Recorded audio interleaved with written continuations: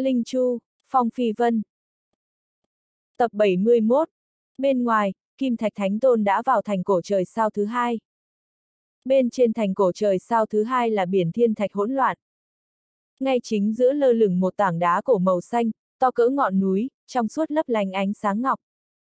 Những thiên thạch, tàn tinh quay quanh đá cổ màu xanh, hình thành kỳ cảnh trời sao mênh mông to lớn. Một thánh linh vực ngoại mặc áo âm dương hai màu kiêu ngạo nói. Đó là con đường đi thông tòa thành cổ trời sao thứ 8, được gọi là thiên su thần cơ. Mới gần đây đám thánh giả di châu hỗn nguyên đại thế giới còn sống sót bỏ chạy từ đây đi sâu vào đường thông thiên. Kim Thạch Thánh Tôn đi theo sau thánh linh vực ngoại đó, gã đột nhiên dừng bước lại, ngước nhìn trời. Những thánh giả di châu hỗn nguyên đại thế giới xông qua đã bao lâu? Một con ruồi màu xanh bay bên cạnh, nó có chín đôi cánh, đập cánh tỏa ra từng vòng thánh quang. Con ruồi nói tiếng người. Những thánh linh di châu hỗn nguyên đại thế giới chỉ là chó cục đuôi, bị chúng ta đánh tơi bời. Nhiều thánh linh di châu hỗn nguyên đại thế giới trốn vào trời sao, lạc trong vũ trụ. Nhiều người thì chết hoặc bị giam cầm.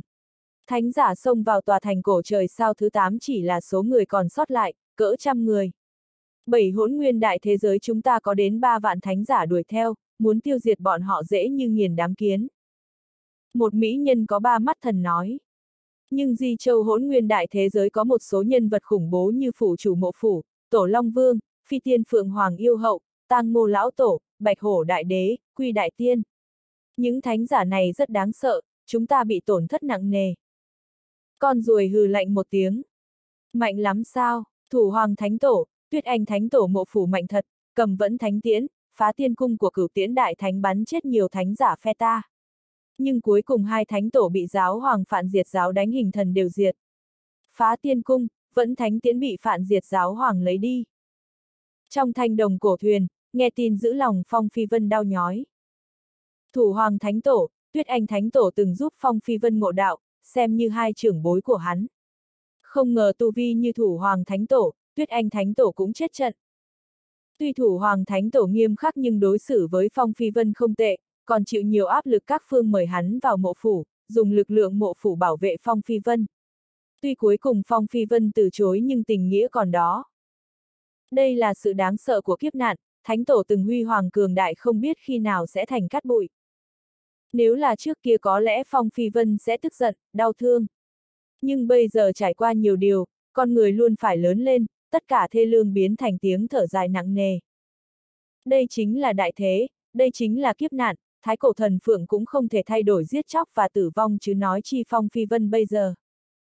Trước đại thế, Phong Phi Vân chỉ là một giọt nước trong biển rộng, có lẽ sẽ bắn bọt nước nhưng tuyệt đối không thể thay thể biển cả.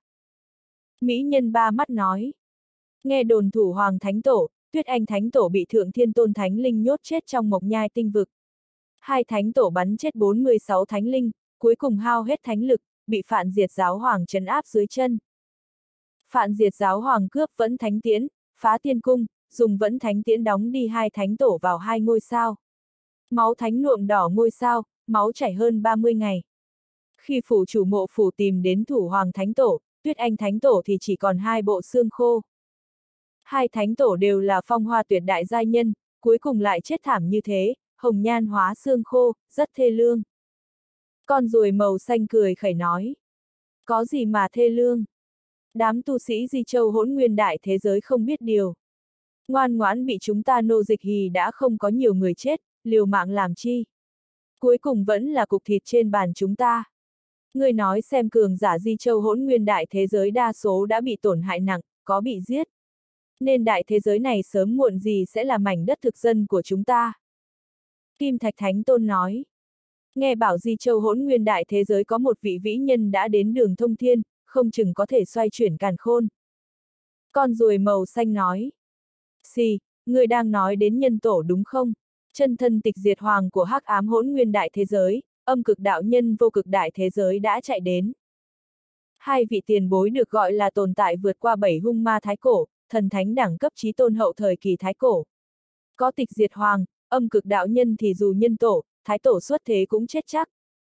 Kim Thạch Thánh Tôn Kinh kêu. Âm cực đạo nhân, chẳng lẽ là việc kia trong truyền thuyết, đồn rằng thái cực đạo nhân lấy thân hóa lưỡng nghi, tự thành âm dương.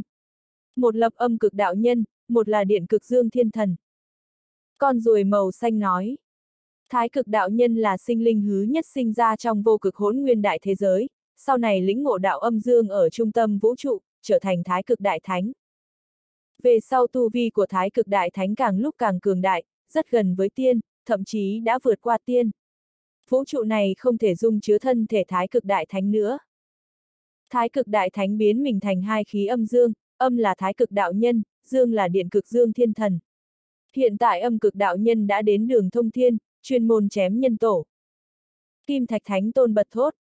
Âm cực đạo nhân chưa chết. Linh hồn bất diệt nói. Chúng ta không thể phỏng đoán thủ đoạn của Đại Thánh. Nghe đồn âm cực đạo nhân từng đợt một khối tiên cốt, nương náu trong tiên cốt có thể tránh né thời gian ăn mòn. Mỹ nhân ba mắt hỏi. Tịch diệt hoàng là ai? Sao trước kia chưa từng nghe qua? Con ruồi màu xanh nói. Mỹ nhân ba mắt mới nổi tiếng gần đây, có cơ duyên lớn. Tu vi tịch diệt hoàng siêu cường đại, kinh thiên vĩ địa, đến di châu hỗn nguyên đại thế giới này đoạt xá lực lượng hỗn loạn cổ đế, một trong bảy hung ma thái cổ. Tịch diệt hoàng kế thừa y bát thất thập nhị dực đại thánh, lại dung hợp chân hồn của hỗn loạn cổ đế, tu vi đã rất gần với đại thánh. Một tay đủ chấn áp nhân tổ. Kim Thạch Thánh Tôn nói.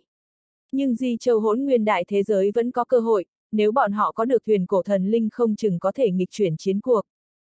Con ruồi màu xanh lạnh lùng chừng Kim Thạch Thánh Tôn. Rốt cuộc ngươi có phải là thánh tôn của phản diệt giáo không?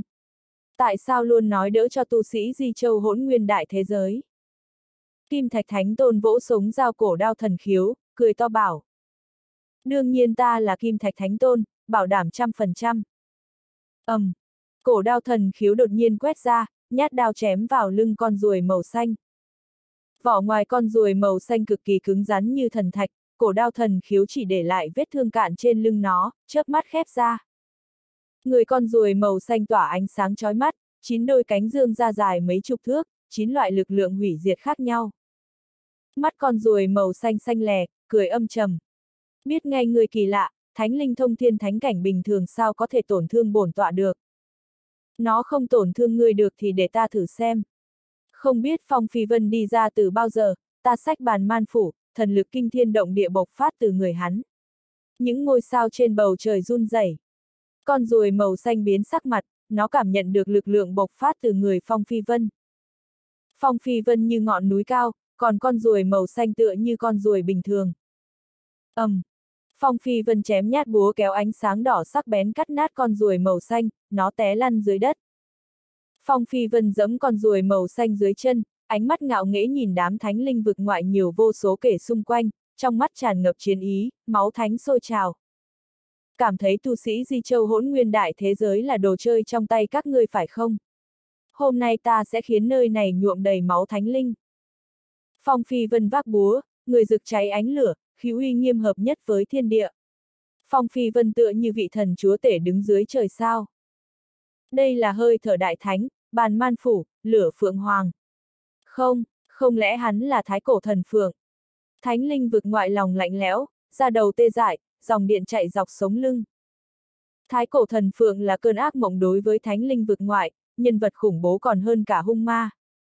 Bộ dạng, khí chất của Phong Phi Vân rất giống thái cổ thần phượng ngày xưa.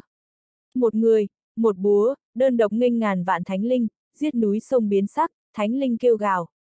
Trong một ngày sáu thánh vương chết, vô số thánh giả gục ngã. Đây là uy của đại thánh. ầm, um, Phong phi vân hùa búa, kéo ánh sáng búa chặt sáu thánh giả đứt thành hai khúc, máu tuôn như suối bay ngược ra ngoài, biến mất trong trời sao. Trong thành cổ trời sao thứ hai có nhiều thánh linh vực ngoại đóng giữ, đến từ bảy hỗn nguyên đại thế giới khác nhau. Trong đó có thánh giả tuyệt thế. Một nam nhân áo đen bay tới, lơ lửng bên trên thành cổ trời sao thứ hai, người phát ra khí chết chóc, giọng khàn khàn. Hắn không phải thái cổ thần phượng, là trí tôn vương giả thế hệ trẻ di châu hỗn nguyên đại thế giới, Phong Phi Vân. Nam nhân mặc áo đen bay trên cao, từng dòng khí âm u vòng quanh người nam nhân. Lực lượng dao động mãnh liệt từ người nam nhân, trong hắc ám chỉ có hai luồng tà quang kỳ dị bắn ra ngoài. Phong Phi Vân con người co rút. Vô đạo. Nam nhân áo đen là vô đạo từng chạy trốn. Vô đạo nhẹ gật đầu, nói. Phong Phi Vân, ta đã nói rồi, khi chúng ta lại gặp mặt sẽ không thân thiện. Không ngờ ngươi thật sự trưởng thành có thể đối địch với ta. Phong Phi Vân hỏi. Ngươi hối hận ngày xưa không giết ta. Vô đạo lắc đầu, mỉm cười nói. Dù ta muốn giết ngươi nhưng có thủ hoàng thánh tổ, tuyết anh thánh tổ hỗ trợ ngươi thì ta cũng không giết được. Ánh mắt Phong Phi Vân tối sầm. Tiếc rằng hai vị thánh tổ đã thành cát bụi, trời chôn thân thánh. Vô đạo nói. Vậy thì tiếc quá. Gió mạnh thổi qua, sát khí phần phật. Một nam nhân mặc áo trắng cưỡi mây về gió bay tới. Nam nhân tóc muối tiêu nhưng khuôn mặt trẻ tuổi. Nam nhân hét to bảo. Nói nhiều với hắn làm gì? Chém hắn, cướp bàn man phủ, đây là chân binh đại thánh. Phong Phi Vân nhìn nam nhân áo trắng cưỡi mây bay đến, biết ngay thân phận của gã. Phong Phi Vân lạnh lùng cười. Phạt kiếp giáo chủ của phản diệt giáo, đẳng cấp giáo chủ có khác, rất dứt khoát. Người nghĩ Phong Phi Vân ta là loại người muốn giết thì giết sao? Phản diệt giáo có bốn giáo chủ thiên, côn, địa, phạt, phạt kiếp giáo chủ xếp chót. Giọng phạt kiếp giáo chủ hùng hồn nói. Bản giáo chủ biết tu vi của ngươi rất lợi hại, nhưng ngươi cảm thấy ngươi mạnh hơn thủ hoàng, tuyết anh sao? Tu vi của bọn họ lợi hại biết bao, nhưng cuối cùng chết vào tay giáo hoàng của chúng ta. Phong Phi Vân nói. Vậy hết cách, chiến đi. Đối phao tiểu bối bình thường không cần giáo chủ ra tay, để Hồng Sơn ta chém hắn. Một nam nhân chắc khỏe như tháp sắt bay ra, cao hơn 10 thước, cánh tay như bánh xe gió. Hồng Sơn là một tòa thần sơn thành đạo. Trong vô cực hỗn nguyên đại thế giới có một thần sơn viễn cổ tên là Hồng Nhạc Sơn Xuyên, nơi thánh linh ngủ say. Vô số thánh giả lúc tuổi già sẽ đến chỗ đó chôn mình. Sau này thần sơn hấp thu nhiều tinh khí của các thánh giả đã thông linh hóa đạo, biến thành hình người, sức chiến đấu rất đáng sợ. Tu vi của Hồng Sơn đến đại chân thánh cảnh nhưng bởi vì thể chất đặc biệt sức mạnh có thể đấu với vô lượng chân thánh cảnh, là tồn tại nổi tiếng như cồn trong vô cực hỗn nguyên đại thế giới, như quỷ thị tôn hoàng nổi tiếng ở Tây Ngưu Hạ Châu. Hồng Sơn biến thân thành dãy núi nguy nga, trong núi đầy đốm sáng, mỗi đốm sáng là một bộ xương thánh linh. Trong dãy núi có bàn tay to đè xuống đánh vào đầu Phong Phi Vân. Càn khôn hỗn nguyên trưởng ấn thiên địa. Phong Phi Vân nghênh đón, Phật quang rực rỡ bắn ra, năm ngón tay rực rỡ sắc vàng bao bọc nguyên dãy núi, đánh bay dãy núi đi. Luyện cho ta. Phong Phi Vân đánh ra một tam vị chân hỏa lô, thần lô biến to cỡ ngôi sao đốt cháy thần hỏa, thu Hồng Sơn vào thần lô. Hồng Sơn là tu vi đại chân thánh cảnh, năng lực mạnh hơn đám nhạc tước linh, kim thạch thánh tôn nhiều, sắp toát khỏi chân áp. ầm, um, tam vị chân hỏa lô không theo Phong Phi Vân điều khiển và đụng dưới trời sao, không biết đụng vỡ bao nhiêu ngôi sao. Phạt kiếp giáo chủ cũng công kích Phong Phi Vân, ngón tay lấp lánh huyên quang, kích phát kiếp lực, điều động lực lượng trời phạt bí ẩn trong trời sao công kích Phong Phi Vân. Vô số ánh sao bị phạt kiếp giáo chủ rút đi tụ vào đầu ngón tay như biến thành muôn vàn tia điện. Phong Phi Vân cũng chỉ tay lên trời, ánh mắt nghiêm túc nói. Thiên kiếp. Tinh vực sinh ra vô số lôi điện, thuộc về lực lượng thiên kiếp. Muôn vàn thiên kiếp sinh ra, tia điện ngưng tụ thần tướng thiên kiếp mặc chiến giáp, tay cầm chiến binh phát ra tiếng hú dài. Khắp nơi là thần tướng thiên kiếp, bóng tia điện, như thiên quân vạn mã binh đến dưới thành, muốn san bằng nguyên thành cổ trời sao thứ hai. Phập, phập, đây là lực lượng của kiếp diệt vạn đạo Pháp. Phong Phi Vân mới điều động một kích lực lượng thiên kiếp đã có 23 thánh linh bị thiên kiếp đánh mất sức chiến đấu nằm bẹp dưới đất, toàn thân cháy đen, tia điện chạy dọc. Có ba minh nhật thánh cảnh ngụy thánh bị lực lượng thiên kiếp giáng thành cho bụi. Hàng trăm thánh linh bị lực lượng thiên kiếp tổn thương người bốc tia điện. Quá khủng khiếp. Phong Phi Vân đứng giữa thành cổ trời sao thứ hai, sống lưng thẳng tắp, ánh mắt sắc bén. Phong Phi Vân điều động lực lượng thiên kiếp đánh bay hàng trăm thánh linh vực ngoại, khiến ba thánh linh thân chết đạo tiêu. Lực lượng này dữ dội cỡ nào? Vô đạo lên tiếng. Lực lượng đẳng cấp thánh vương. Ánh mắt phạt kiếp giáo chủ chứa kinh hoàng. Mới rồi Phong Phi Vân điều động thiên kiếp thật sự, cao minh hơn thiên phạt của phạt kiếp giáo chủ vô số lần. Thiên kiếp là kiếp thiên địa, sử dụng lực lượng thiên địa. Thiên phạt của phạt kiếp giáo chủ là dùng sức mạnh bản thân. Giữa hai bên không thể so sánh. Đương nhiên vừa rồi Phong Phi Vân dốc sức thúc giục kiếp diệt vạn đạo Pháp, điều động tất cả kiếp lực trời sao cho mình dùng, thánh lực tiêu hao gần một nửa. Phong Phi Vân đã hiểu tại sao thủ Hoàng Thánh Tổ, Tuyết Anh Thánh Tổ chết trận. Hai thánh tổ bị ngàn thánh linh bao vây, tuần hoàn công kích, cuối cùng hao hết thánh lực, bị vẫn thánh tiễn chân chết. Phong Phi Vân sẽ không nối gót theo thủ hoàng thánh tổ, tuyết anh thánh tổ. Phong Phi Vân vừa phục hồi thánh lực vừa tìm cách đột phá vòng vây. ầm, um, Phong Phi Vân đập tam vị chân hỏa lô nhốt hồng sơn xuống, thần lô biến nhỏ. Hai tay Phong Phi Vân kẹp tam vị chân hỏa lô, hoàn toàn ức chế. Thu. Phong Phi Vân lại lấy tam vị chân hỏa lô khác ra, thu hết 23 thánh linh vực ngoại bị thiên kiếp tổn hại nặng vào một tam vị chân hỏa lô. Ngươi dám. Phạt kiếp giáo chủ lại công kích, gã không đánh ra lực lượng thiên phạt mà triệu hoán cổ thánh khí như trăng khuyết cắt cổ Phong Phi Vân. Muốn chết. Tay Phong Phi Vân nâng tam vị chân hỏa lô, một tay cầm bàn man phủ, búa chém qua. Bùm! Cổ thánh khí trong tay phạt kiếp giáo chủ bị bàn man phủ chém nứt một lỗ hổng, tràn ra vô số thánh linh tinh khí. Phạt kiếp giáo chủ không dám tin vào mắt mình. Cái gì, thánh linh dụng cụ không ngăn cản được. Phạt kiếp giáo chủ nhìn kim câu răng cưa bị chém nứt, đây là thánh linh dụng cụ làm bằng tài liệu thánh tính. Đại thánh tế luyện ra thần binh, bên trong uẩn dục đạo đại thánh, trong thiên hạ có cái gì ngăn lại đạo đại thánh được. Phong phi vân bay lên cao, Phật đài 72 phẩm ngưng tụ dưới chân, lực lượng luân hồi tri ấn, lực lượng thời không tụ tập. Tốc độ của Phong Phi Vân tăng nhanh gấp mấy lần, chân đạp ngực phạt kiếp giáo chủ đè xuống. Phong Phi Vân giáng một búa. ầm, um, Phạt kiếp giáo chủ vội dơ kim câu răng cưa ra, thánh linh dụng cụ bị bàn man phủ bạo lực công kích đánh nát, vỡ thành nhiều mảnh vàng. Phạt kiếp giáo chủ đau lòng nhỏ máu nhưng biết đang phút sống còn, hai tay vỗ mặt đất hất chân Phong Phi Vân ra, nhanh chóng thụt lùi. Muốn trốn, đâu dễ vậy. Phong Phi Vân vác bàn man phủ đuổi theo, mắt chứa sát khí, tóc dài bay ngược lên. Hai thánh giả tiểu chân thánh cảnh tiến lên cản đường Phong Phi Vân. Bọn họ tự đánh ra cái thế thần thuật ngưng tụ thiên hà màu trắng, mà kiếm màu đen chém xuống Phong Phi Vân. Cút đi! Phong Phi Vân chém ngang, ánh sáng búa sắc bén đánh nát thiên hà trắng, mà kiếm đen. Hai thánh giả tiểu chân thánh cảnh tràn ngập kinh hoàng, vội thụt lùi. Đã muộn! Phong Phi Vân giơ bàn man phủ chém một tiểu chân thánh cảnh thành hai khúc, thân thánh bay hai hướng, thánh cốt bị đập nát. Giết! Phong Phi Vân thu về tam vị chân hỏa lô, hai tay giơ búa chém tiểu chân thánh cảnh khác. Phong Phi Vân dẫm nát người tiểu chân thánh cảnh, đạp ra dấu chân đỏ máu, truy sát phạt kiếp giáo chủ. Nhiều người thấy Phong Phi Vân đã giết đến đỏ mắt, chiến phát cuồng.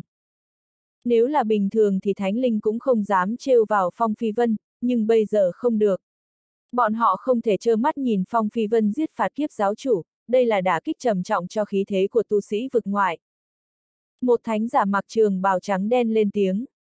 Hôm nay Phong Phi Vân đã rất nổi tiếng, nếu để hắn giết phạt kiếp giáo chủ thì sao được? Mọi người cùng nhau giết Phong Phi Vân đi. Thánh Linh vừa dứt lời cổ đã bay đi, bị bàn man phủ chém đứt. Cột máu phun lên cao ba trượng. Phong Phi Vân đẫm máu đi ra, tay cầm cây búa đẫm máu. Phong Phi Vân đá bay thánh giả mặc trường bào trắng đen ra xa như đá con lợn.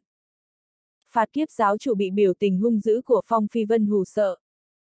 Phong, Phong Phi Vân, ngươi cho rằng ngươi giết được ta. Ta là vô lượng chân thánh, hầu như bất tử.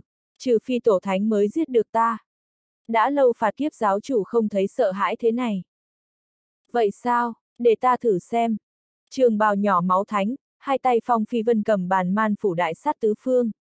Thánh giả nào dám chắn đường Phong Phi Vân là sẽ bị hắn chém bay, hắn rất giống ám dạ sát thần. Thánh thai trong người Phong Phi Vân điên cuồng vận chuyển, 999 tinh hệ đốt cháy trong người. Không ai địch nổi một chiêu của Phong Phi Vân, đều bị hắn chém bay. ầm. Um. Audio điện tử võ tấn bền. Phong Phi Vân vọt lên, hai tay cầm búa, thế sấm sét. Bàn man phủ chặt nửa sọ não phạt kiếp giáo chủ, hộp sọ bay ra. Phạt kiếp giáo chủ nhìn đau vỗ ngực Phong Phi Vân. Nhưng Phong Phi Vân quét búa, nửa người phạt kiếp giáo chủ bay ra ngoài chỉ còn hai chân đứng dưới đất, máu tuôn như suối. Chỉ hai búa. Một búa chém nửa sọ phạt kiếp giáo chủ, một búa chặt đứt đôi chân gã. Không giống thánh linh tranh hùng mà càng như Phong Phi Vân đang cắt đậu hủ. Bùm bùm bùm bùm bùm. Phạt kiếp giáo chủ dù gì là vạn cổ trí tôn, không dễ bị giết. Hai chân đẫm máu dưới đất biến thành hai cây thánh trụ, mọc ra đôi tay, có mắt thánh bay quanh hai chân máu ầm, um, hai cột thánh công kích, không đánh vào người Phong Phi Vân mà chúng tường thành cổ trời sao thứ hai. Tường thành cổ trời sao thứ hai làm bằng cổ ngọc, có người bảo là xương thánh linh, bày trận pháp thánh giai, rất khó sụp. Hai cột thánh công kích tường thành, làm thành cổ trời sao thứ hai rung bần bật. Một thánh linh vực ngoại lắc đầu, nói. Tu vi của phạt kiếp giáo chủ đến vô lượng chân thánh cảnh, máu thánh liên miên không dứt, sức sống dài lâu. Dù tổ thánh ra tay chưa chắc giết được thánh giả vô lượng chân thánh cảnh. Có lẽ Phong Phi Vân mạnh hơn phạt kiếp giáo chủ, nhưng hắn tuyệt đối không thể giết phạt kiếp giáo chủ. Các thánh linh vực ngoại không dám đến gần Phong Phi Vân, trừ thánh linh vô lượng chân thánh cảnh ra, ai mà tới gần sẽ bị hắn cho nhát búa đầu mình tứ chi chia lìa, dù không chết cũng bị thương căn nguyên thánh thai. Nhiều thánh linh vực ngoại đặc biệt danh hung thần Di Châu hỗn nguyên đại thế giới cho Phong Phi Vân, ngang hàng với đám người bạch hổ đại đế, phượng hoàng yêu hậu. Tuổi còn trẻ đã bước vào cảnh giới thế này, tương lai tiểu tử này sẽ càng mạnh, trở thành kẻ thù lớn của bảy giới chúng ta. Người cảm thấy Phong Phi Vân có thể đi ra thành cổ trời sao thứ hai sao? Các ngươi không thấy chiến thuật của phạt kiếp giáo chủ. Phạt kiếp giáo chủ đang cố ý tiêu hao thánh lực của Phong Phi Vân, nhìn như Phong Phi Vân mạnh hơn phạt kiếp giáo chủ, đã chiếm ưu thế tuyệt đối. Thật ra y rơi vào bẫy của phạt kiếp giáo chủ. Chờ hắn hao gần hết thánh lực sẽ là giờ chết của Phong Phi Vân. Gừng càng già càng cay, Phong Phi Vân còn quá trẻ. ầm, um, Phong Phi Vân chém xuống đất, thần thạch các thánh bầy từ thời kỳ viễn cổ bị chấn vỡ nhiều mảnh, để lại vết búa to ghê người. Mấy chục kiến trúc cổ ta vỡ. Đám thánh linh vực ngoại hoảng sợ nín thinh, lại thụt lùi. Thần phủ chấn hồn. Phong phi vân hùa búa đập vào ngực phạt kiếp giáo chủ, xuyên thấu qua lồng ngực. Sức mạnh đại thánh hùng hồn xông vào bàn man phủ, minh mông mà bá đạo, như đại thánh trọng sinh trấn áp chặt chẽ linh hồn phạt kiếp giáo chủ. Phạt kiếp giáo chủ biến sắc mặt, cảm giác cơ thể không thuộc về mình, linh hồn bị cắt, không thể nhúc nhích một ngón tay. Mắt Phong Phi Vân lạnh lùng nói. Người nghĩ bằng vào tu vi đẳng cấp vô lượng chân thánh có thể tiêu hao thánh lực của ta. Người nghĩ ta không thể chém chết ngươi. Ta không chém ngươi, ta muốn ngươi làm nô bộc của ta. Phạt kiếp giáo chủ nghiến răng nói. Ngươi nằm mơ. Phong Phi Vân lấy một tam vị chân hỏa lô ra úp xuống, thu phạt kiếp giáo chủ vào lô thần, trấn áp trên thanh đồng cổ thuyền. Sau khi trấn áp phạt kiếp giáo chủ, hiệu quả uy hiếp hoàn thành, Phong Phi Vân không đại khai sát giới mà bay lên cao, định thông qua thiên su thần cơ chạy đến tòa thành cổ trời sao tiếp theo. Phong Phi Vân đại khái sát giới tại thành cổ trời sao thứ hai không chỉ vì ham ra oai một lúc. Phong Phi Vân muốn góp sức mỏng manh thị uy với tu sĩ vực ngoại, cho bọn họ biết Di Châu hỗn nguyên đại thế giới không phải nơi để tu sĩ vực ngoại thịt cát, vẫn có người khiến bọn họ đổ máu. Hơn nữa giáo hoàng phản diệt giáo giết thủ hoàng thánh tổ, tuyết anh thánh tổ. Bây giờ Phong Phi Vân chấn áp một giáo chủ của phản diệt giáo, xem như cách không khiêu chiến với phản diệt giáo hoàng. ầm, um, Phong Phi Vân suýt chút đã lao vào thiên su thần cơ, nhưng một khối thiên thạch xoay tròn giáng xuống trưởng ấn đen to lớn chặt đứt đường đi của hắn. Phong Phi Vân bị đánh té xuống đất. Phong Phi Vân lại rơi xuống thành cổ trời sao thứ hai, đám thánh linh vực ngoại xuống lại, các khí thánh linh lao ra phong tỏa đường lui của Phong Phi Vân. Phong Phi Vân ngước nhìn trời. Vô đạo. Vô đạo khoác áo đen dày, thu tay về. Vô đạo đứng trên thiên thạch xoay tròn, người như đoàn khói đen. Vô đạo nói. Phong Phi Vân, ta không bao giờ ngờ rằng tu vi của ngươi mạnh đến mức chân áp được phạt kiếp giáo chủ. Không uổng là con của cố nhân, tư chất của ngươi hơn hẳn phụ thân mình. Vô đạo và phụ thân của Phong Phi Vân từng là bằng hữu tốt nhất. Nhưng kiếp trước phụ thân của Phong Phi Vân chết vào tay vô đạo, nếu không chưa biết chừng hắn sẽ gọi vô đạo một tiếng thúc phụ. Phong Phi Vân đứng trong vòng vây các thánh, vô số trận pháp thánh linh đã dâng lên. Phong Phi Vân mặt không đổi sắc nói. Cố nhân, bằng vào ngươi cũng xứng là cố nhân của phụ thân ta sao? Muốn chiến hãy chiến đi, lần trước nhờ sức hai vị tiền bối thủ hoàng, Tuyết Anh đánh bại ngươi chắc ngươi không hục. Lần này chúng ta hãy chiến đấu công bình, thế nào? Phong Phi Vân nói câu này là có mục đích riêng. Nếu là chiến đấu công bình thì những thánh linh khác không thể tấn công, có lợi cho Phong Phi Vân hơn. Các thánh vây công thì Phong Phi Vân không nắm chắc có bao nhiêu cơ hội chạy thoát. Phong Phi Vân vận dụng trò vặt không lừa được các thánh giả, nhưng quan trọng nhất là xem vô đạo nói sao. Vô đạo nhìn Phong Phi Vân thật lâu, lạnh nhạt nói. Theo đạo lý thì ngươi không có tư cách khiêu chiến với ta, về tình thế thì ta càng không cần đồng ý khiêu chiến của ngươi. Nhưng ta và phụ thân ngươi từng chơi một ván tàn cục, hay ngươi chơi tiếp theo hắn đi. Phong Phi Vân biết vô đạo đã gián tiếp đồng ý khiêu chiến. Tàn cục ở đâu? Vô đạo chỉ trời sao? Chỗ đó. Ngôi sao thiên địa nhanh chóng di chuyển xếp thành ván cờ trời sao to lớn. Trời sao là bằng cờ, ngôi sao là quân cờ. Phong Phi Vân nhìn chằm chằm trời sao, sơ sẩy một cái là sẽ thành cho bụi. Vô đạo bay đến một bên trời sao, chân đạp các ngôi sao. Vô đạo như vị trí giả nói. Khi ấy ta và phụ thân của ngươi chơi cờ, đến khúc này thì phụ thân ngươi đi quá khứ. Hiện tại từ ngươi hoàn thành ván cờ thay hắn đi, ta đã bày cờ tuyệt sát, do ngươi chơi. Phong Phi Vân ngồi xếp bằng trên sao chổi bay nhanh, nhìn ván cờ minh mông trước mặt. Trong ván cờ có ngàn vạn ngôi sao, xếp ra hàng vạn tiểu cục tranh giết. Trong tiểu cục hình thành một số đại cục, từng khâu nối nhau. Di chuyển một ngôi sao rất có thể dẫn đến tan vỡ rầm rộ, bản thân mình chết trong ván cờ. Nguy rồi, đây là tử cục. Phong Phi Vân cúi đầu nhìn xuống, thấy bên dưới chiếm một lỗ đen to dài mấy chục vạn ức dặm. Giờ Phong Phi Vân mới phát hiện từ đầu đến cuối hắn bay trên lỗ đen, chưa từng ra khỏi phạm vi lỗ đen. Vô đạo nói, đúng vậy, đây là tử cục, người đi quân nào cũng sẽ dẫn đến lỗ đen cắn nuốt, cuối cùng chết uổng.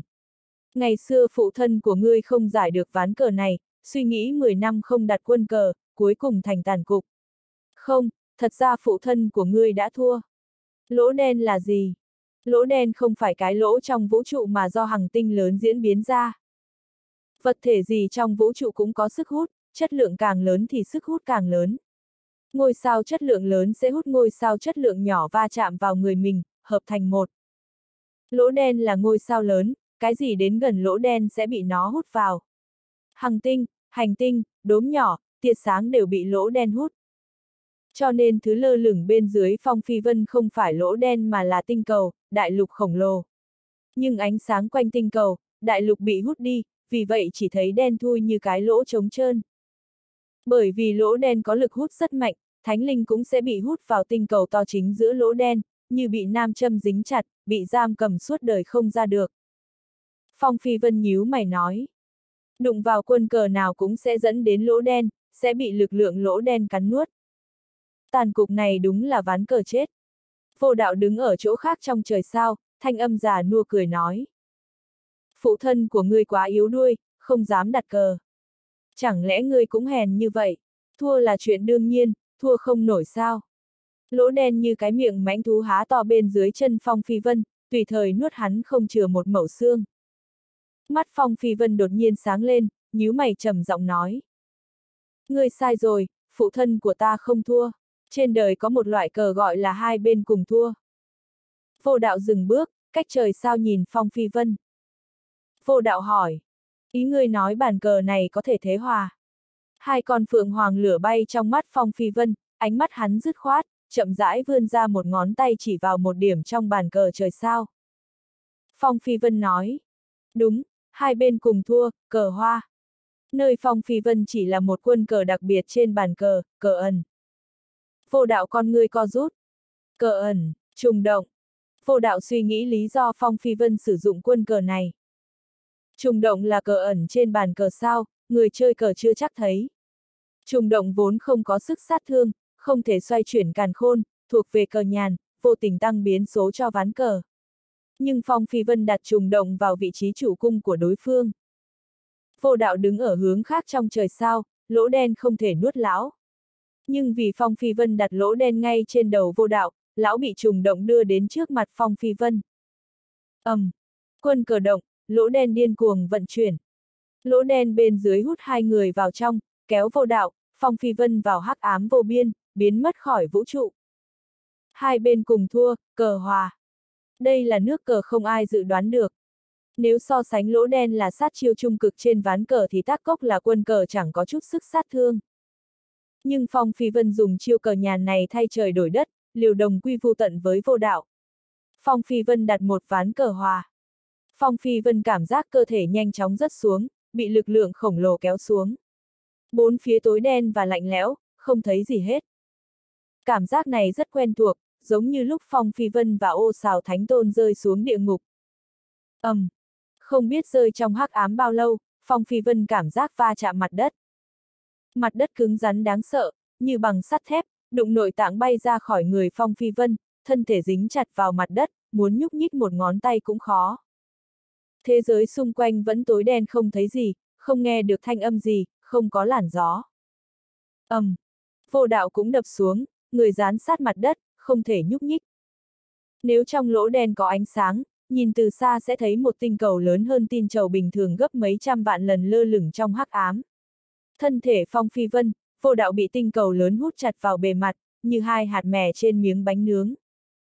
Nếu là tu sĩ khác chắc chắn bị lực lượng tinh cầu to đánh nát cơ thể thành bột phấn. Nhưng phong phi vân, vô đạo là thể thánh linh, cơ thể sắp thành thánh. Lực lượng lỗ đen có thể giam cầm bọn họ nhưng không giết được hai người. Vô đạo bị giam cầm nhưng mặt lão lại cười, phát ra thánh niệm. Ha ha ha ha ha ha, thì ra có thể đặt cờ như vậy, thì ra có thể hòa cờ, thì ra ta không thua, ta không thua, ha ha ha ha ha ha. Phong Phi Vân phát ra thánh niệm hỏi. Ý ngươi là sao? Thánh niệm vô đạo nói. Thật ra ta thay đổi vị trí hai người chơi cờ. Nơi ngươi đứng là vị trí của ta, còn ta đứng ở vị trí của phụ thân ngươi. Cho nên trong tàn cục đó người rơi vào tử cục là ta, không phải phụ thân của ngươi. Ta suy tư 10 năm nhưng không nghĩ ra cách phá cục, không ngờ nhãi danh nhà ngươi liều ván cờ hòa. Ha ha ha ha ha ha, lòng rất sung sướng. Phong Phi Vân không vui nổi. Ngươi thật âm hiểm, nếu biết người rơi vào tử cục là ngươi thì ta tuyệt đối không chơi ván cờ đồng quy vu tận. Ai đều hy vọng phụ thân của mình là không gì không làm được, vô địch thiên hạ, như cây to chọc trời không bao giờ ngã xuống. Trong lòng Phong Phi Vân cũng có suy nghĩ này, hắn không hy vọng phụ thân bị người ta đánh bại, dù liều hai bên cùng chết cũng quyết giành lại vinh diệu cho phụ thân. Vô đạo lợi dụng điểm này khiến Phong Phi Vân giải ván cờ phải chết giúp lão. Vô đạo cười nói, dù gì sắp chết, cát bụi về với cát bụi, trước khi chết giải quyết xong một nguyện vọng coi như là chuyện vui, sinh mệnh càng sung sướng. Phong Phi Vân phải khâm phục vô đạo, dù là trước mặt kẻ địch hay cái chết thì lão vẫn bình tĩnh cười nói, ung dung. Đây là chuyện đa số thánh linh không làm được, bao gồm Phong Phi Vân. Phong Phi Vân không cười nổi, hắn ngưng tụ khí thánh linh muốn phá lỗ đen ức chế. Nhưng Phong Phi Vân dốc hết sức mạnh ra chỉ nâng được một cánh tay, mỗi ngón tay nặng cỡ ức cân. Phong Phi Vân vừa nhấc tay lên đã rơi xuống, đập mạnh xuống mặt đất, xương cốt kêu răng rắc. Vô dụng, đây là lực lượng lỗ đen, sức hút lỗ đen này rất đáng sợ. Đừng nói chạy đi, dù muốn đứng dậy cũng khó như lên trời. Vô đạo đã nhìn thấu, lão nằm dưới đất, phải đen che người. Đương nhiên nếu người đứng dậy được chứng minh tu vi của ngươi đã bước ra một bước dài, đại biểu thân thể của ngươi thành thánh, thân thể vạn cổ bất hủ. Trong di châu hỗn nguyên đại thế giới chỉ có ba, năm người là thân thể thành thánh, thân thể vạn cổ bất hủ, sức sống tăng nhiều. Sức mạnh cơ bắp có thể hủy thiên diệt địa, tay không đấu lại thánh linh dụng cụ. Cơ thể phong phi vân mạnh mẽ nhưng chưa khủng bố đến nỗi thân thể thành thánh. Lại đến, phong phi vân không từ bỏ, với lực lượng lỗ đen luyện hóa thân thể, tranh chấp với lỗ đen để rèn luyện bản thân. Dù có rơi vào tuyệt địa chết chóc cũng tuyệt đối không từ bỏ. Cứ thế 100 năm qua đi. Sự cố gắng của Phong Phi Vân không uổng phí, sau vạn lần thất bại nửa người trên có thể hồng lên, lưng chống đỡ cơ thể ngồi vững ba canh giờ.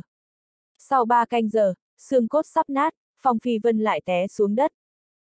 Phong Phi Vân nằm xuống lấy lại sức. Lại qua 100 năm.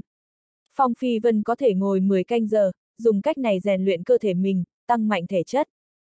100 năm lần thứ ba. Phong Phi Vân có thể nhẹ nhàng ngồi dậy, dù ngồi mấy ngày cũng không lo eo gãy. Phong Phi Vân quyết định dấn bước tiếp theo, đứng dậy. Khi đứng lên được nghĩa là thân thể Phong Phi Vân thành thánh, nắm đấm có thể va chạm với thánh linh dụng cụ, máu và thịt như thần dược, xương cốt có thể làm thánh tài luyện khí. Hai tay Phong Phi Vân chống mặt đất chậm rãi co chân, dẫm đất. Đôi chân Phong Phi Vân run run. Răng rác. Phong Phi Vân té cái bịch xuống đất, hai chân gãy xương, té dập mặt. Thất bại. Vô đạo nằm cách Phong Phi Vân ngàn dặm, mắt không thấy, tai không nghe được nhưng thánh niệm có thể cảm giác từng hành động của Phong Phi Vân. Mấy trăm năm nay Phong Phi Vân cố gắng, nỗ lực đều rơi vào mắt vô đạo, đôi khi lão sẽ nói chuyện vài câu với hắn. Phong Phi Vân không thể thành công đứng dậy, hai chân gãy xương, ngã trên mặt đất. Vô đạo không cười nhạo Phong Phi Vân, ngược lại bị tinh thần bất khuất của hắn đánh động. Vô đạo chậm rãi ngồi dậy, từ từ đứng lên. Phong Phi Vân cảm giác từng hành động của vô đạo, giật mình kêu lên. Người sớm đến thân thể thành thánh. Tuy vô đạo có thể đứng dậy cũng rất vất vả. Có vài thứ bí ẩn, khi biết sự thật ngươi sẽ ngạc nhiên. Nếu thân thể của ta không thành thánh thì ngày trước ngươi có lực lượng thủ hoàng thánh tổ, tuyết anh thánh tổ sớm giết được ta. Phong Phi Vân cười nói. Lợi hại. Vô đạo lạnh nhạt nói. Đừng khen ta, đừng quên chúng ta là kẻ thù. Nếu ta đứng dậy được nghĩa là ta sắp đến giết ngươi. Phong Phi Vân nói. Ngươi và ta cách xa ngàn dặm, ngươi cảm thấy có thể giết ta sao? Vô đạo tiến tới một bước nhỏ, cơ thể không chịu nổi áp lực lỗ đen té sấp xuống đất.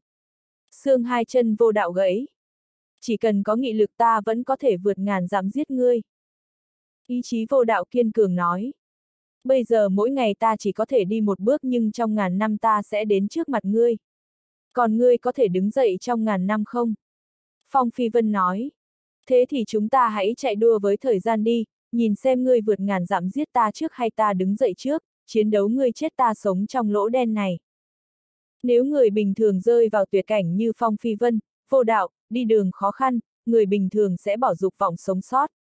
Trong tuyệt cảnh này Phong Phi Vân, vô đạo vẫn mang theo chiến ý mạnh mẽ, ý chí bất diệt, đây là chuyện rất đáng quý. Liều mạng giúp Phong Phi Vân, vô đạo tìm thấy ý nghĩa sống sót. Trong lỗ đen trở nên thú vị hơn. Thời gian trôi nhanh. 500 năm qua đi. Đôi chân Phong Phi Vân không biết gãy xương bao nhiêu lần, lưng gãy hơn trăm lần. Sức mạnh cơ thể Phong Phi Vân càng lúc càng mạnh mẽ. Đứng lên. Hai tay Phong Phi Vân rời khỏi mặt đất, chậm rãi đứng dậy. Người Phong Phi Vân kêu răng rắc, gân xanh nhô ra, mạch máu sắp vỡ. Phần eo và lưng dần duỗi thẳng, như thần long ngẩng đầu kiêu ngạo. Lỗ đen, ta tuyên bố chinh phục ngươi. Phong Phi Vân chỉ đứng lên được một giây rồi lại té xuống, xương gãy vụn, người bê bết máu tràn ra từ lỗ chân lông. Nhưng Phong Phi Vân cười phá lên. Cách 300 dặm, vô đạo ngồi dưới đất, cảm nhận được gì đó, ánh mắt kinh ngạc nói. Người đã đột phá đến cảnh giới thân thể thành thánh. 500 năm qua vô đạo cũng tiến bộ nhiều, mỗi ngày có thể đi hai hoặc ba bước.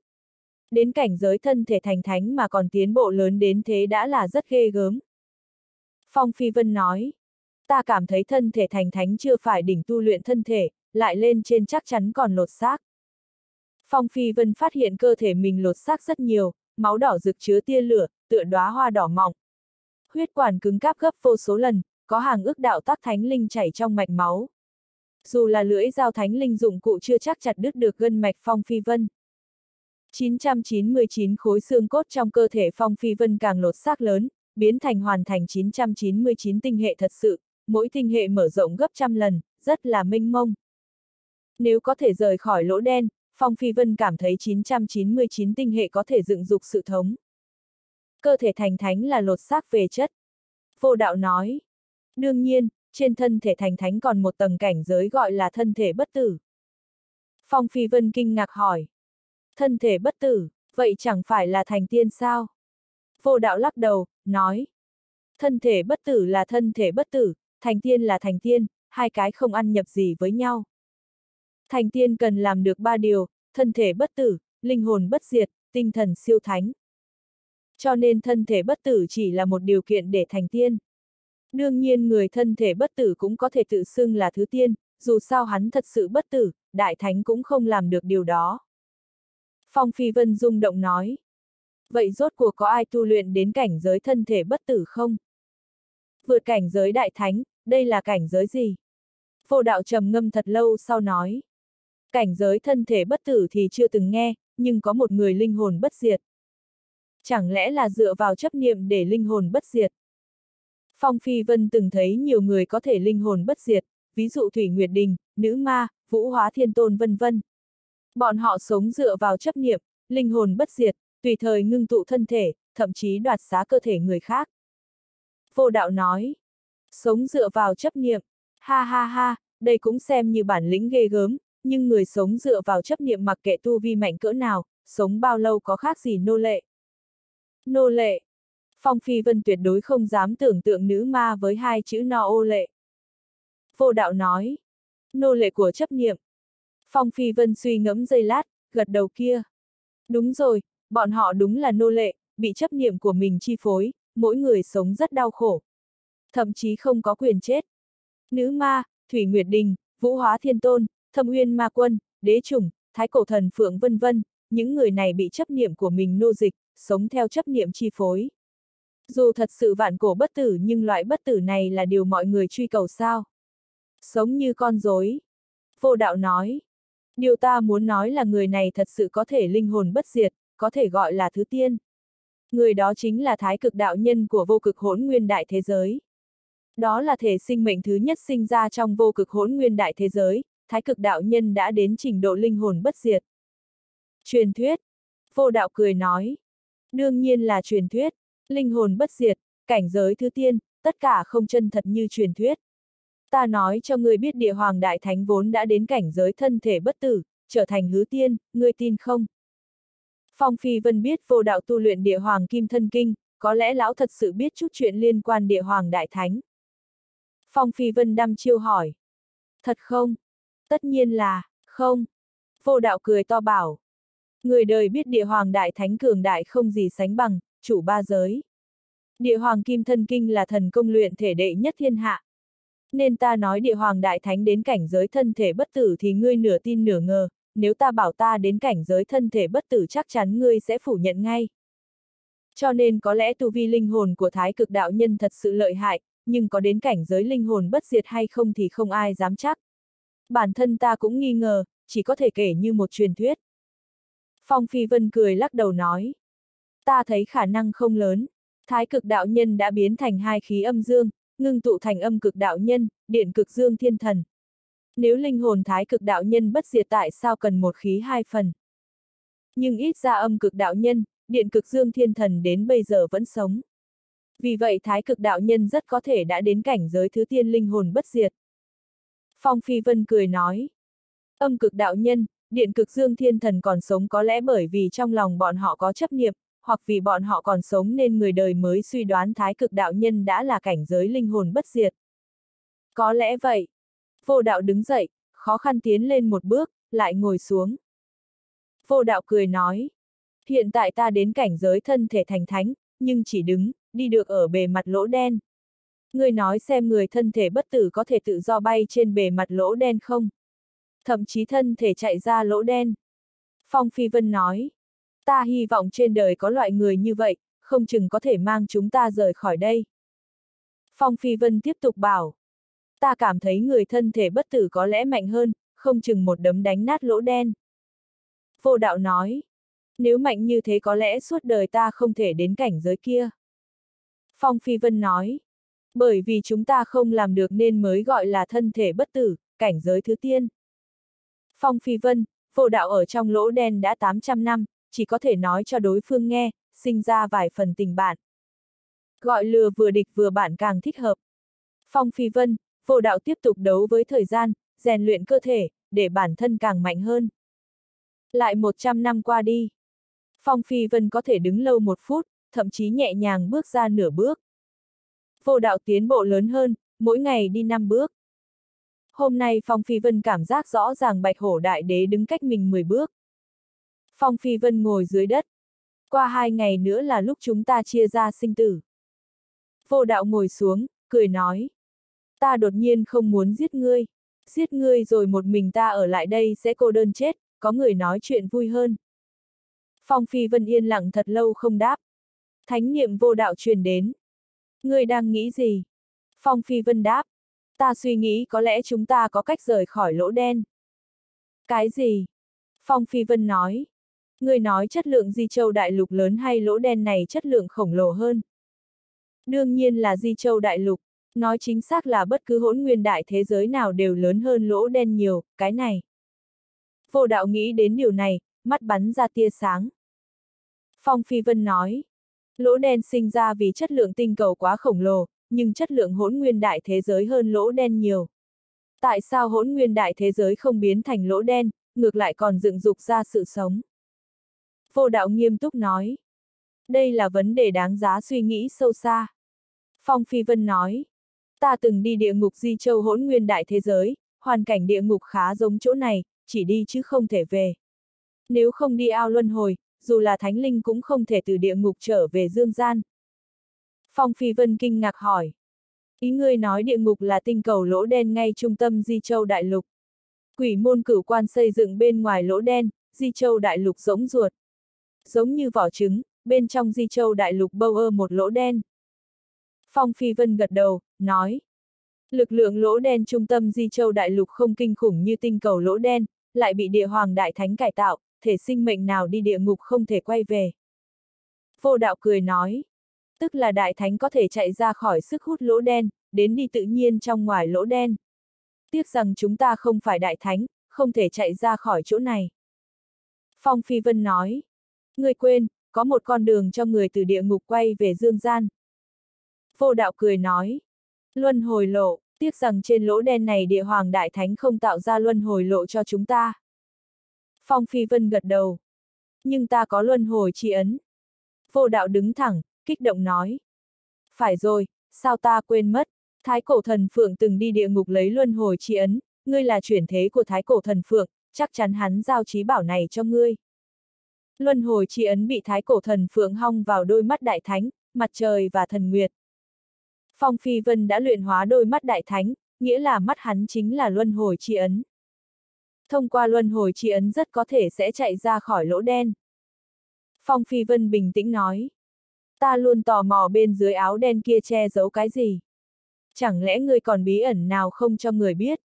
Không thể trốn ra lỗ đen, hai người có thể biến thù thành bạn. Nhưng bây giờ có khả năng chạy ra lỗ đen, Phong Phi Vân, vô đạo lại trở về quan hệ đối địch.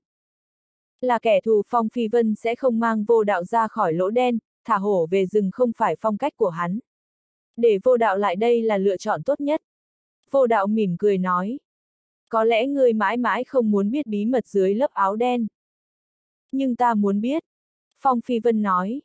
Phụ thân của ta là người đại trí tuệ, sẽ không dễ dàng bị lừa. Ngày xưa ngươi làm sao có được niềm tin của phụ thân, khiến phụ thân bị lừa. Ta cảm thấy nó có liên quan đến bí mật dưới lớp áo đen của ngươi. Vô đạo nghiêm túc nói. Ngươi còn nhớ ngày xưa ngươi mang theo lực lượng thủ hoàng thánh tổ, tuyết anh thánh tổ, tay cầm vẫn thánh tiễn, phá tiên cung, ta làm sao trốn khỏi tay ngươi không? Thiên nha gang tấc bộ. Mắt phong phi vân lạnh lùng nói. Thần thông vô thượng của Bạch Chu Thánh Tổ, sao được hiên viên nhất nhất kế thừa? Ta hiểu rồi, Thủy Nguyệt Đình truyền thiên địa tật tốc này cho ngươi. Vô đạo lắc đầu, nói.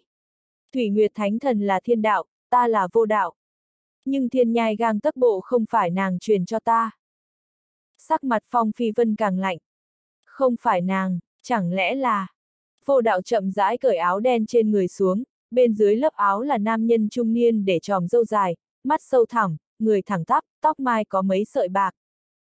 Phong Phi Vân nhìn chằm chằm nam nhân trung niên. Ngươi là phụ thân của nhất nhất. Đúng vậy, nam nhân trung niên là phụ thân của hiên viên nhất nhất.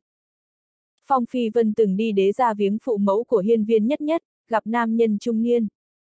Ngày Phong Phi Vân, hiên viên nhất nhất thành thân, phụ thân của nàng từng đến chủ trì. Có ai ngờ phụ thân của hiên viên nhất nhất là vô đạo. Vô đạo chậm rãi nói. Hôn sự của ngươi và nhất nhất là ta đề nghị. Phong Phi Vân hỏi. Sao có thể như vậy? Ngươi lại nhìn nữa. Khuôn mặt vô đạo thay đổi, vẫn là một nam nhân trung niên nhưng người toát ra khí đế vương, cao lớn khiếp người, như thần trong miếu thờ, làm người ta tôn sùng. Nỗi lòng Phong Phi Vân không thể bình tĩnh, trợn to mắt, kinh hoàng nói. Hiên viên đế sư. Vô đạo chắp hai tay sau lưng, đứng thẳng, thản nhiên nói. Hiên viên đế sư đã chết hơn một ngàn vạn năm trước, linh hồn đi địa ngục, thi thể hóa thành thi tà. Thi tà qua bảy lần thi biến thì thành vô đạo, thi tà bảy biến báo tạo hóa, tử thai thoát khỏi thánh thai sinh. Đây là sự thật, ta nói rồi, có lẽ ngươi mãi mãi không muốn biết bí mật dưới lớp áo đen. Hèn gì, hèn gì. Phong Phi Vân hít sâu, hắn cảm thấy những thứ trước kia không nghĩ ra bây giờ đã hoàn toàn trong sáng. Người đời nói về giả hiên viên đế sư đi di tích thái cổ rồi không bao giờ ra nữa. Nhưng diệt thế thần bia xuất thế, hiên viên kiếm xuất hiện nhưng không thấy xác hiên viên đế sư đâu. Lúc ấy rất nhiều người tò mò. Hiên viên đế sư cường đại biết mấy, chắc chắn thân thể đã thành thánh, tuyệt đối không mục giữa. Vậy xác hiên viên đế sư ở đâu? Hiện giờ đã có đáp án. Đây là thứ nhất. Thứ hai, tại sao vô đạo có một mũi vẫn thánh tiễn? Vẫn thánh tiễn là chân binh đại thánh do cửu tiễn đại thánh luyện chế, ngang hàng với bản man phủ. Tại sao vẫn thánh tiễn rơi vào tay vô đạo? Giờ đã có câu trả lời. Vẫn thánh tiễn vốn chân áp trên diệt thế thần bia, nhưng hiên viên đế sư sử dụng hiên viên kiếm chấn một góc diệt thế thần bia thì đương nhiên có thể lấy một mũi vẫn thánh tiễn. Thứ ba, tại sao phụ thân Phong Phi Vân tin tưởng vô đạo? Bởi vì phụ thân của Phong Phi Vân biết vô đạo là thi tả hiên viên đế sư nên hoàn toàn tin tưởng vào vô đạo. Thứ bốn, tại sao vô đạo biết thiên nhai gang tấc bộ? Bởi vì vô đạo là phụ thân của hiên viên nhất nhất, nàng truyền thiên nhai gang tấc bộ cho gã cũng bình thường. Sau khi thi tà bảy biến đã thông tạo hóa, sinh ra huyền diệu biến hóa, tử thai thoát khỏi, sức sống giạt rào, có thể sinh sản hậu đại. Thứ năm, tại sao tư chất của hiên viên nhất nhất cao như vậy? Tại sao mới gần 20 tuổi ấy đã trở thành thánh nữ của Thủy Nguyệt Thiên Cảnh? Bởi vì hiên viên nhất nhất là nữ nhi của vô đạo, trong người chảy hiên viên nhất nhất hiên viên đế sư. Tuy nghĩ thông những điều này nhưng còn nhiều chỗ Phong Phi Vân không nghĩ ra. Phong Phi Vân hỏi, ta muốn biết tại sao ngươi học được địa hoàng kim thân kinh. Vô đạo cười hỏi, địa hoàng kim thân kinh vốn là vô thượng tuyệt học của đế gia, hiên viên đế sư tu luyện địa hoàng kim thân kinh mới thân thể thành thánh. Phong Phi Vân kinh kêu, địa hoàng đại thánh là người của đế gia. Sau đó Phong Phi Vân im lặng, bình ổn nỗi lòng phức tạp. Đế chủng là người của đế gia, đây là chuyện mọi người đều biết. Hiên viên đế sư là người của đế gia, ít ai biết chuyện. Đây là bí mật của nhân tộc, bí mật của đế gia. Nhưng địa hoàng đại thánh là người đế gia thì hầu như không ai biết. Vô đạo tiếp tục bảo. Ban đầu địa hoàng đại thánh không tên địa hoàng đại thánh mà là đế hoàng đại thánh, tên là đế hoàng. Sau đế hoàng nước có đế, sau đế hoàng nước có hoàng. Tức là sau đế hoàng đại thánh mới có cách nói hoàng và đế. Trước đó hai chữ hoàng và đế chỉ là chữ bình thường, giống như ba chữ phong, phi, vân, chẳng có ý nghĩa gì. Sau này thời gian dài dặc, dần không ai dám cãi ý đế hoàng đại thánh, xem người là vua mặt đất. Lại qua nhiều năm biến thiên, cuối cùng thành địa hoàng đại thánh. Đây là câu chuyện thần thoại, có chỗ đáng khen, cũng có chỗ bị đồn bậy. Phong Phi Vân cười khổ nói.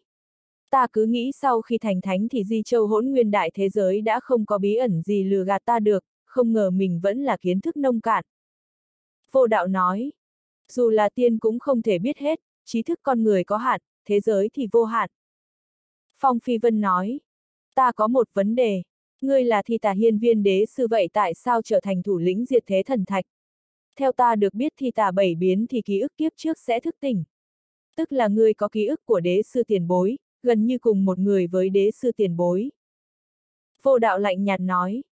Nhưng không có linh hồn của hiên viên đế sư. Linh hồn thật sự quan trọng hơn ký ức sao? Phong Phi Vân vẫn cho rằng ký ức quan trọng hơn linh hồn, miễn còn ký ức thì người đó không xem như chết đi. Vô đạo nói. Linh hồn là tinh thần, bản chất, ý chí không thay đổi của con người. Hiên viên đế sư không có linh hồn xem như hiên viên đế sư ban đầu sao? Phong Phi Vân đăm chiêu. Nhưng ngươi không cần làm việc cho người vực ngoại. Vô đạo kiên quyết nói. Ta không làm việc cho ai, ta chỉ làm việc vì mình. Có vài chuyện ngươi không hiểu, ta cũng không định giải thích. Tóm lại ta muốn làm chuyện gì bản thân ta biết rất rõ. Phong Phi Vân thấy ý chí mạnh mẽ trên người vô đạo, rất kiên quyết, trong lòng chúng ta có chấp niệm. Phong Phi Vân hỏi, còn nhất nhất thì sao? Người gả nàng cho ta là có ý gì? Có mục đích gì, nhất nhất là nữ nhi ruột thịt của ngươi, tại sao gả nàng cho ta? Thật sự là nhất nhất tự nguyện sao? Vô đạo nói, trên người ta gánh thứ không thể chút bỏ, ta không hy vọng nhất nhất bước lên con đường của ta. Ta hy vọng nhất nhất sống vui vẻ, trong đại kiếp nạn có người bảo vệ được nàng. Ta không thể bảo vệ nhất nhất, ta có chuyện quan trọng cần làm. Cho nên người đó phải là ngươi. Còn về nhất nhất có tự nguyện gả cho ngươi hay không thì ngươi nên đi hỏi nàng, có hỏi ta cũng không được đáp án. Phong Phi Vân lạnh lùng chừng vô đạo. Vô đạo cười khẩy nói. Là thánh linh nếu không nhìn ra thê tử thật lòng yêu mình hay không thì phải nói là ông trời bị mù mắt, loại người này mà cũng thành thánh được. Quan hệ của Phong Phi Vân và vô đạo rất lạ, quan hệ nhạc phụ và nữ tế rồi lại là kẻ thù, cũng là bằng hữu. Vừa là người thân vừa là địch vừa là bạn. Đừng nói sò ta, chuyện về nhất nhất ta sẽ đi hỏi nàng, ân oán giữa ngươi và ta thì ta sẽ không tính vào người nàng. Phong Phi Vân cũng toát ra vẻ quyết tuyệt, hai con người xoay chuyển nhanh. Một con người phát ra ngọn lửa nóng cháy như mặt trời, con người khác thì tỏa khí lạnh như thần nguyệt. Một vầng mặt trời dài hơn 30 dặm, thần nguyệt sắc lam âm u bay ra, xoay nhanh trên lỗ đen, xé sức hút khủng khiếp. Phong Phi Vân, vô đạo cảm giác áp lực trên người thả lỏng. Quả nhiên thành công. Đây là lực lượng của luân hồi tri ấn. ầm, um. Phong Phi Vân vận chuyển luân hồi tri ấn xé rách sức hút lỗ đen, điều khiển thanh đồng cổ thuyền bay ra ngoài lỗ đen. Vô đạo đáp xuống thanh đồng cổ thuyền, đứng ở đuôi thuyền. Phong Phi Vân không tấn công vô đạo, gã cũng không công kích hắn. Không biết qua bao lâu, nhờ lực lượng luân hồi chi ấn mà thanh đồng cổ thuyền bay ra lỗ đen, lại xuất hiện trong trời sao. Linh khí mênh mông tuôn ra từ trời sao. Cảm giác như đi trong sa mạc đột nhiên đến khu rừng đầy nước. Trong lỗ đen không có linh khí. Khí thánh linh trong người Phong Phi Vân sớm hoa hết, hắn dựa vào sức mạnh cơ thể mới sống đến bây giờ. Đi ra lỗ đen, cơ thể Phong Phi Vân điên cuồng hấp thu linh khí, ánh sao cũng bị hút lấy, nhanh chóng phục hồi nguyên khí. Muôn vàn ngôi sao tối dần. ầm, um, hấp thu nhiều linh khí, thánh thai trong người Phong Phi Vân bay ra vạn thiên hà, như biến thành trẻ sơ sinh nho nhỏ, bộ dạng giống Phong Phi Vân y như đúc. Đây là trẻ sơ sinh ngưng tụ bằng đạo tắc thánh linh, mạnh hơn thánh thai, được gọi là thánh anh. Chỉ đến cảnh giới thánh linh đệ lục trọng mới tu luyện ra thánh anh. Thánh linh có thánh anh được gọi là vương giả trong thánh linh, tức thánh vương. Tu luyện 900 năm trong lỗ đen, hiện tại Phong Phi Vân chính thức trở thành thánh vương. Đầu bên kia, phổ đạo cũng bước vào cảnh giới thánh vương, cơ thể tu luyện ra thánh anh. ầm, um, phổ đạo khoác áo đen lên người, toàn thân đen thui. phổ đạo điểm vỡ hư không, bay vào trong, biến mất trong trời sao. Phong Phi Vân đánh cú đấm đập nát tinh vũ, quát to. Vô đạo, người đừng trốn. Phong Phi Vân, hôm nay lão phu không muốn giết ngươi, chờ lần sau gặp mặt chúng ta sẽ quyết đấu sống chết. Vô đạo đạp thiên nhai gang tốc bộ đã cách cuối trời, không đuổi kịp. Phong Phi Vân thu về thánh lực, đứng dưới trời sao. Đáng ghét, tại sao mặc áo đen chết tiệt kia? Ngươi muốn làm gì? Mặc dao dao bay ra khỏi thanh đồng cổ thuyền đáp xuống bên cạnh Phong Phi Vân, thân hình quyến rũ, áo lông dê trắng bao bọc thân hình ma mị. Sóng mắt mặc dao dao đưa tình hỏi. Hắn là ai? Phong Phi Vân không giải thích nhiều. Một người không nhìn thấu được. Sau khi vào lỗ đen mặc dao dao luôn tu luyện trên thanh đồng cổ thuyền suốt 900 năm, ra khỏi lỗ đen nàng đã bước vào vô lượng chân thánh cản thánh linh đệ ngũ trọng. Mặc dao dao giả bộ giận. Được rồi, không nói thì thôi. Môi đỏ mỏng, da thịt mặc dao dao trong suốt. Bắt đầu từ bây giờ ta sẽ không ở trong thanh đồng cổ thuyền nữa, nếu ngươi dám thu ta vào thì ta sẽ ở bên trong đánh nát người ngươi. Lần này là ngoài ý muốn, không ai ngờ sẽ rơi vào lỗ đen, còn bị nhốt 900 năm. Cơ mặt Phong Phi Vân cứng ngắc. 900 năm. Con người mặc dao dao co rút. 900 năm. 900 năm có thể thay đổi rất nhiều chuyện, không chừng Di Châu hỗn nguyên đại thế giới đã bị hủy diệt, sinh linh chết sạch. Phong Phi Vân, mặc giao giao lại đến thành cổ trời sao thứ hai thì nơi này đã hoang vu, không còn người sống sót, chỉ để lại đống đổ nát thê lương. Mặc giao giao nói, nơi này đã hoang vu hàng ngàn năm, máu thánh linh dưới đất đã khô. Chắc từng thật sự đại chiến kinh thiên động địa, nhiều người chết trận. Phong Phi Vân bấm nốt tay, nhắm mắt lại. Phong Phi Vân khẽ thở dài. Thì ra đã qua ba ngàn năm. Mặc giao giao lặp lại. Ban ngàn năm. Phong Phi Vân nói. Trong lỗ đen cũng có thời gian, nhưng lực lượng lỗ đen vặn vẹo thời gian nên chúng ta cứ nghĩ qua 900 năm, sự thật là đã 3.000 năm. Thời gian này đáng sợ hơn, khó chấp nhận hơn chúng ta tưởng tượng. Tranh đấu trên đường thông thiên có lẽ sớm kết thúc từ 3.000 năm trước. Người đời cho rằng chúng ta chết trong lỗ đen, thế giới hiện tại đã biến thành bộ dạng này, đại kiếp nạn qua đi, Di Châu hỗn nguyên đại thế giới đã hủy diệt. Mặc Giao Giao nói, đối với chúng ta thì lỗ đen đưa hai ta đến tương lai, có lẽ chúng ta đã bỏ lỡ một thời đại. Ba ngàn năm thay đổi một thời đại, có lẽ đại kiếp nạn đã qua. Đối với nhiều người đây là chuyện đáng mừng, nhưng với Phong Phi Vân thì lòng tràn ngập buồn bã. Phong Phi Vân, mặc giao giao rời khỏi thành cổ trời sao thứ hai, thông qua thiên su thần cơ đi tòa thành cổ trời sao thứ tám. Nơi này vẫn là một đống hoang tàn, máu nhuộm trời sao, thành cổ tan nát. Tỷ ong không gian tràn ngập túc sát đậm đặc, là sát ý các tiên thánh để lại từ 3.000 năm trước, dự âm cho đến nay chưa mất. Phong Phi Vân, mặc giao giao đi tòa thành cổ trời sao thứ 9. Chốn này vẫn tĩnh lặng, ngôi sao xung quanh tan vỡ thành mấy mảnh nhỏ thiên thạch tràn ngập cả trời sao. Khuôn mặt ngọc xinh đẹp không có nụ cười, mặc giao giao bất đắc dĩ nói. Đi đi, đại chiến đã kết thúc, chúng ta bỏ lỡ một thời đại. Tuy thánh linh có thể đi quá khứ và tương lai nhưng không thể thay đổi được gì, Phong Phi Vân, mặc giao giao không trở về được. Bỏ lỡ là lỡ làng thật. Phong Phi Vân không cam lòng. Đi thần giới. Thần giới là thế giới nửa chân thật nửa hư vô. Nơi này cư ngụ các tà thần, xây dựng quốc gia thuộc về mình. Bọn họ không gọi mình là thần tà mà là thần tộc. Phong Phi Vân, mặc giao giao đi vào một thần sơn trong thần giới, chỗ này có người nhiều tà thần cường đại tụ tập, xây dựng vô số thần cung, thần điện, có cả thần miếu. Nơi tà thần bình thường cư ngụ là thần miếu. Chỉ tà thần tu vi cường đại mới xây dựng thần điện, thành lập thần cung, thống ngự ngàn vạn thần tà. Một bà lão tóc bạc phơ ngồi trên đài thần trong thần miếu, ánh mắt kiêng rẻ nói. Ba ngàn năm trước thần giới từng xảy ra đại chiến kinh thiên động địa, thiên thần đại lục, hỏa thần đại lục, thủy thần đại lục bị lan đến, tử thương thảm trọng, nhiều cổ thần chết.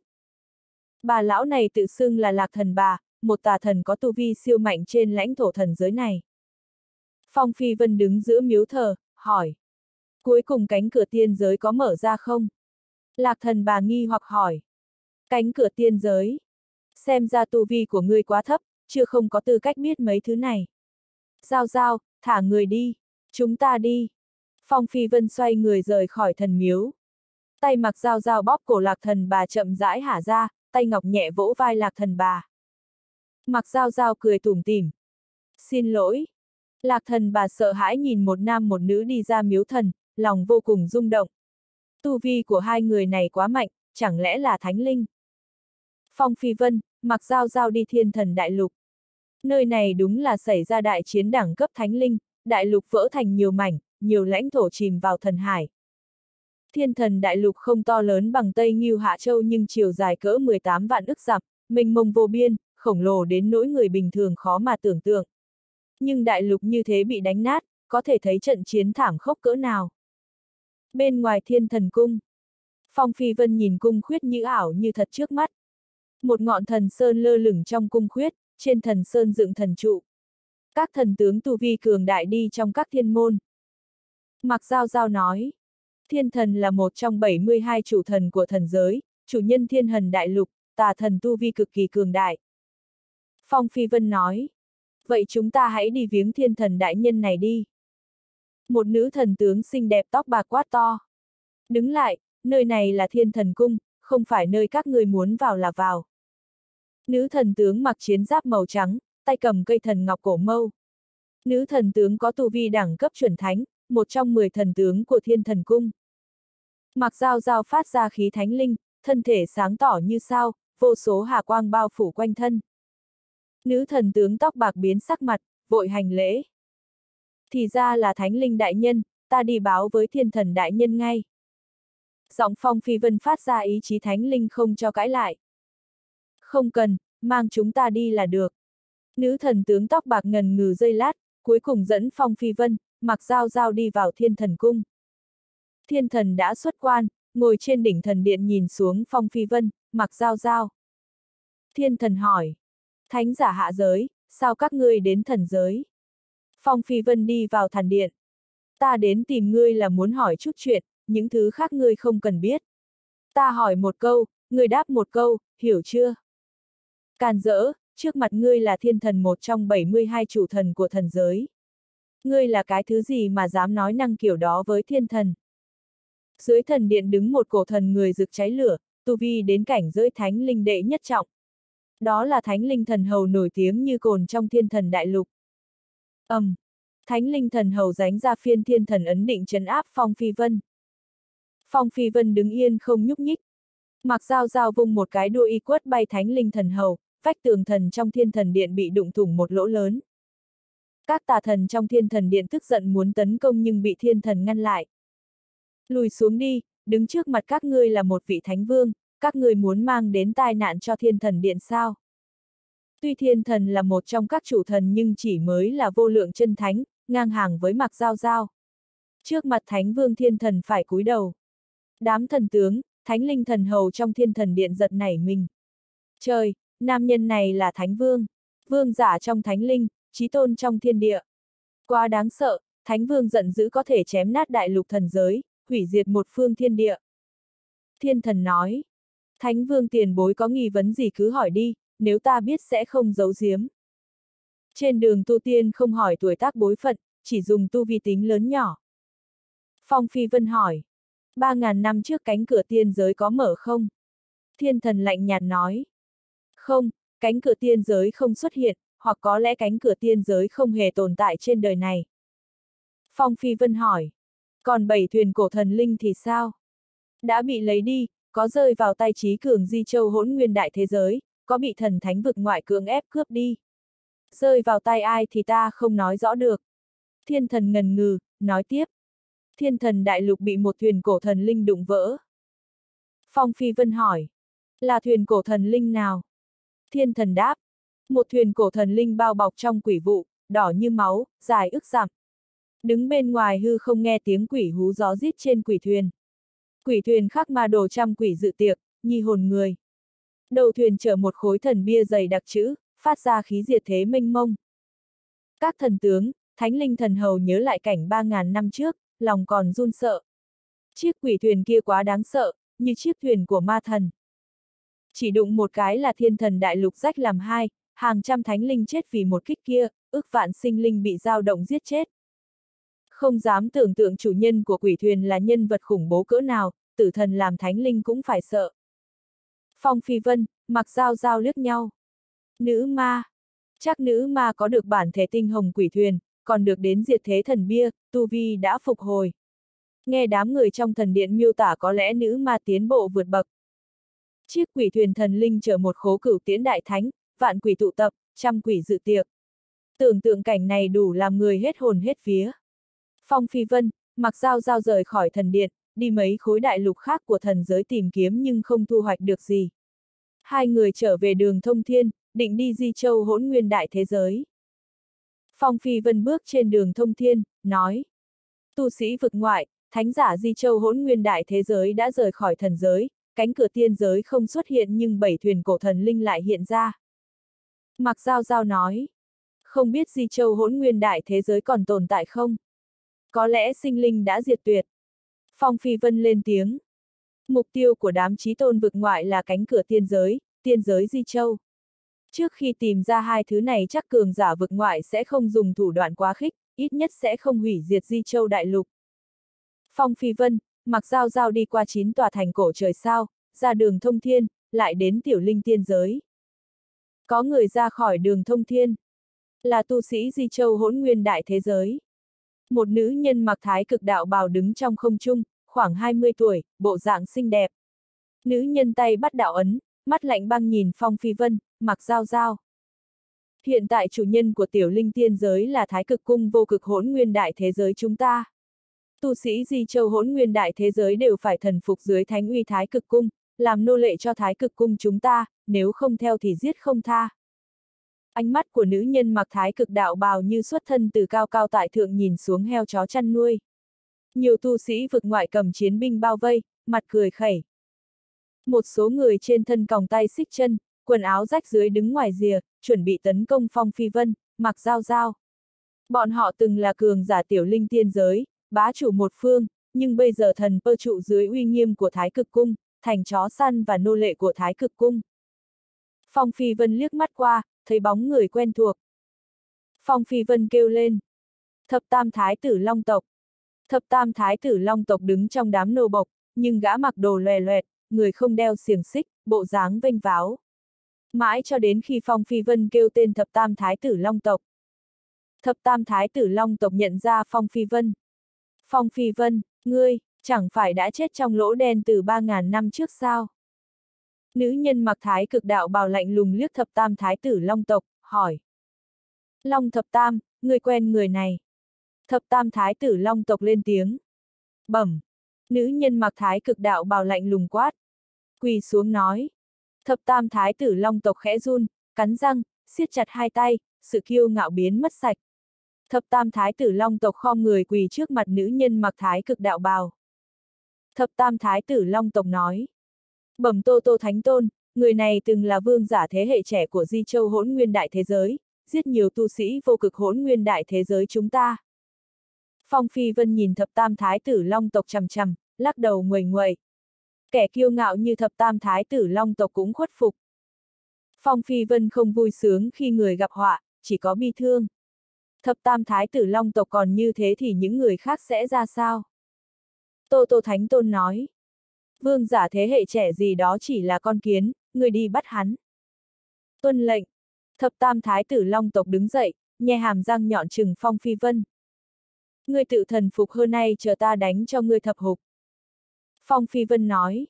Long thập tam, ngươi là thái tử của Long tộc. Thập tam thái tử Long tộc nói. Ha ha ha ha ha ha. Long tộc, Long tộc sớm đã hủy diệt, tiểu linh thiên giới, Tây Nghiêu Hạ Châu đều là lãnh địa của các vị thánh tôn vực ngoại. Bây giờ ta là người hầu của Tô Tô Thánh Tôn, nếu ngươi còn kêu ta là thái tử Long tộc là sỉ nhục ta. Nữ nhân mặc thái cực đạo bào vừa lòng gật đầu. Phong Phi Vân lắc đầu, nói. Tư chất của ngươi cao, nhưng ngươi biết tại sao đến bây giờ mình vẫn không đột phá cảnh giới thánh linh không? Thập tam thái tử long tộc xa sầm nét mặt, gã là thiên tài đẳng cấp thần thoại, 3.000 năm trước hầu như vô địch trong thế hệ trẻ nhưng bây giờ còn chưa đột phá cảnh giới thánh linh. Phong Phi Vân nói, ngộ tính, tư chất của ngươi rất cao nhưng tâm trí quá yếu. Linh hồn của ngươi bán cho đám kẻ thù vực ngoại, vậy bây giờ ta sẽ tịnh hóa tâm linh của ngươi. Đưa ngươi luân hồi chuyển thế sớm chút, miễn cho tổ tiên long tộc xấu hổ. Phong Phi Vân chắp hai tay, vô số Phật quang màu vàng tràn ra từ lòng bàn tay, miệng niệm kinh thư phản văn, ức vạn Phật văn hiện ra trong không trung. Các tù đồ đeo gông xiềng nghe Phật âm thì lộ ra nhẹ nhõm cười giải thoát, linh hồn xuất khiếu biến mất khỏi thế giới này. Thập tam thái tử long tộc định dùng tu vi cường đại ngăn cản lực lượng tịnh hóa nhưng Phật âm siêu mạnh, cuối cùng gã bị tịnh hóa. Phật quan biến mất, phong phi vân, mặc dao dao cũng mất teo. Tô Tô Thánh tôn thầm rung động. Giao động thánh lực mạnh quá, đi báo với điện cực dương thiên thần ngay. Khi tiếng tụng kinh của Phong Phi Vân vang lên Tô Tô Thánh Tôn liền cảm giác lực lượng mình không ngăn nổi, vội bỏ chạy. Tô Tô Thánh Tôn trở về Thái Cực Cung. Thái Cực Cung, một lão nhân mặt nhăn nheo ô quy ê ển thần thư, trên thần thư ghi chép sự kiện liên quan Phong Phi Vân. Phong Phi Vân, trí tôn vương giả thế hệ trẻ di châu hỗn nguyên đại thế giới, có được bàn man phủ của thái cổ thần phượng, hung binh yêu hoàng kiếm, thanh đồng cổ thuyền. Ba ngàn năm trước Phong Phi Vân và vô đạo cùng rơi vào lỗ đen chết, không ngờ ba ngàn năm sau hắn sống lại. Tô Tô Thánh Tôn kinh ngạc hỏi. Người này có lai lịch lớn như thế, Văn Tổ thấy có nên báo cho Điện Cực Dương Thiên Thần biết ngay không? Lão nhân tên Văn Tổ trầm ngâm nói. Điện Cực Dương Thiên Thần đánh với nhân tổ đã bị thương nặng, đang bế quan an dưỡng. Đừng kinh động lão nhân ra, người đi mời cảnh Thụy Thánh Vương đến, lão phu sẽ nói chuyện với hắn. Điện cực dương thiên thần bị thương. Tô Tô Thánh Tôn không dám tưởng tượng điện cực dương thiên thần như thần linh mà cũng bị thương. Văn Tổ nói, nhân tổ truyền thừa đạo của Hoa hậu Đại Thánh, sử dụng sức lực cuối cùng đánh bị thương điện cực dương thiên thần. Nhưng nhân tổ bị điện cực dương thiên thần dùng thần thuyền đất vàng đánh nát thân đất, có lẽ đã thân chết đạo tiêu. Nhân tổ xem như thánh nhân kinh thiên tuyệt địa, đáng tiếc đối địch với chúng ta thì khó thoát chết. Tô Tô Thánh Tôn không dám tưởng tượng trận chiến ấy kinh khủng cỡ nào. Tô Tô Thánh Tôn đi mời cảnh Thụy Thánh Vương, thầm suy đoán có lẽ văn tổ định phái cảnh Thụy Thánh Vương đi bắt Phong Phi Vân. Cảnh Thụy Thánh Vương là Thánh Vương sức chiến đấu đứng nhất thái cực cung, như chiến thần. Tô Tô Thánh Tôn chỉ có thể ngước nhìn loại nhân vật này, lòng tràn ngập tôn kính. Trung ương Vương Triều thứ sáu, Thánh Đình. Ngôi sao lơ lửng, đường cái cổ xưa, cung điện bay trên bầu trời, các cầm ý nhân hàng đêm sinh ca. ầm, um, đột nhiên một cung điện nổ tung, rắc mưa máu. Một thiếu niên cầm huyết kiếm lao ra khỏi thiên cung tư ảnh đỏ. Thiếu niên khoảng 17, 8 tuổi, tóc đen bay, mày kiếm mắt lạnh. Thiếu niên cầm chiến kiếm linh khí thập phẩm, tay kia ôm thiếu nữ áo đỏ. Nhiều người bao vây thiếu niên nhưng bị gã vung kiếm chém bay. Ngăn hắn lại, tiểu tử này không biết trời cao đất rộng, dám giành nữ nhân với tiểu thiên thánh chúng ta, muốn chết. Thiếu niên có tu vi niết bàn đệ lục trọng thiên, đã bị thương nặng nhiều chỗ nhưng ánh mắt vẫn kiên cường. Thiếu niên nói, một đám chó vực ngoại, muốn chiến sao, tiểu gia không sợ các ngươi, nhưng các ngươi muốn cướp phỉ phỉ thì phải bước qua xác ta. Thiếu nữ tên phỉ phỉ rất đẹp, da trắng bóc, tóc dài đen nhánh. Thiếu nữ là thanh quan bán nghề, tu vi rất thấp, nhưng trong mắt nàng không chút sợ hãi. Ánh mắt thiếu nữ kiên quyết ôm cánh tay thiếu niên. Đấm đông dễ ra, một thanh niên mặc giáp vàng khí thế cường đại, tu vi vũ hóa đệ tam trọng bước ra. Thanh niên mặc giáp vàng cười nói. Hiện tại sinh linh toàn trung ương vương triều thứ sáu là nô bộc của tiểu thiên thánh gia ta. Tiểu tử, bằng vào ngươi cũng dám cướp nữ nhân với ta. Ha ha ha ha ha ha. Chúa tể Thánh Đình đã bỏ trốn, nguyên trung ương vương triều thứ sáu do tiểu thiên thánh chúng ta quyết định. Tiểu thiên thánh muốn nữ nhân sao không có được. Người trong thiên hạ sợ ngươi nhưng tất thắng thiên ta thì không. Thiếu niên siết chặt chiến kiếm, tuy tu vi tranh lệch rất lớn nhưng vẫn nắm chặt tay phỉ phỉ. Tất thắng thiên vung chiến kiếm chém qua. ầm, um, Tiểu thiên thánh khinh thường nhìn thiếu niên, búng tay một cái, đánh ra sóng kiếm đường kính một thước. Vũ hóa đệ tam trọng đối phó niết bàn đệ lục trọng thiên, thổi một hơi đủ làm đối phương bị thương nặng. Tiểu thiên thánh búng sóng kiếm dư sức giết thiếu niên. Nhưng sóng kiếm của tiểu thiên thánh bị người đánh nát, có người vỗ trưởng ấn đẩy lùi tiểu thiên thánh. Tiểu thiên thánh tức giận quát. Ai đó? Tất ninh soái bước ra từ tử lâu bên cạnh. Tổ cha nó, dám ăn hiếp nhi tử của ta. Theo ta thấy người chán sống. Ra tất ninh soái vẫn ngăm đen, mắt sáng ngời. Thiếu niên giờ tầm ình nhìn phụ thân của mình, gã không ngờ phụ thân sẽ lợi hại như thế, tu vi cao hơn tiểu thiên thánh một bậc. Thiếu niên là đứa con thứ 13 của tất ninh soái, tên tất thắng thiên.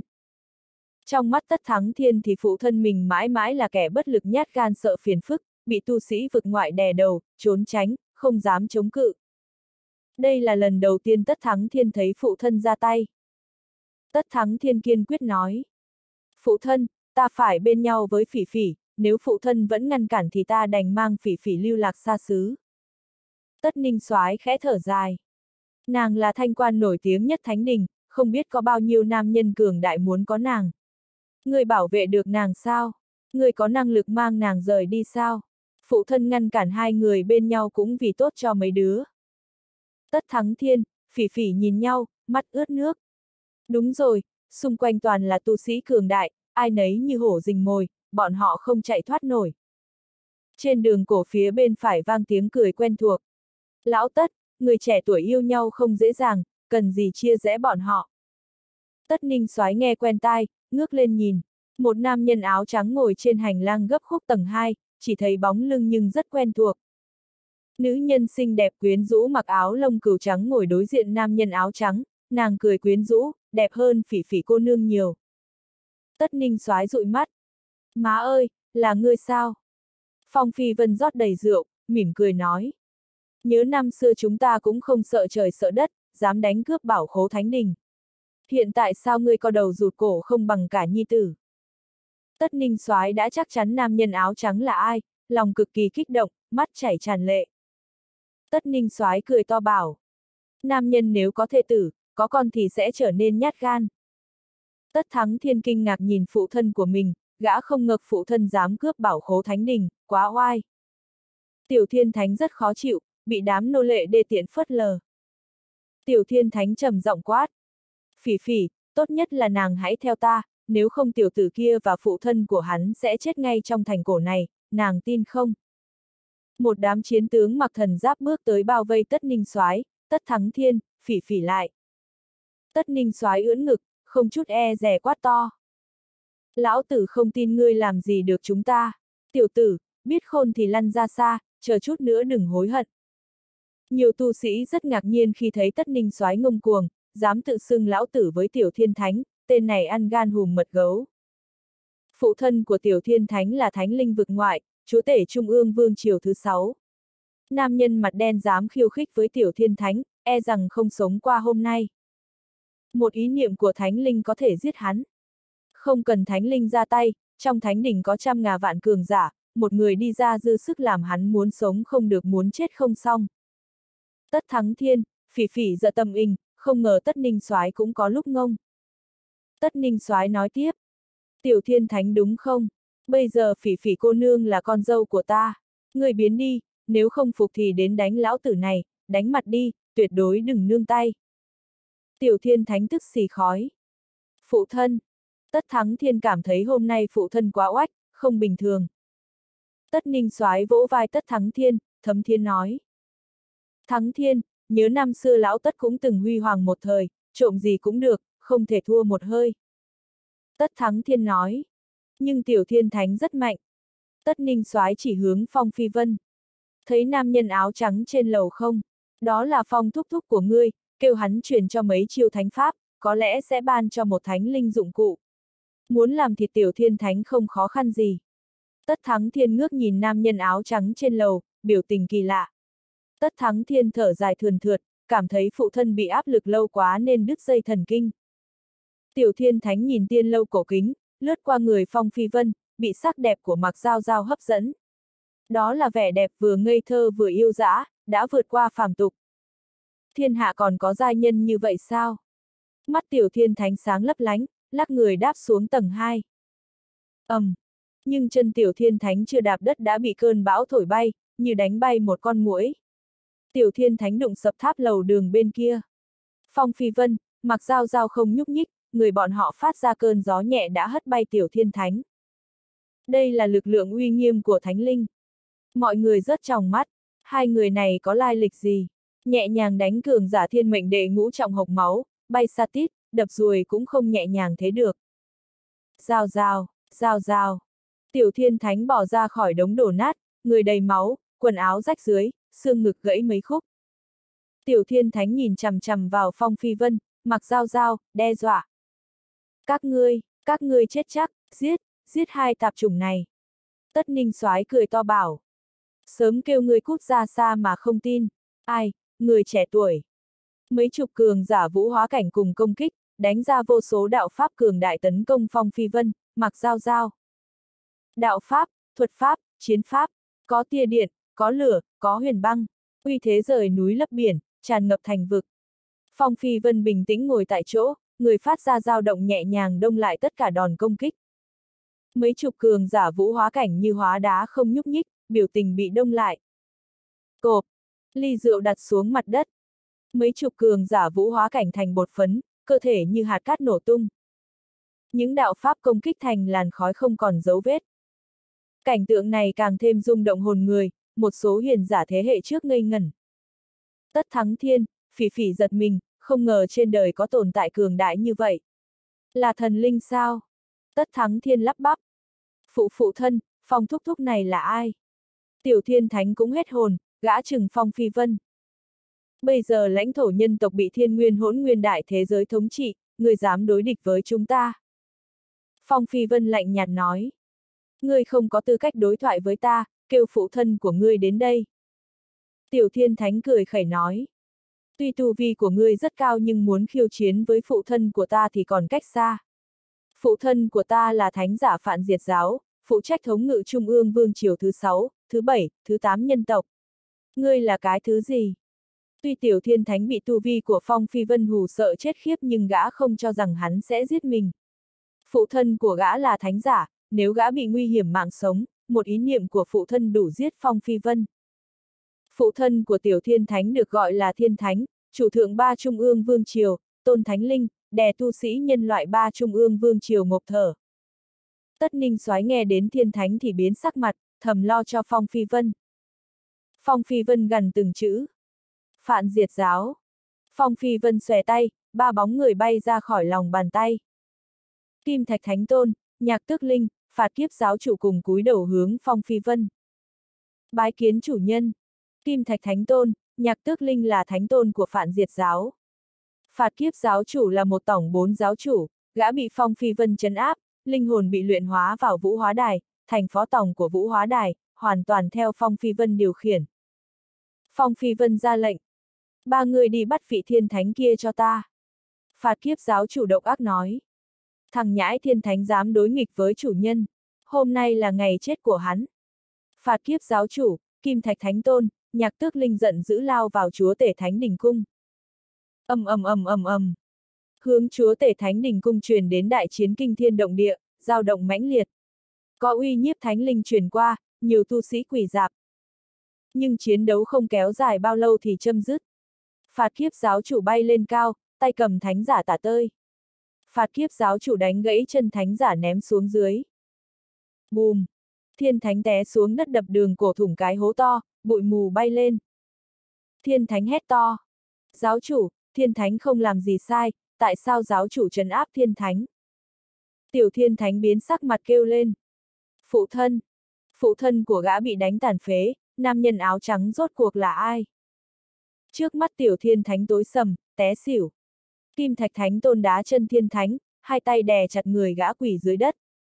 Không sai, xác tội chủ nhân là tội lớn tay trời, quỳ xuống. Ta không quỳ, ta không phục. Thiên thánh vùng vẫy, phát ra ánh sáng chói mắt, định vùng thoát kim thạch thánh tôn kiềm chế. Phạt kiếp giáo chủ vỗ trưởng rè xuống, chân áp đạo tắc thánh linh toàn thân thiên thánh. Phạt kiếp giáo chủ trầm giọng nói. Ở trước mặt chủ nhân còn dám không phục, có tin chủ nhân ra lệnh một tiếng là diệt thánh hồn, chém cả tộc ngươi không? Mọi người không thể tưởng tượng nổi, một thánh linh lại bị đè quỳ dưới đất. Một số cường giả thế hệ trước nhìn ra manh mối, nhìn nam nhân áo trắng ngồi trên tầng 2, người run run. Ta biết hắn là ai? Phong Phi Vân, là Phong Phi Vân. Tu vi của hắn đại thừa, lại trở về. Giáo chủ phản diệt giáo cũng bị Phong Phi Vân luyện hóa, nô dịch, thánh linh ở trước mặt hắn cũng chỉ là nô bộc. Một số người trẻ tuổi chưa từng nghe tên Phong Phi Vân. Lão bá, ai là Phong Phi Vân? Lão nhân kích động khóc ròng. Từng là trí tôn vương giả thế hệ trẻ, tu luyện đạo hoa hậu đại thánh, thái cổ thần phượng. Người đời nói Phong Phi Vân chết trận trên đường thông thiên, hiện tại. Hiện tại hắn đã về. Tất thắng thiên há hốc mồm, kinh ngạc ngây người.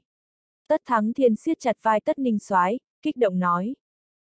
Phụ thân, phụ thân quen phong tiền bối. Phong tiền bối là thần tượng của ta. Sao phụ thân chưa từng đề cập đến? Tất ninh soái hờ hững phẩy tay nói. Có gì hay mà nói. Chỉ là chuyện cũ thời trẻ. Tất thắng thiên siết chặt hai tay, máu nóng sục sôi. Trời, phong tiền bối là mấy vị nhân kiệt đỉnh cao nhất nhân tộc vạn năm qua, bao nhiêu thanh niên tài tuấn cố gắng vì mục tiêu phong tiền bối.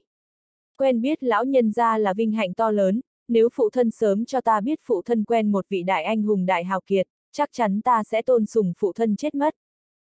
Vậy sao? Khóe mắt tất ninh soái co giật, nói. Thật ra ta từng cứu mạng Phong Phi Vân, năm xưa trong thần tấn vương triều chúng ta là huynh đệ tốt ra sống vào chết, có lần. Tất thắng thiên không biết nên nói cái gì, gã cảm thấy phụ thân của mình lại nói bậy bạ. Tất thắng thiên cho rằng Phong Phi Vân là thần thoại, nhân vật như thế mà cần phụ thân của gã cứu. Đùa! Hôm đó chúa tể Trung ương Vương Triều thứ sáu, Thiên Thánh và Nhi tử Tiểu Thiên Thánh chết trong Thánh Đình, phơi thây đầu đường. Chuyện này gây chấn động lớn, tin tức nhanh chóng lan khắp Trung ương Vương Triều, rất nhanh lan tràn nguyên lãnh thổ nhân loại. Chuyện càng rúng động hơn là người giết Thiên Thánh chính là Phong Phi Vân, nghe đồn ba gàn năm trước hắn chết trên đường thông thiên. Nay Phong Phi Vân mạnh mẽ trở về. Các ngươi nghe nói chưa? Phong Phi Vân không chết trong đường thông thiên, đã mạnh mẽ quay về. Phạt kiếp giáo chủ, một trong bốn giáo chủ của phản diệt giáo bị Phong Phi Vân luyện thành nô bộc, tu vi của hắn đã thông thiên triệt địa, vô pháp vô thiên. Một vị nhân kiệt đỉnh thiên lập địa đâu dễ chết, trời khó diệt, đất khó chôn. Hãy chờ xem, đám tu sĩ vực ngoại chiếm lĩnh lãnh thổ nhân tộc sớm muộn gì sẽ bị Phong Phi Vân chém hết. Tin tức lan đi rất mau, cùng một ngày đã truyền khắp các đại giới. Nhiều đại thế lực nhân tộc thảo luận chuyện này, ai nấy cực kỳ kích động. Lúc hoàng hôn, một đám người đặc biệt giáng xuống thánh đình, xuất hiện trong cổ thành thiên thánh bị giết. Tô Tô Thánh Tôn không người, cúi đầu nói. Bẩm cảnh Thụy Thánh Vương, đúng là thiên thánh đã chết vào tay Phong Phi Vân, hình thần đều diệt.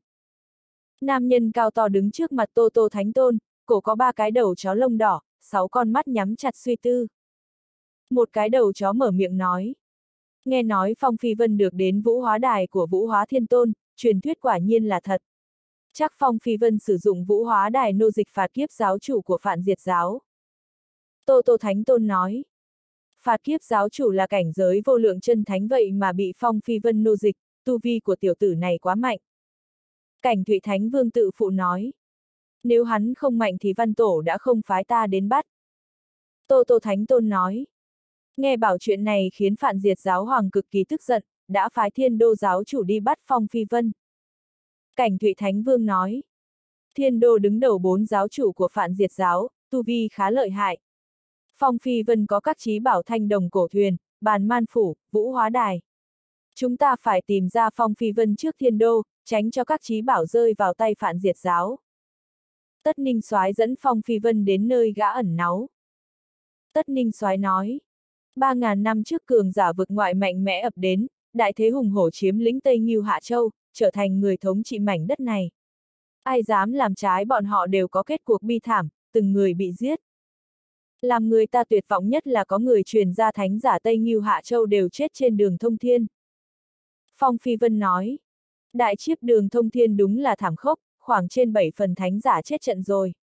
Những thánh giả khác biết đại thế không thể chống lại nên ẩn náu. Các trung ương vương triều nhân tộc cũng bị chiếm lĩnh, tất ra chúng ta gặp đả kích hủy diệt, vô số tộc nhân chết trận, chỉ có ta và Hồng Liên trốn ra. Khi ấy ta có 11 nhi nữ, 8 người chết trong chiến loạn. Ta, ta muốn cứu họ nhưng, nhưng ta không cứu được, ta. Hốc mắt tất ninh xoái đỏ ửng, giơ tay lau nước mắt. Phong Phi Vân siết chặt vai tất ninh xoái, hắn hiểu nỗi bất đắc dĩ, đau khổ trong lòng gã. Phong Phi Vân an ủi.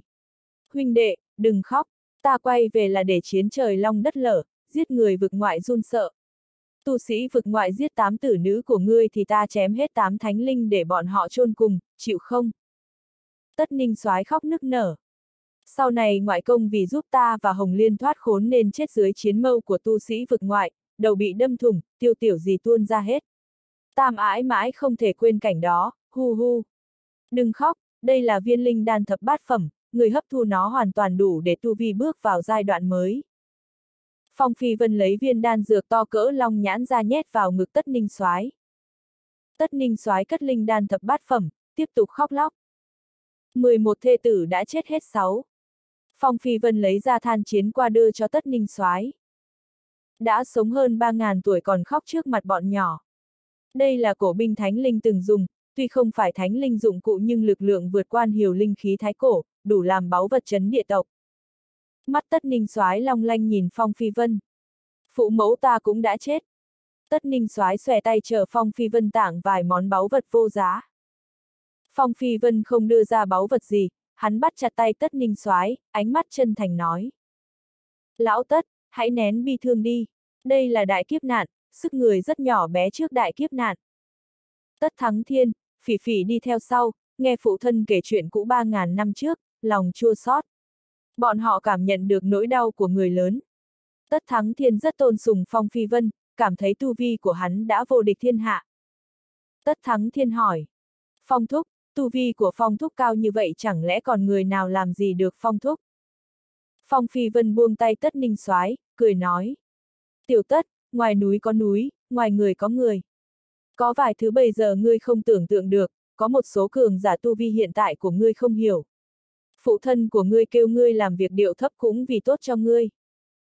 Tất ninh soái nháy mắt với tất thắng thiên. Tất thắng thiên ngầm hiểu, quỳ xuống đất.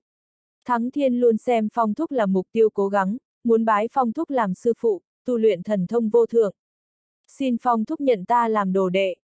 Thiếu nữ tên phỉ phỉ cũng quỳ xuống, biết nam nhân trước mắt là thánh giả cường đại, nếu tất thắng thiên bái hắn làm sư phụ thì tương lai không thể đo lường. Tất ninh soái góp lời. Ta và Hồng Liên chỉ có một đứa con này. Lão Phong, nếu ngươi không nhận hắn làm đồ đệ, ta thì không sao, nhưng Hồng Liên tuyệt đối không tha cho ngươi. Phong Phi Vân cười tủm tỉm nhìn tất thắng thiên quỷ dưới đất. Tư chất của tiểu tử này rất cao, đã tu luyện đến niết bàn đệ lục trọng thiên, xem như thiên tài trong vạn ức người. Hơn nữa ánh mắt tất thắng thiên kiên quyết, đối diện cường giả như tiểu thiên thánh vẫn không sợ hãi, đây là điều đáng quý nhất. Phong Phi Vân nghiêm túc nói. Cuộc đời ta chỉ chính thức thu một đệ tử. Tiểu tất, tùy tư chất của ngươi rất cao nhưng tính toàn thiên hạ chỉ xem như tư chất trung đẳng. Muốn trở thành đệ tử thánh linh thì ngươi còn kém khá xa. Tất ninh soái tức giận méo mũi, sắn tay áo định xử Phong Phi Vân. Phong Phi Vân tiếp tục bảo. Nhưng ta thu đồ đệ không bao giờ xem tư chất, ta chỉ xem nghị lực, bền lòng. Nói thật là lúc ta vừa bắt đầu tu luyện thì tư chất kém hơn ngươi gấp ngàn lần. Sư tỷ của ngươi tư chất thua xa ngươi, nhưng bây giờ tu vi của nàng cao hơn ngươi gấp vô số lần. Ta chỉ muốn hỏi một câu, nghị lực tu luyện của ngươi mạnh đến đâu? Tất thắng thiên ngơ ngác nhìn Phong Phi Vân. Phong Phi Vân lấy miếng lá cây ra đưa cho tất thắng thiên. Đây là lá cây tang ngô, nếu ngươi có thể xé nó trong vòng ba ngày thì ta sẽ thu ngươi làm đồ đệ.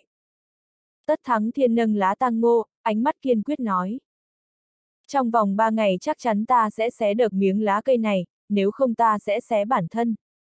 Tất ninh soái nói.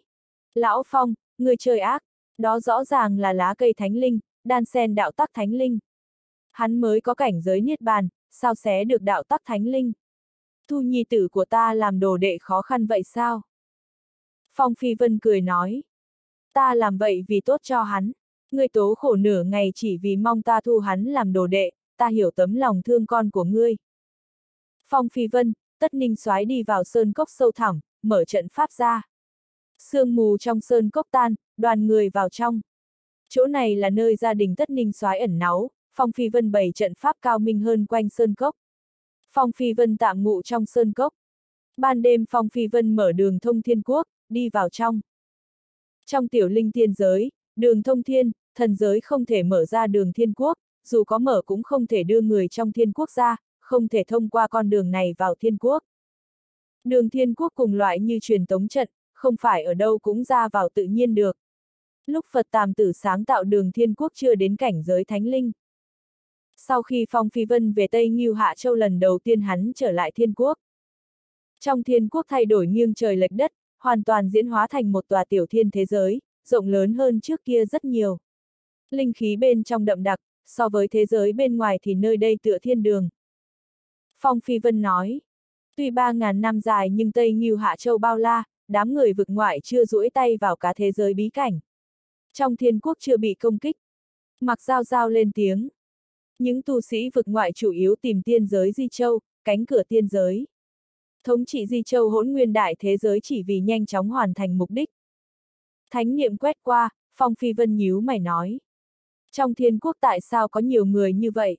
Đặc biệt đại lục phía Tây số lượng nhân khẩu hơn vạn ức, có vô số tu sĩ tụ tập, xây dựng quốc gia, tông môn, động thiên. Phong Phi Vân đến đại lục này không kinh động ai trong thiên quốc, hắn vào tiên thành khổng lồ nhất. Tòa tiên thành này không cổ xưa, chỉ có lịch sử hơn 2.000 năm, nhưng rất to lớn. Ước vạn tu sĩ nhân loại tụ tập trong tiên thành này.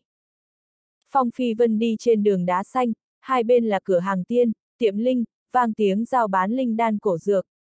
Nhiều người bày hàng vỉa hè, trải tấm chiếu, đặt một số thần binh lợi khí cổ xưa giao hàng.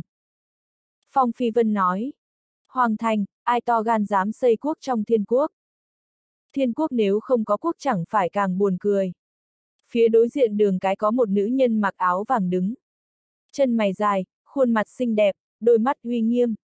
Đôi mắt khiến vô số tu sĩ quỷ dưới đất hiện đang nhìn Phong Phi Vân. Không biết nữ nhân đứng đối diện Phong Phi Vân từ bao giờ. Phong Phi Vân nhìn nữ nhân áo vàng, nhếch môi nói. Tên là gì? Nữ nhân áo vàng đáp. Thiên Long Quốc. Phong Phi Vân nhíu mày nói. Tên này không hay, sửa lại, kêu Thiên Phong Quốc. Nữ nhân áo vàng nói.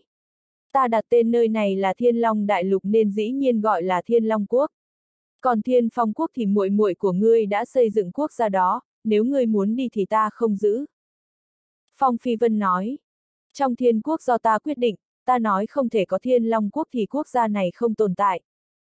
Long La Phủ rất kiên quyết, ánh mắt tràn đầy sức mạnh đế vương. Phong Phi Vân, ta sáng lập thiên long quốc, người muốn sửa tên quốc hải hỏi ý ta thế nào? Phong Phi Vân dứt khoát nói. Không cần nói, nàng đã là nữ nhân của ta thì cũng nên gọi là phong thị, quốc gia nàng sáng lập nên gọi là thiên phong quốc. Nếu nàng không sửa thì ta sẽ làm thay. Sau lưng long la phù lao ra thần long màu vàng, bóng rồng chín ngàn dặm, uy nghiêm mà dữ tợn, mắt phun lửa, gầm giống. Tu sĩ Hoàng Thành Thiên Long Quốc bị long khí khổng lồ hù sợ, vội né tránh bóng rồng khổng lồ. Lão Tăng khoác áo cà sa đứng trên tòa lầu bay nhìn phương xa. Là khí long hoàng của Thái Hậu, thật mạnh, chắc đã tu luyện khí long hoàng đến đệ thập lục trọng. Một nữ nhân hơi đẹp biến sắc mặt nói. Thái Hậu xuất cung, hay tu sĩ vực ngoại đã xông vào Thiên Long Quốc. Có bệ hạ tỏa trấn đế cung, ai dám cản rỡ. Rốt cuộc là ai mà dám đấu với Thái Hậu, nghe nói tu vi của Thái Hậu rất gần với Thánh Linh. Trong Hoàng Thành, một tòa tiên các, có con rùa mở cửa tiên các ra, hà quang tràn ra ngoài, chiếu rọi bốn phương. Con rùa đứng thẳng bò lên bệ đá nhìn hai người trên đường cái phía xa, vỗ tay cười to bảo. Lão Phu chờ đợi ngày này đã lâu, rốt cuộc đợi được. Mao Thành thật nhảy đến bên cạnh Mao Ô Quy. Sao ra ra biết nhị đại gia không chết, sẽ trở về. Mao Ô Quy kéo ghế, chuẩn bị xem kịch vui. Ha ha ha, loại người như phong phi vân địa ngục còn không chôn hắn được, một lỗ đen bình thường không đủ chôn xác hắn. Mao Thành thật khó hiểu hỏi. Tính cách nhị đại gia luôn dễ dãi, sao ra ra biết khi nhị đại gia quay về sẽ tức giận, trở mặt với Thái hậu nương nương. Mao Ô Quy cười nói. Một nam nhân bi kịch nhất là gì? Đó là con của mình không theo họ mà theo họ mẹ. Ngươi cảm thấy nhị đại gia của ngươi sẽ bình tĩnh sao? Mao Thành thật ngầm hiểu, gật gù, nhưng thật ra nó không hiểu gì hết. Bùm! Bên cạnh Mao ô quy thêm một cái ghế, Nam Cung Hồng Nhan cười quyến rũ thướt tha ngồi xuống, tóc dài bay bay, môi đỏ mọng. Nam Cung Hồng Nhan nhìn cự long vàng phía xa. Ôi trà, xem kịch vui sao không kêu ta. Nam Cung Hồng Nhan nhìn thần lâu bay phía xa, mắt lóe tia sáng lạnh. Hiên viên nhất nhất đứng trên thần lâu, cõng cổ kiếm, áo trắng bay bay như tiên nữ từ trên trời giáng xuống. Mao ô quy khẽ thở dài. Nữ nhân toàn là vui sướng khi người gặp họa. Phong Phi Vân hỏi. Muốn đánh sao, nàng không đấu lại ta. Người long la phù phát ra ánh sáng vàng lấp lánh, giơ cánh tay ngọc. Một đống rồng vàng nhỏ xoay quanh người long la phù, nàng chỉ một cái, pháp tướng bóng rồng sau lưng đè xuống. Phong Phi Vân chỉ tiến lên một bước, thiên đạo thay đổi theo. Tất cả bóng rồng vàng trong không khí tan nát. Phong Phi Vân đứng trước mặt Long La Phù, một tay đè vai Long La Phù, tất cả sóng khí trở về cơ thể nàng. Mắt Long La Phù sáng ngời ngấn lệ, rèm mi chớp, bộ dạng như thiếu nữ 16, 7 tuổi. Long La Phù nói, Phong Phi Vân, ta và ngươi không liên quan gì nhau, ngươi không quản lý ta được. Phong Phi Vân nhẹ vuốt mặt Long La Phù, dịu dàng nói. Xin lỗi, lúc nàng cần ta nhất nhưng ta không ở bên nàng. Long La Phù nói. Ngày xưa ta cố ý rời đi, nhưng ngươi không tìm đến nữ nhân đã mang thai ta đây, ngược lại thành thân với nữ nhân khác. Bây giờ ngươi nói câu xin lỗi là xóa bỏ hết sao? Phong Phi Vân nói. Có vài chuyện ta không muốn giải thích với nàng, cũng không cần. Nhưng nếu nàng muốn xây dựng thiên long quốc trong thiên quốc thì ta sẽ không đồng ý. Phong Phi Vân lên tiếng. Trong vòng nửa ngày tất cả tu sĩ trong thành cổ hãy rời đi, vì nửa ngày sau hoàng thành này sẽ thành phế tích. Thanh âm vang vọng khắp hoàng thành, tất cả tu sĩ nhân loại nghe thấy. Một số đại nhân vật nhân tộc nhận ra Phong Phi Vân, biết sắp xảy ra chuyện gì, ai nấy dọn đồ ra hoàng thành. Trung Nguyên nhất điểm qua đứng trong phủ đệ ngước nhìn bầu trời. Ta có linh cảm hai phụ tử sắp đánh lộn. Trung Nguyên nhất điểm qua toát ra khí độ siêu phàm, mặt mày sâu sắc, giơ tay nhấc chân toát ra khí thế người bề trên. ầm, um, đế cung truyền đến dao động mạnh mẽ, hàng vạn cuồng long vàng dâng lên. Lực lượng khủng bố chấn thiên động địa, đánh bay mấy tòa điện vũ. Khí hoàng đạo thánh linh khuếch tán khiến bầu trời tối sầm, nhiều tu sĩ trong hoàng thành quỷ dưới đất. Thả mẫu thân của ta ra. Trong đế cung, một thiếu niên 17, 8 tuổi xếp bằng trong không trung, điển trai tuấn tú, tóc dài như thác. Thiếu niên mở mắt ra, con người chứa tử quang sắc bén. Đây là quốc chủ thiên long quốc, đệ nhất cường giả, từ nhỏ được gọi là võ si. Thiếu niên tu luyện trăm năm đã thành thánh, nhưng nhiều lúc bế quan tu luyện, người quản lý thiên long quốc là Thái hậu đương triều. Quốc chủ thiên long quốc bế quan ngàn năm, bây giờ đã xuất quan, tu vi lại tiến bộ một bậc. Mao ô quy vỗ tay cười to bảo. Ha ha ha ha ha ha. Đồ đệ của ta xuất quan rồi.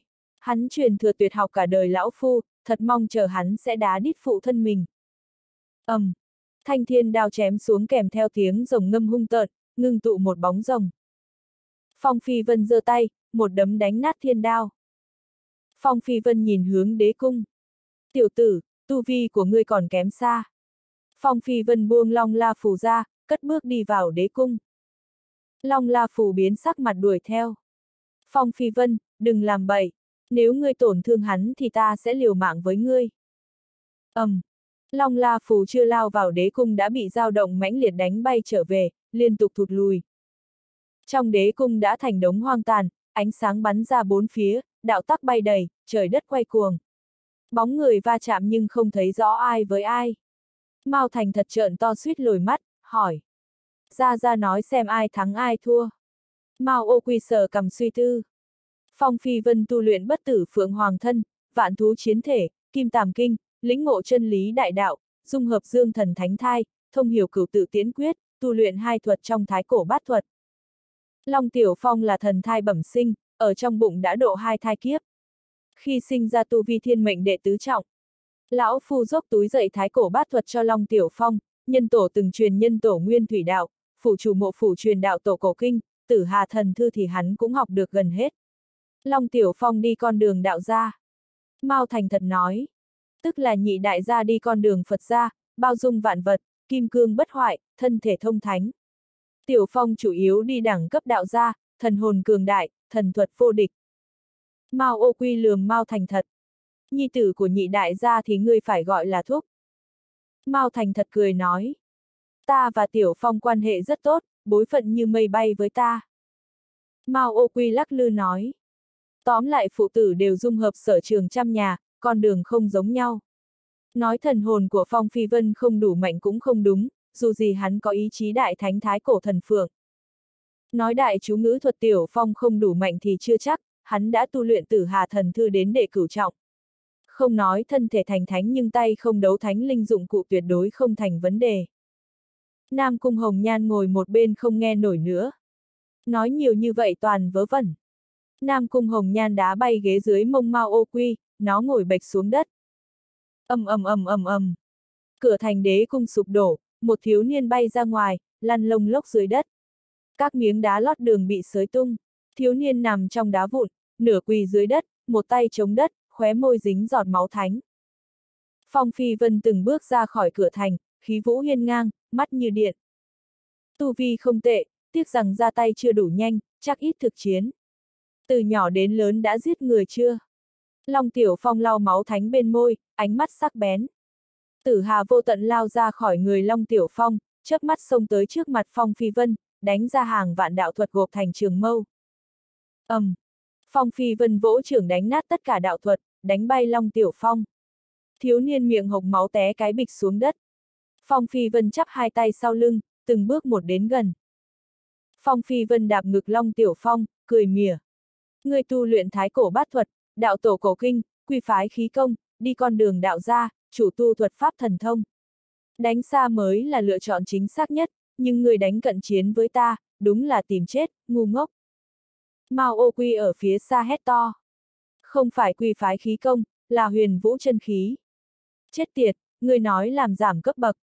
Long Tiểu Phong cắn chặt răng, đụng nát đất đai trốn thoát chân Phong Phi Vân. Long Tiểu Phong bay lên cao, quát to. Dám vào hư không đâu với ta không? Long Tiểu Phong phá tan vách tường thiên quốc bay lên cao, kéo xa khoảng cách với Phong Phi Vân. Phong Phi Vân mỉm cười, đứng yên tại chỗ, vươn Phật thủ to đánh vỡ hư không tóm Long Tiểu Phong về, đè dưới trưởng ấn. Phật trưởng ấn màu vàng biến thành ngũ chỉ sơn đè Long Tiểu Phong bên dưới. Núi to nhấp nháy sáu chữ càn khôn hỗn nguyên thiên địa. ầm ầm ầm ầm ầm. Hai tay Long Tiểu Phong chống đất muốn thoát khỏi ngọn núi, chấn vỡ sáu chữ càn khôn hỗn nguyên thiên địa. Núi to sắp bị Long Tiểu Phong hất ra. Phong Phi Vân lại đánh hai chữ chân lý đè núi to. Chân lý càn khôn hỗn nguyên thiên địa. Núi to giữ vững. Long la phủ bay tới đáp xuống chân núi, ôm đầu Long Tiểu Phong, lau khô máu bên môi gã. Mắt Long la phủ đẫm lệ nói. Phong Phi Vân, người bị điên sao? Hắn là nhi tử của ngươi, là nhi tử của ngươi. Phong Phi Vân chỉ đứng yên không nói. Long La Phù quỳ trước mặt Phong Phi Vân, khóc sướt mướt. Tất cả là lỗi của ta được chưa? Là lỗi của ta, hãy tha cho Tiểu Phong đi, tha Tiểu Phong, tha xin ngươi, hãy thả Tiểu Phong ra. Chờ khi lực lượng của hắn mạnh đến mức có thể đánh thắng ta thì sẽ phá núi bay ra, hiện tại. Để hắn ngoan ngoãn ở bên dưới đi. Phong Phi Vân nhìn thiếu niên bị đè dưới núi, cười nói. Nếu ngươi sửa họ Phong thì ta sẽ thả ngươi ra ngay bây giờ. Long Tiểu Phong nghiến răng, khóe miệng chảy máu, ánh mắt kiên quyết. Không sửa, đây là tên mẫu thân đặt cho ta, không ai có thể sửa. Mẫu thân đừng xin hắn, chờ ta đánh nát ngọn núi này sớm muộn gì sẽ đánh bại hắn, khiến hắn quỳ trước mặt mẫu thân nhận sai. Vậy hết cách, La Phù, hãy dạy nhi tử của mình đàng hoàng đi. Phong Phi Vân xoay người đi, đưa lưng hướng mẫu tử Long La Phù. Khóe môi Phong Phi Vân cong lên, không thấy nhìn thấy ầm, um, ban đêm, trên thiên long đại lục vang tiếng nổ điếc tai. Hoàng thành thiên long quốc sụp đổ, phạm vi vạn dặm hoang tàn. Chính giữa phế tích dựng ngũ chỉ sơn to lớn hùng vĩ. Mao Thành thật nhìn phế tích, khẽ thở dài. Đây là tâm huyết long la phù gầy dựng mấy ngàn năm, giờ bị ngươi hủy. Nhị đại gia, nam nhân làm chi khó xử nữ nhân của mình. Mao ô quy nhíu mày nói. Phong Phi Vân, ngươi làm vậy hơi ác. Hắn là nhi tử duy nhất của ngươi, lúc ngươi đánh hắn không giống đánh nhi tử ruột thịt. Mao ô quy cảm thấy Phong Phi Vân quá đáng. Phong Phi Vân nói, tư chất của hắn tuyệt đỉnh, các ngươi cứ nuông chiều hắn, không thiếu thứ gì, không cần lo cái gì. Chắc đến bây giờ hắn chưa một lần gặp chắc trở, chuyện này không tốt cho tương lai trưởng thành. Mao Ô Quy nói, vậy cũng đúng, nhưng ngươi làm vậy sau này hai mẫu tử càng hận ngươi. Tại sao ngươi không nói rõ cho Long La Phù? Phong Phi Vân nói, có gì mà nói, chuyện nhà là việc nhỏ hãy nói chuyện lớn xảy ra trong di châu hỗn nguyên đại thế giới mấy năm nay đi. Mao Ô Quy kể lại vài chuyện xảy ra trong 3.000 năm qua, mỗi sự kiện làm người ta thổn thức, cảm thán đời hóa bể dâu, cảnh còn người mất. Mao Ô Quy nói, vực ngoại thế mạnh, có nhiều thánh giả, tu sĩ di châu hỗn nguyên đại thế giới không đối kháng lại nổi, nhiều cường giả ẩn náu giữ lực lượng. Có người chạy vào trời sao, có tránh né trong thế giới bí cảnh, có ẩn cư trong núi ta thì mang theo cường giả mộ phủ trốn vào thiên quốc, xem như nhóm ít tổn thất nhất. Ban đêm ánh trăng rơi chiếu tia sáng lăn tăn trên mặt biển. Bên bờ biển, Phong Phi Vân đứng trong bụi cây rậm rạp um tùm, xung quanh bay mấy con đom đóm sáng lấp lánh trong đồng quê. Phong cảnh tĩnh lặng. Phong Phi Vân nói. Hai tiền bối tuyết anh, thủ hoàng đã chết trận ở đường thông thiên. Mao ô quy gật đầu, mắt đầy mối hận. Là phản diệt giáo hoàng, vẫn thánh tiễn và phá tiên cung cũng bị cướp. Tiếc rằng tu vi của phản diệt giáo hoàng đến thánh linh đệ thất trọng đỉnh tổ thánh, phủ chủ cũng không làm gì hắn được. Mao Thành thật lên tiếng. Thế lực của phản diệt giáo đã khống chế nguyên lãnh thổ nhân loại, phản diệt giáo hoàng tỏa chấn trong hỗn độn thiên thành, nhận chúng sinh triều bái, uy chấn bốn biển, không người địch nổi. Phong Phi Vân hỏi, các ngươi có muốn làm thịt hắn không? Mao ô quy, Mao Thành thật cùng quay đầu nhìn Phong Phi Vân, đồng thanh kêu lên. Phủ chủ cũng không làm gì phản diệt giáo hoàng được, đây là tay trùm vạn cổ, chúng ta không giết nổi. Phong Phi Vân nói, giết người không cần tự tay hành động, có thể mượn đao giết người. Mắt Mao ô quy rực cháy ngọn lửa, nó hiểu biết Phong Phi Vân, hàng này sắp hố chết người. Mao ô quy siết chặt móng vuốt. Người định làm sao, có cần ta mời phủ chủ xuất quan? Phong Phi Vân nói, không cần kinh động phủ chủ, đối phó loại tiểu nhân vật như phản diệt giáo hoàng thì sức một mình chúng ta đủ hố chết hắn. Tiểu nhân vật, Mao ô quy la lên. Bà nội nó, vậy ngươi nói đi, miễn là làm thịt được lão già kia, kêu lão Mao ta lên núi đao xuống biển lửa cũng chấp hết. Phong Phi Vân nói, khi chấp niệm thái cổ thần phượng biến mất đã giao tiên giới di châu cho ta, nhưng tu vi của ta phải đến thánh linh đệ thất trọng mới luyện hóa lực lượng tiên giới di châu được. Tức là nếu tu vi của ta đến thánh linh đệ thất trọng liền lập địa thành tiên. Mao ô quy kinh ngạc kêu lên. Cái gì, tiên giới di châu ở trong tay ngươi? Thật không vậy? Miệng Mao ô quy nhễu nước miếng, suýt nhào vào Phong Phi Vân. Phong Phi Vân cười nói. Ngươi không cần biết điều này là thật hay giả, bây giờ ngươi đi giải tin tức này ra, càng nhiều người biết càng tốt. Mao ô quy bình tĩnh lại, ngầm hiểu gật đầu, nói. Ta hiểu rồi, người định dùng tiên giới di châu hố giáo chủ. Thánh linh không ngốc, nếu là tiên giới di châu giả thì một ý niệm là thánh linh phân biệt ra ngay, sẽ không ai tin. Phong Phi Vân nói, ngươi không cần quan tâm, ta có cách làm người ta tin tiên giới di châu nằm trong tay ta. Mao ô quy, Mao thành thật lần lượt rời đi. Chúng nó hăng hái với kế hoạch đùa chết đại nhân vật như phản diệt giáo hoàng, rất là tích cực.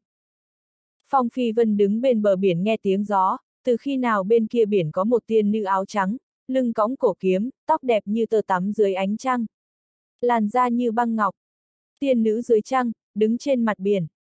Phong Phi Vân nhìn nữ nhân xinh đẹp, nói. Nhất nhất, ban ngàn năm không gặp, nàng vẫn xinh đẹp động lòng người như vậy. Trên biển mây dâng lên, một con thuyền nhỏ thanh đồng bềnh bồng trên mặt nước. Hiên viên nhất nhất mặc mễ ti ngọc bào màu trắng ngồi trên thuyền con, xinh đẹp thuần khiết, tay ngọc nhẹ phất nấu bình rượu. Trong bình rượu tử xa toát ra khói trắng, mùi rượu bay trên mặt biển. Hiên viên nhất nhất nhìn ly rượu, môi đỏ mỏng, cực kỳ xinh đẹp. La phù cô nương chỉ đang giận dỗi với ngươi chứ không phải muốn đối địch, người không nên nghiêm khắc với mẫu tử bọn họ như thế. Là một thê tử, hiên viên nhất nhất nói ra câu này đã rất rộng lượng. Phong Phi Vân cười nói. Ta biết hết. Hiên viên nhất nhất vén ống tay áo lộ ra cánh tay ngọc trắng mịn rót ly rượu cho Phong Phi Vân, lại rót một ly cho mình. Từng lũ tiên hà toát ra từ người hiên viên nhất nhất, rượu như dính vào mùi hương ngọt ngào từ thân thể nàng. Phong Phi Vân nhấp một hớp. Ta gặp phụ thân của nàng trên đường thông thiên. Hai tay hiên viên nhất nhất nâng ly rượu, vốn nâng đến bên môi bỗng dừng lại, đôi mắt sáng nhìn Phong Phi Vân. Hiên viên nhất nhất khẽ thở dài. Ta biết sớm muộn gì ngày này sẽ đến, phụ. Hắn đều nói cho ngươi biết. Phong Phi Vân lắc đầu, nói. Hắn nói hy vọng ta chăm sóc nàng cho tốt, hắn không hy vọng nàng gánh nhiều thứ như hắn. Nước biển vỗ thuyền con phát ra tiếng rào rào. Hiên viên nhất nhất đặt ly rượu bên môi, uống cạn, gò má bạch ngọc hơi hồng. Hiên viên nhất nhất lại rót đầy ly. Vậy bây giờ ngươi lựa chọn thế nào? Phong Phi Vân quan tâm khuyên. Nàng uống ít thôi. Mắt hiên viên nhất nhất mông lung sương mù, ướt lệ. Ta lừa ngươi mà còn quan tâm ta. Phong Phi Vân ôm hiên viên nhất nhất vào lòng, nhẹ vỗ khuôn mặt trắng mềm. Ta biết, nàng chưa từng lừa ta. Hiên viên nhất nhất gả cho Phong Phi Vân vì hiên viên nhất nhất không muốn làm thánh nữ, nàng chỉ muốn làm kiều thê của Phong Phi Vân. Hiên viên nhất nhất tựa đầu vào ngực Phong Phi Vân, khẽ nói. Ta chưa từng lừa ngươi, ta nói câu nào cũng phát ra từ đáy lòng. Ngươi nên biết ta chưa từng lừa ngươi. Đôi tay mảnh khảnh ôm eo Phong Phi Vân, đây là lần đầu tiên nàng chủ động ôm hắn. Giờ phút này hiên viên nhất nhất không phải Thủy Nguyệt Thánh Nữ, cũng không là tiên nữ không thể đến gần. Nàng là tiểu nữ nhân trong ngực Phong Phi Vân. Hai tay Phong Phi Vân ôm đầu hiên viên nhất nhất, đặt nụ hôn lên môi hồng. Người hiên viên nhất nhất như bị điện giật, mắt trợn to, rèm mi run. Hiên viên nhất nhất cảm giác lưỡi Phong Phi Vân chui vào miệng mình, cảm giác tê dại chưa từng có lan khắp người. Hiên viên nhất nhất hít thở dồn dập, tay siết chặt áo Phong Phi Vân, bị động nhận hắn xâm nhập. Hai người thành thân đã lâu nhưng trước kia toàn là tương kính như tân, lần đầu tiên thật sự tiếp xúc ra thịt, hôn say đắm. Hiên viên nhất nhất tu tính tâm kiếm đạo, tâm tình siêu phàm, không cần thịt dục để thỏa mãn dục vọng thể xác. Lần đầu tiên hiên viên nhất nhất nếm trái cấm. Hiên viên nhất nhất biết nếu đã gả cho Phong Phi Vân thì sớm muộn gì ngày này sẽ đến, nàng đã chuẩn bị tâm lý sẵn sàng. Nhưng khi chuyện đến, hiên viên nhất nhất rất hồi hộp, tim muốn rớt khỏi ngực. Thật lâu sau môi tách ra, Phong Phi Vân thả hiên viên nhất nhất ra. Hiên viên nhất nhất thẫn thờ, môi dính nước bọt trong suốt. Hiên viên nhất nhất vội uống ly rượu, người tê dại mềm nhũn nằm trên thuyền. Gò má hiên viên nhất nhất đỏ hồng, thở hổn hển thỏ thẻ. Đã xong. Lễ phu thê chỉ mới bắt đầu. Phong Phi Vân cười nói. Nhất nhất, đêm nay làm nữ nhân của ta đi. Hiên viên nhất nhất hiểu ý câu này, hai tay siết tay áo, xấu hổ gật đầu. Phong Phi Vân cười phá lên, ôm hiên viên nhất nhất đặt nằm thẳng trên thuyền, cởi dây lưng tơ, cởi trường bào, lộ ra thân hình xinh đẹp. Da hiên viên nhất nhất trắng tuyết, vóc dáng thon dài, ngực no tròn bị áo lót trắng tinh cỡ bàn tay bao lại nhưng vẫn thấy hình dạng nửa cái chén, tỏa mùi thơm. Nhất nhất, nàng rất đẹp, thân thể thánh nữ mềm mại đẹp hơn nữ nhân khác. Phong Phi Vân nhìn thân ngọc thánh nữ dưới thân, nhẹ vuốt ngực trắng nón từ khe rãnh giữa hai ngọn đồi đến xương quai xanh gợi cảm, cổ thon dài, mặt tiên trắng hồng. Mỗi tấc da mịn màng như lụa. A, à, hai chân hiên viên nhất nhất kẹp chặt, người căng cứng, ngực to phập phồng. Hiên viên nhất nhất mím môi hỏi. Xong rồi. Còn chưa bắt đầu. Phong Phi Vân cởi áo ra, đè lên hiên viên nhất nhất, hai tay luồn vào áo lót trắng xoa bóp bồng đào vừa mềm vừa cao. Hiên viên nhất nhất như hỏ trắng nhỏ bị con sói đè dưới thân, người run rẩy, tiếng thở dốc càng lúc càng dồn dập, thân thể nàng bị hòa tan. Phong Phi Vân cảm giác mộng ảo, hắn nằm mơ cũng không ngờ có ngày ôm Thủy Nguyệt Thánh Nữ vào ngực, cởi sạch đồ, vuốt ve thân thể ngà ngọc. Hiên viên nhất nhất như tiểu nữ nhân run rẩy dưới thân Phong Phi Vân. Tại sao nam nhân thích nữ nhân xinh đẹp? Vì trong lòng nam nhân có dục vọng, nếu nam nhân không có dục vọng thì nhân loại sẽ nhanh chóng tuyệt chủng. Dục vọng nam nhân cứu cả nhân loại, là thứ thần hánh nhất thiên hạ. Đêm nay tiền nữ dính bụi trần, sắp bị phàm phu tục tử ta đây ăn mất. Phong Phi Vân vuốt eo hiên viên nhất nhất nhỏ nhắn, ngón tay trượt xuống dưới, luồn vào quần lót, chạm vào cánh rừng. Ngươi, xấu xa. Hiên viên nhất nhất kẹp chặt đùi, răng trắng cắn môi đỏ mọng. Nhất nhất, nhất nhất. Phương xa có tiếng xé gió, bóng người mảnh khảnh bay trên mặt biển kêu tên hiên viên nhất nhất. Chết tiệt, sao nàng ta chạy đến đây? Phong Phi Vân vô cùng hối hận, sớm biết thế này hắn đã phong tỏa không gian lại, không cho ai xông vào. Không ngờ vào phút mấu chốt bị người đánh gãy, dục vọng nghẹn trong người. Phong Phi Vân vội kéo trường bào lại đắp lên người mình và hiên viên nhất nhất. Hiên viên nhất nhất vừa xấu hổ vừa sợ hãi, vùi mặt vào ngực Phong Phi Vân, chỉ lộ ra tai trắng và mái tóc dài. Lưu Tô Tử mặc váy dài tử la lan, chân ẩn hiện. Lưu Tô Tử đáo xuống thuyền con, tóc dài ngang hông, eo nhỏ xinh, ngực cao vút. Lưu Tô Tử khó hiểu nhìn Phong Phi Vân nằm trên thuyền, hỏi. Người đang làm gì, nhất nhất đâu? Hiên viên nhất nhất xấu hổ muốn chết, nàng vùi đầu vào áo Phong Phi Vân. Lưu Tô Tử không thấy nên mới hỏi. Phong Phi Vân khó chịu, hắn rất có thành kiến với Lưu Tô Tử. Thất quận chúa nhiều lần phá hỏng chuyện tốt của hắn. Phong Phi Vân nói. Đương nhiên là nằm trên thuyền ngắm trăng, mắt quận chúa bị mù sao. Nhất nhất, chẳng phải nhất nhất đang nằm trên ngực ta sao? Nữ nhân trong ngực ngươi là nhất nhất. Lưu Tô Tử tỏ vẻ không tin. Ta rất hiểu nhất nhất, nàng tuyệt đối không để nam nhân đụng vào thân thể mình, dù là ngươi. Rốt cuộc ngươi cùng tiện nhân nào yêu đương vụng trộm chỗ này? Có tin là ta vạch trần bộ mặt xấu xa của ngươi ngay bây giờ không? Hiên viên nhất nhất vùi mặt vào y phục, xấu hổ muốn chết. Hiên viên nhất nhất nhéo ngực Phong Phi Vân, thần thức truyền âm. Tuyệt đối đừng nói lỡ miệng trước mặt tô tử, không thì xấu hổ chết. Nàng ấy sẽ coi thường ta. Phong Phi Vân vỗ đầu hiên viên nhất nhất, nhìn lưu tô tử. Rốt cuộc quận chúa có đi không? Ta chỉ ngủ nữ nhân, liên quan gì nàng? Lo chuyện bao đồng. Ta không đi rồi sao? Phong Phi Vân, ta biết tu vi của ngươi rất cao, nhưng ngươi có bản lĩnh hãy giết ta diệt khẩu đi. Ca tính lưu tô tử cứng đầu, nàng đến trước mặt Phong Phi Vân, muốn vén trường bào che thân hai người lên. Nhưng lưu tô tử sợ thấy thứ không nên thấy, nàng do dự. Giờ đang bắt gian tại giường, lưu tô tử không chịu tha cho đôi gian phu dâm phụ. Nhưng lưu tô tử không thể vén trường bào lên, nàng đứng ngây tại chỗ không biết nên làm sao. Phong Phi Vân tò mò nhìn lưu tô tử. Làm người nàng muốn sao?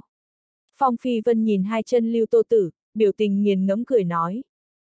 Tiểu di tử, mặc váy đứng trước mặt ta thế này không sợ ta thấy hết cảnh xuân trong váy.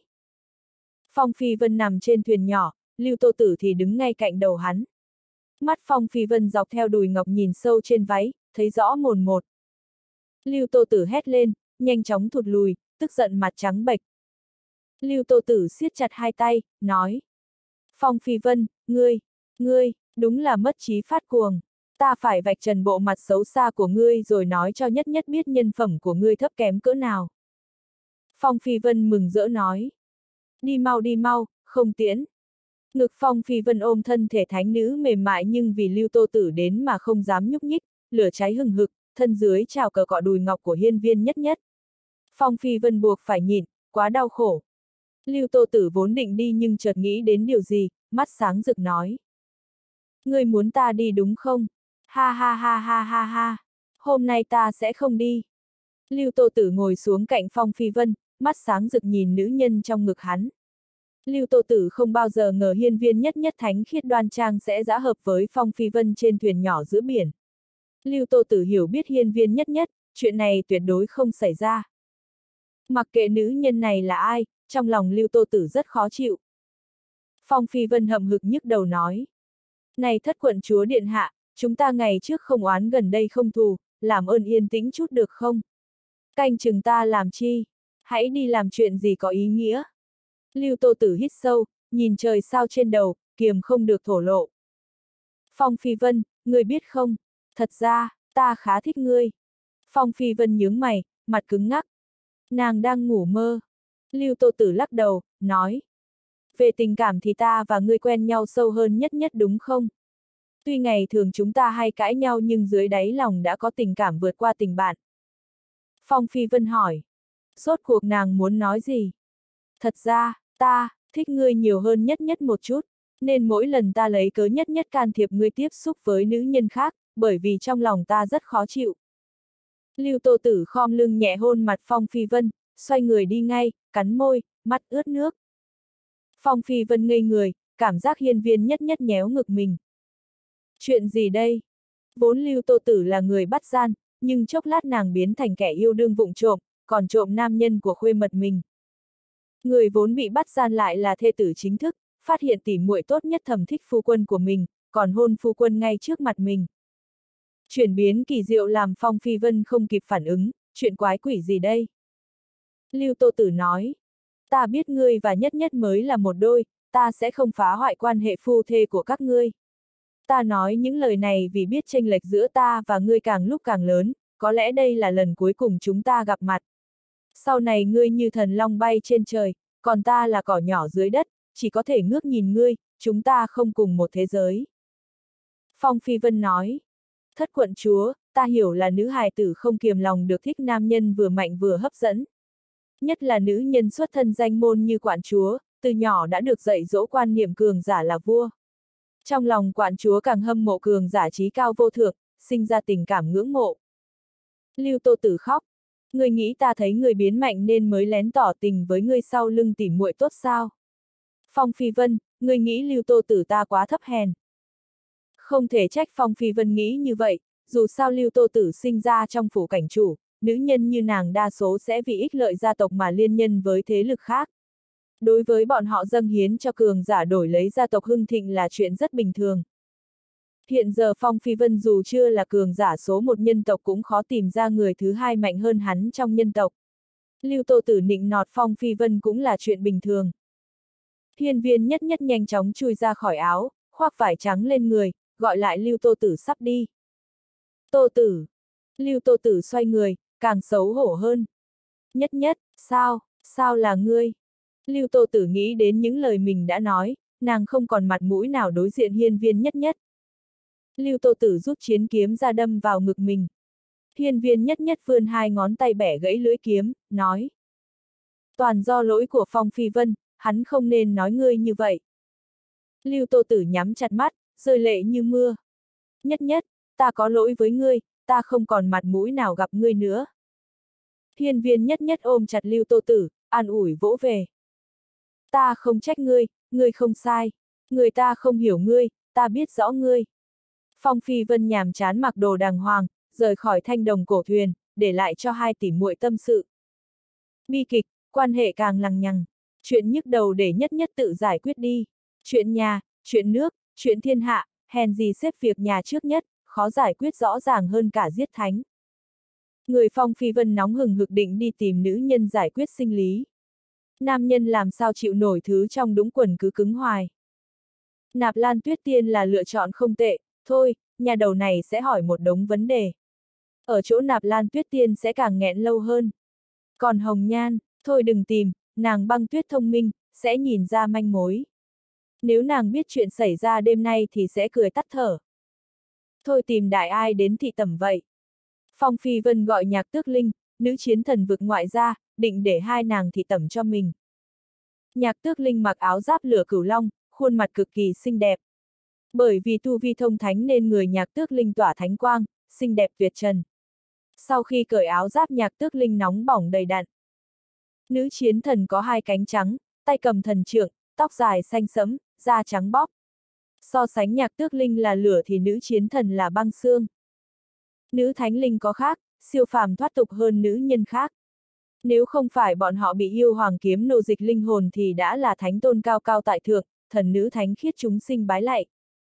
Phong Phi Vân trấn áp hơn 20 thánh linh vực ngoại trong đường thông thiên, có 7 người là nữ thánh, linh hồn bị yêu hoàng kiếm nô dịch thành nô lệ nữ thánh của Phong Phi Vân. Thánh giả khác bị vũ hóa đài trấn áp linh hồn, cũng thành thánh phó của Phong Phi Vân. Miếu Phật núi sâu, gió lạnh rít gào. Ánh đèn bị gió luồn vào khe hở cửa sổ thổi lắc lư. Nhạc tước linh, nữ chiến thần quỳ dưới đất hành lễ. Bái kiến chủ nhân, không biết chủ nhân có gì sai bảo. Phong Phi Vân chỉ chiếc giường trong phòng. Đêm nay hai người thị tẩm cho ta, có ý kiến gì không? Nhạc tước linh, nữ chiến thần liếc nhau, đồng thanh kêu lên. Audio điện tử võ tấn bền. Thị tẩm cho chủ nhân là vinh hạnh của chúng ta. Nhạc tước linh, nữ chiến thần tiến lên cởi áo cho Phong Phi Vân. Nhạc tước linh cởi áo giáp, áo trong, lộ ra thân ngọc đẫy đà thướt tha. Nhạc tước linh tự động nằm trên giường. Nữ chiến thần cởi áo ra, vóc dáng hoàn mỹ vô khuyết, ngón tay ngọc vuốt ve ngực Phong Phi Vân, động tác phụng về, đây là lần đầu tiên nàng hầu hạ nam nhân. Đối với một nữ thánh cao cao tại thượng thì đây đúng là chuyện đáng xấu hổ. Nghe nói yêu hoàng kiếm là một trong 10 hung binh thái cổ, chủ nhân và kiếm nô giao hợp có thể hấp thu khí trong người nàng để tăng cao tu vi cho mình. Không biết trong truyền thuyết này có thật không, hôm nay ta thử xem. Phong Phi Vân bỗng nhiên nghiêng người đè nữ chiến thần dưới thân, tứ chi quân quyết, phát ra tiếng thở dốc nặng nề mất hồn.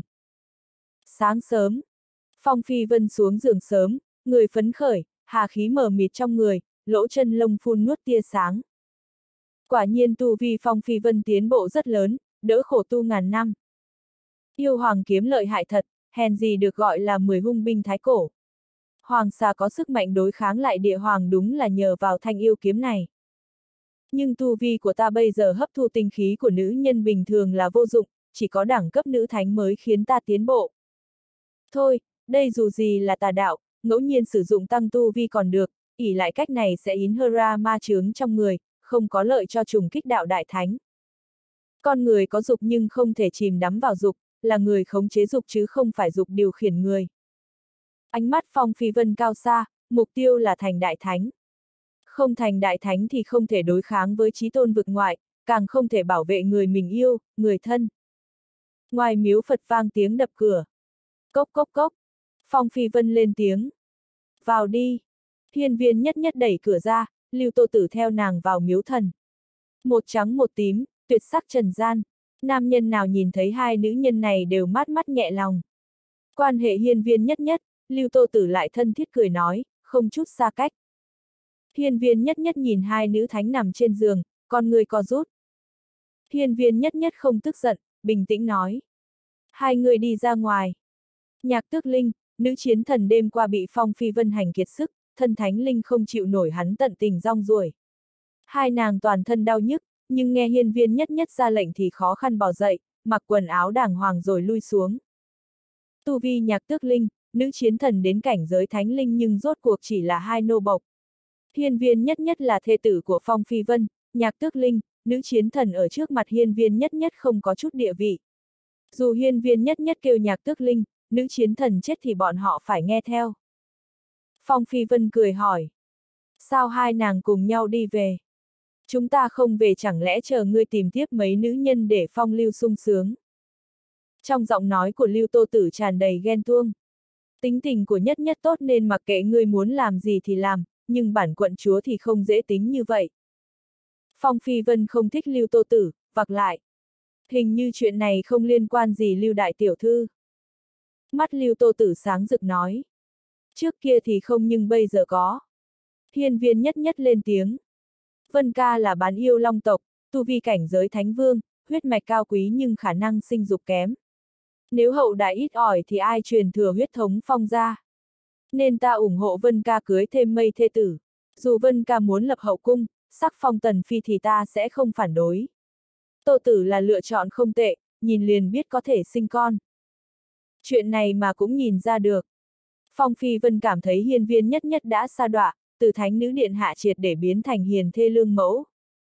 Truyền thừa huyết thống phong gia, xây dựng gia tộc, sắc phong phi tần. Phong Phi Vân nghiền ngẫm nhìn hiên viên nhất nhất, cười hỏi. Nếu ta tam cung lục viện 72 phi, nàng không sợ ta lạnh nhạt với nàng. Hiên viên nhất nhất trả lời. Người tu tiên tĩnh tọa trăm năm, bế quan ngàn năm là chuyện thường.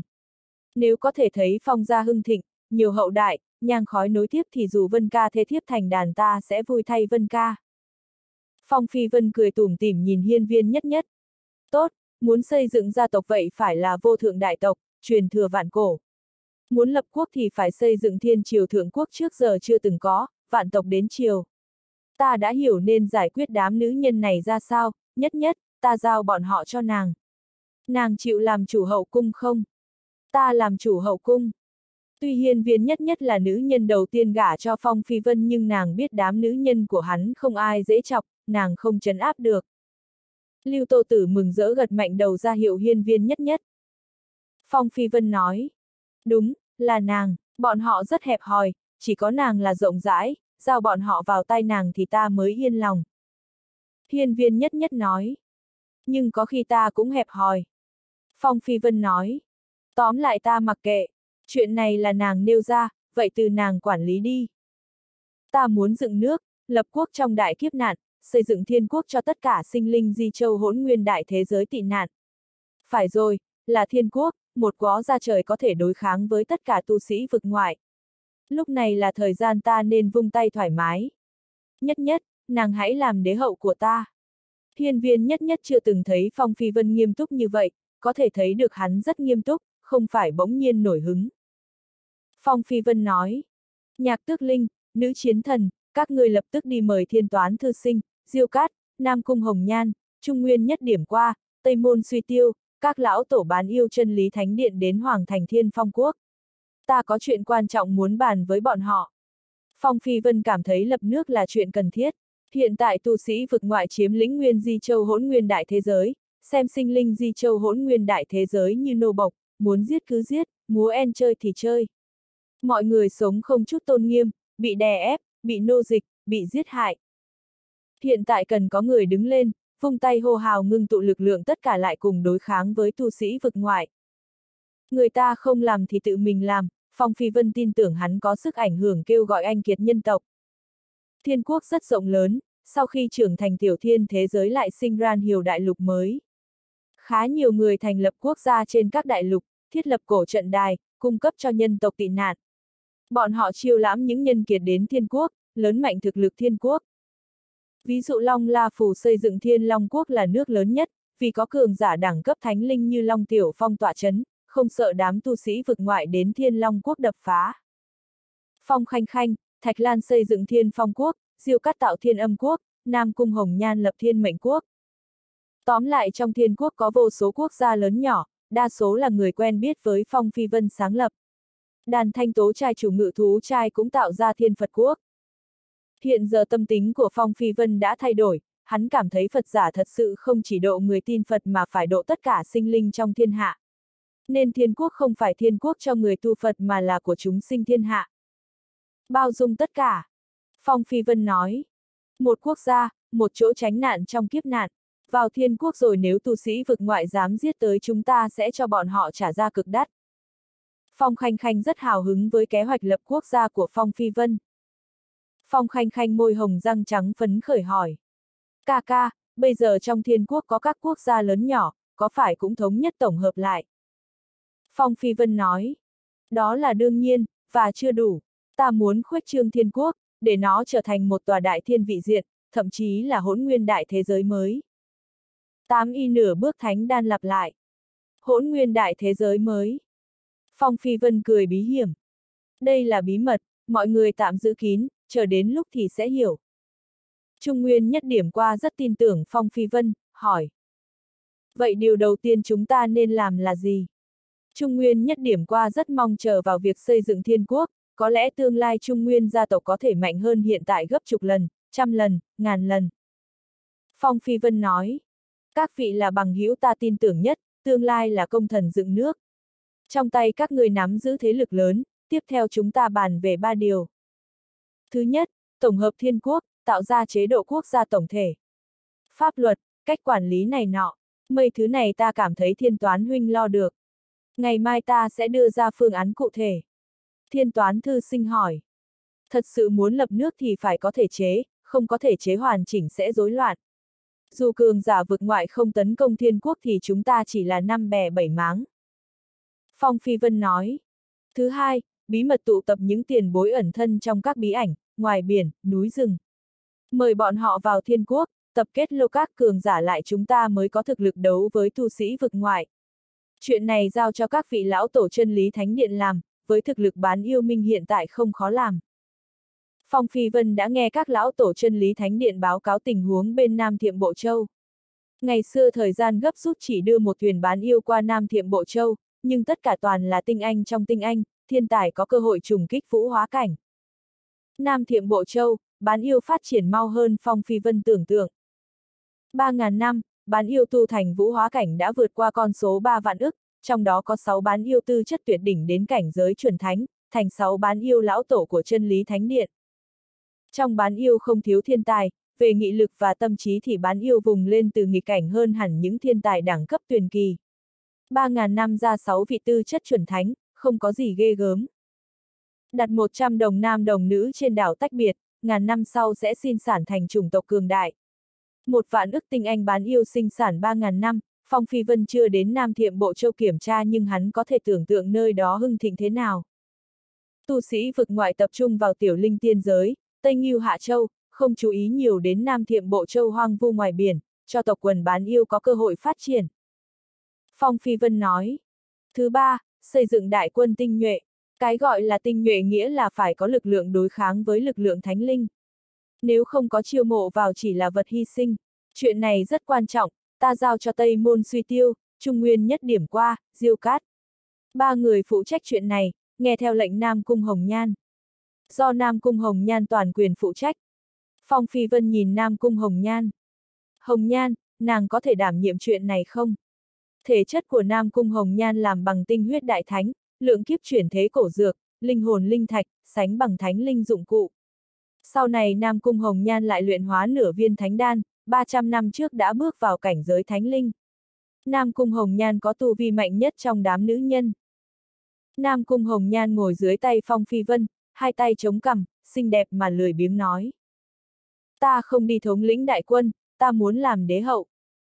Biểu tình Phong Phi Vân nghiêm túc nói. Nếu nàng không không phục tòng mệnh lệnh vậy thì đừng làm gì hết. Ngoài cung điện truyền vào giọng nữ. Nàng không thống lĩnh đại quân thì để ta, chắc chắn ta sẽ tổ kiến sư đoàn vô địch, đánh đâu thắng đó. Long La Phù từng bước đi vào, mặc đồ nam, tóc dài cột sau lưng, ánh mắt sắc bén. Vô số khí long hoàng vòng quanh người Long La Phù, nàng tựa như nữ đế đến. Trong tay ta nắm giữ nhân tổ nguyên thủy đạo do nhân tổ tiền bối để lại, có thể căn cứ theo thiên diễn nguyên thủy đồ bày ra, thiên địa chu thánh trận pháp, một vạn bán thánh hợp thành thành, thiên diễn chu thánh trận có thể đối kháng thánh linh dốc sức đánh một kích. Nếu có thêm 10 ức tu sĩ vũ hóa cảnh là sẽ hình thành, chu thiên chu thánh trận, lực lượng đủ đối kháng với một thánh linh. Cộng thêm vạn ức sinh linh thì có thể hình thành, đại chu thiên chu thánh trận. Tích lũy vạn ức sinh linh, 10 ức hiền giả vũ hóa cảnh, lực lượng một vạn bán thánh có thể ngăn chặn mấy đòn công kích của thánh linh. Sau lưng Long La Phù kéo làn váy dài từng bước tiến tới, ánh mắt ngạo nghễ, khí ngưng tụ thành bóng rồng sau người, khí thế mạnh mẽ. Long La Phù tích huy trong thiên quốc đã lâu, nhiều người hơi sợ nàng. Đám người Trung Nguyên nhất điểm qua, Tây Môn suy tiêu cũng cầm như hến, đứng im như tượng, nhìn chằm chằm dưới chân, không dám đối diện nàng. Phong Phi Vân nhìn thấy hết những chi tiết nhỏ này. Bàn về khí đế hoàng thì trong đám nữ nhân của Phong Phi Vân chỉ có Long La Phù, Long Thương Nguyệt, hai tỷ muội này sở hữu khí thế đế hoàng áp đảo mọi người. Đó là khí độ đế vương bẩm sinh, phải có trái tim đế vương mới được. Nam Cung Hồng Nhan, Diêu Cắt tuy rằng tranh cường háo thắng, xem nặng quyền thế nhưng không có trái tim đế vương, tối đa có thể trở thành bá chủ một phương. Long La Phù đi tới dưới quảng trường, lại hướng Phong Phi Vân. Thần thiếp có một ý tưởng.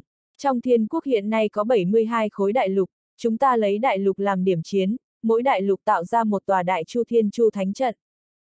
Tổng cộng 72 đại chu thiên chu thánh trận, lực lượng khổng lồ như thế dù là 100 sinh linh vực ngoại tấn công thiên quốc cũng không thể công phá thiên quốc được. Phong Phi Vân nói, một tòa đại chu thiên chu thánh trận cần một vạn bán thánh, 10 ức vũ hóa cảnh, ức vạn sinh linh hợp sức lại bảy bố. Một đại lục là một tòa trận. Long La Phù nói, đúng vậy, toàn dân đều là binh, dốc sức ngăn địch, chỉ có kết hợp tất cả sinh linh lại mới chống đỡ nổi cường giả vực ngoại tấn công. Nếu thiên quốc mở rộng thành đại thiên vị diện thì chúng ta có thể bài bố nhiều đại chu thiên chu thánh trận hơn. Miễn là có nhiều cường giả thì chưa chắc chúng ta không thắng nổi vực ngoại. Thiên toán thư sinh nói. Hiện tại trí cường đẳng cấp bán thánh trong toàn thiên quốc cộng lại chỉ hơn 2 vạn người, toàn là cao thủ bán thánh nhân tộc đê lục trọng trở lên.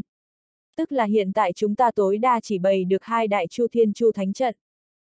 Tây môn suy tiêu nói.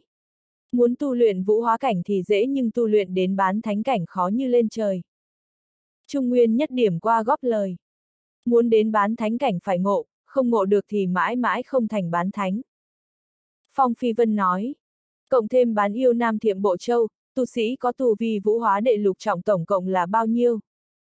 Thiên toán thư sinh bấm nốt suy tính, một lát sau nói. Chắc hơn ngàn vạn, nhưng không đến hai ngàn vạn. Phong Phi Vân nói.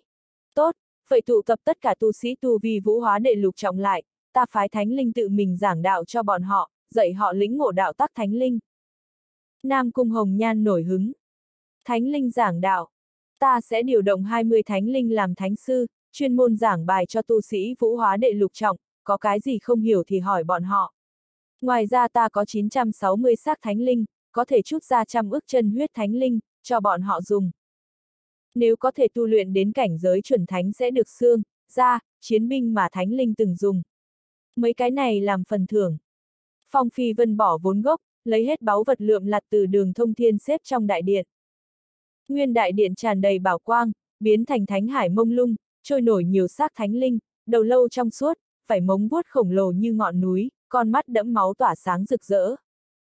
Vô số chiến binh dính máu thánh linh, tuy khá nhiều chiến binh đã bị hư hỏng nhưng khí thế vẫn hùng hồn, phát huy ra lực lượng khủng bố. Trong đó có 21 hơi thở chiến binh kinh khủng nhất, sinh ra ý chí thánh linh cường đại, có lực lượng đánh nát trời sao, chấn vỡ đất đai. Đây là 21 thánh linh dụng cụ. Mắt Nam Cung Hồng Nhan lóe sáng nói. Những báu vật này do ta chi phối. Phong Phi Vân hỏi lại. Chẳng phải nàng không muốn đi sao? Ta định cho Long La Phù chi phối, từ Long La Phù phụ trách việc này. Nam Cung Hồng Nhan liếc Long La Phù. Ai bảo ta không đi? Ta đi, ta muốn đi. Nam Cung Hồng Nhan đứng dậy, cung kính cúi đầu hướng bệ trên. Đại đế, thần thiếp lĩnh mệnh, nhất định không phụ mong đợi của mọi người tạo ra đại quân vô địch tương đương với vực ngoại. Phong Phi Vân gật đầu, nói. Một mình nàng khó hoàn thành tốt, ta sẽ phái La Phù trợ giúp nàng một tay. Không đợi Nam Cung Hồng Nhan nổi giận, Phong Phi Vân ngắt ngang. Hôm nay dừng lại ở đây. La Phù, đi theo ta. Phong Phi Vân dẫn Long La Phù vào đế hoàng, xuyên qua các tầng lầu đài, leo lên cung lâu bay ngói lưu ly. Phong Phi Vân chắp hai tay sau lưng, nhìn dãy điện vũ dưới chân. Phong Phi Vân lên tiếng. Còn đang cáu kỉnh với ta. Long La Phù đứng sau lưng Phong Phi Vân, khuôn mặt trắng trong suốt không có biểu tình. Nộ tỳ nào dám cáu kỉnh với đại đế? Phong Phi Vân hỏi. Tiểu Phong khẻo không? Long La Phù nói. Ta đã khiến hắn sửa tên Phong Tiểu Long, hắn vốn nên theo họ phụ thân. Phong Phi Vân xoay người nhìn Long La Phù. Ta trấn áp hắn dưới càn khôn hỗn nguyên trưởng ấn thiên địa không vì dòng họ không quan trọng đó. Long La Phù nói. Nô tỳ hiểu, đại đế vì tốt cho hắn. Tiểu Long quá trẻ tuổi, thành tựu rất cao, nên có người chèn ép lòng kiêu ngạo của hắn. Phong Phi Vân cười hỏi. Nàng thật lòng nghĩ vậy sao? Long La Phù không trả lời Phong Phi Vân, đổi đề tài. Đại đế muốn thành lập thiên quốc nhất định phải tạo thế cho mình. Người xưng đế đều có vô thượng uy nghiêm, không cho phép một chút ảnh hưởng mặt trái nào. Nếu để người ta biết chủ thiên quốc, nhi tử của chân lý đại đế không theo họ mình, người ngoài sẽ đánh giá đại đế thế nào? La Phù không muốn trở thành chướng ngại vật cho đại đế xây dựng thiên quốc. Phong Phi Vân nói. Nàng định bảo với ta là ta trấn áp nhi tử ruột sẽ đem lại ảnh hưởng mặt trái, muốn ta thả hắn khỏi càn khôn hỗn nguyên trưởng ấn thiên địa. La Phù không có ý đó. Long La Phù nói. Nhưng Tiểu Long là trưởng tử của đại đế, cũng là thái tử thiên quốc. Đại đế đối xử với Tiểu Long như thế đúng là sẽ bị chê trách. Muốn trở thành đế hoàng thì phải đắn đo chi tiết. Phong Phi Vân cười nói. La Phù, nàng nói lòng vòng rốt cuộc là muốn ta thả Tiểu Long ra. Yên tâm, chờ luyện hóa ta tìm Tiểu Long nói chuyện, chúng ta nên nói chuyện đàng hoàng với nhau. Phong Phi Vân không muốn bị chuyện xây dựng thiên quốc trói buộc mình, có Long La Phù, Diêu Cát, Nam Cung Hồng Nhan dành nhau lo. Bọn họ ham thích quyền thế, Phong Phi Vân thì không hứng thú trở thành đại đế. Phong Phi Vân xây dựng thiên quốc chỉ vì muốn thông qua lực lượng của mình làm chuyện gì đó cho người trong thiên hạ. Bây giờ Phong Phi Vân có chuyện quan trọng hơn phải làm. Vù vù vù vù vù. Một luồng sáng từ trên trời giáng xuống ngũ chỉ sơn. Phong Phi Vân ôm một vò rượu đi tới, từ xa nhìn Phong Tiểu Long bị trấn áp dưới núi to. Phong Phi Vân hỏi. Đã uống rượu bao giờ chưa? Phong Tiểu Long tóc dài rối xù, ánh mắt sắc bén nhìn Phong Phi Vân, hai tay ấn mặt đất muốn gượng dậy nhưng không thành công. Phong Phi Vân ngồi dưới đất, đổ đầy ly cho mình, nhâm nhi. Đã giết người bao giờ chưa? Phong Tiểu Long mỉa mai. Uống rượu, giết người thì xem như là nam nhân. Nam nhân không có lòng trách nhiệm thì không xứng làm nam nhân, cho nên Phong Phi Vân, ngươi không xứng. Ngươi không xứng với mẫu thân của ta. Nói hay. Phong Phi Vân gật đầu, nói. Ngươi hiểu cái gì là có lòng trách nhiệm không? Phong Tiểu Long nói. Nếu ta yêu một nữ nhân thì tuyệt đối cho nàng chịu chút uất ức. Khi nàng mang thai, dù xảy ra chuyện lớn lao gì ta nhất định sẽ canh giữ bên cạnh nàng, chứ không phải ngay lúc đó tán tỉnh nữ nhân khác. Ngươi làm được không? Ngươi không làm được, ngươi chỉ là nam nhân đùa giỡn tình cảm nữ nhân rồi không chịu trách nhiệm. Phong Phi Vân cười nói. Không ngờ nhi tử của Phong Phi Vân ta là kẻ si tình. Phong Phi Vân đứng dậy. Ngươi đã yêu nữ nhân nào chưa? Phong Tiểu Long im lặng. Tình yêu có gì hay? Chỉ chậm trễ tu hành. Ngày nào không giết sạch tu sĩ vực ngoại thì ta tuyệt đối sẽ không động tình. Được rồi, vậy ta dẫn người đến một nơi, nhìn xem người có giết hết tu sĩ vực ngoại được không? Phong Phi Vân lấy tám chữ thánh trên ngũ chỉ sơn, bóp trong lòng bàn tay. Phong Phi Vân biến thành luồng sáng bay ra thiên ngoại. ầm, um, Phong Tiểu Long phá núi bay ra, như con rồng phóng lên cao, biến thành luồng sáng đuổi theo Phong Phi Vân. Đi qua đường hầm thiên quốc, Phong Phi Vân và Phong Tiểu Long đến Sơn Cốc Tất Ninh soái ẩn cư. Tiên cư lâu đài bên trong còn sáng ngọn đèn, ấy linh cầm bay lượt, thị nữ lướt qua. Tất Ninh soái né tránh tai kiếp tại đây nhưng không quên hưởng thụ cuộc sống. Lâu đài bên cạnh truyền đến tiếng Tất Ninh soái chỉ điểm Tất Thắng Thiên xé lá cây tang ngô. Trong lá cây này đan sen đạo tắc thánh linh, người muốn xé nó thì phải lĩnh ngộ đạo thánh linh trước, hiểu lá cây này hình thành như thế nào. Phụ thân, ta biết rồi, ta biết hết, phụ thân mặc kệ ta được không? Ta có thể làm được, ta nhất định có thể, chắc chắn ta sẽ bái phong thúc làm sư phụ, không khó khăn gì ngăn được ta. Tất thắng thiên đẩy tất ninh soái ra ngoài phòng, đóng cửa lại, tiếp tục tham ngộ cách xé lá cây tang ngô. Phong Tiểu Long không công kích Phong Phi Vân, gã muốn biết hắn muốn mang mình đi đâu. Phong Tiểu Long hỏi, bọn họ là ai? Hắn là một bằng hữu cũ, đừng kinh động bọn họ, chúng ta đi. Phong Phi Vân Âu võ nát hư không, ngưng tụ cánh cửa hư không, bước vào trong, thân thể biến mất. Phong Tiểu Long theo sau Phong Phi Vân, đánh nát hư không, bước vào cánh cửa hư không. ầm ầm ầm ầm ầm.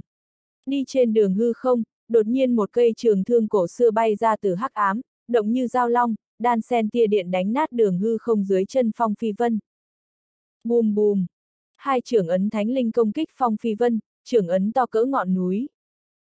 Phong Phi Vân sớm dự đoán có người giết mình, hắn ngưng tụ Phật trưởng ấn, trong trưởng ấn chứa một đại thế giới đánh gãy hai trưởng ấn thánh linh. Phong Phi Vân lạnh lùng nói. Là người nào, lăn ra đây. Trong hư không, ba khí thế khổng lồ từ trên trời giáng xuống, toàn là vô thượng thánh giả, sương mù thánh linh bao phủ người. Thánh linh đứng đằng trước nhất thân hình uy vũ, có ba đầu chó, mặc thánh giáp cổ xưa, tay cầm trường thương khắc hoa văn bí ẩn. Thánh linh nói. Thái cực cung, cảnh thụy thánh vương. Tô Tô Thánh Tôn nói. Phong Phi Vân, điện cực dương thiên thần của chúng ta muốn mời ngươi đi thái cực cung làm khách. Phong Phi Vân cười cười. Chỉ bằng vào ngươi cũng muốn mời ta. Quỷ vũ thánh tôn âm trầm nói. Một thánh vương ra tay không mời ngươi được. Phong Tiểu Long quát. Tu sĩ vực ngoại đều đáng chết, nói nhiều với bọn họ làm gì. Giết! Phong Tiểu Long sớm muốn đánh nhau với thánh linh vực ngoại, cực kỳ hận kẻ thù chiếm quê hương mình. Bàn tay Phong Tiểu Long ngưng kết đạo ấn, đánh ra 1.800 đạo tia chớp tử hà. 1.800 đạo tia chớp tử hà vặn vẹo thành vòi rồng bao phủ Tô Tô Thánh Tôn, xé nàng thành nhiều mảnh, mưa máu đầy trời. Phong Phi Vân không biết nên nói cái gì. Ai, thật là cú ghét ác như thù, đây thật sự là đệ tử Mao Ô Quy dạy sao? Phong Phi Vân buộc phải ra tay, hắn triệu bàn man phủ ra, dẫn động đại thánh chân lực trong diều chiến. Búa giáng xuống, hiện ra thần uy khai thiên tích địa. Cảnh Thụy Thánh Vương biến sắc mặt, cảm nhận lực lượng xé rách thánh linh. Cảnh Thụy Thánh Vương vội thụt lùi. Lực lượng của đại thánh chân binh đúng là lợi hại, không uổng là búa đổ thánh. Thiên Chu Thương Trận. Cảnh Thụy Thánh Vương vận dụng tòa thương trận. 36 cây thần thương bay ra khỏi cơ thể cảnh Thụy Thánh Vương, mỗi cây trường thương tê dài hơn ngàn dặm, thân thô như cây cột đan sen thánh văn dày đặc, phát ra các đốm lửa thần tính. Bộ thương trận này bị cảnh Thụy Thánh Vương tế luyện hàng vạn năm, tuy uy lực mỗi thần thương không bằng thánh linh dụng cụ nhưng 36 thần thương tổ hợp cùng một chỗ, bộc phát ra lực lượng sánh bằng uy lực ba thánh linh dụng cụ. Cơ thể phong phi vân thành thánh, đánh đâu thắng đó, lực lượng cường đại có thể một trường nổ nát một thế giới. Phong phi vân cầm bàn man phủ, lực công kích cực kỳ hung mãnh, trong thiên hạ không có thứ gì ngăn hắn lại được. ầm, um, Phong phi vân lao vào thiên chu thương trận, giết các phân thân của cảnh Thụy Thánh Vương, đánh ra liên tục thụt lùi. Cảnh Thụy Thánh Vương tung ra muôn vàn chiến pháp cũng không ngăn nổi một búa của Phong Phi Vân. Phương xa, trong một trận pháp ẩn núp, hai nam nhân khí thế cường đại đứng nhìn. Hai nam nhân này là giáo chủ của Phạn Diệt Giáo, Thiên Đô Giáo chủ và Địa Vấn Giáo chủ. Toàn là thánh giả đỉnh thiên lập địa, uy lâm thiên hạ, được chúng sinh bái lạy. Địa Vấn Giáo chủ biến sắc mặt nói. Lực công kích của Phong Phi Vân thật mạnh, chỉ toát ra một nhát búa đã xẻ một bí cảnh cao cấp, lực lượng công kích gần bằng tổ thánh. Thiên đô giáo chủ nói. Phong Phi Vân đã đến cảnh giới thánh vương, thân thể thành thánh, tay cầm bàn man phủ của thái cổ thần phượng. Bàn về lực công kích thì trong thánh vương không ai sánh bằng Phong Phi Vân. Địa vấn giáo chủ hỏi. Đại ca cũng không đánh lại hắn. Thiên đô giáo chủ nói ta và cảnh Thụy Thánh Vương hợp tác cũng không áp chế được hắn.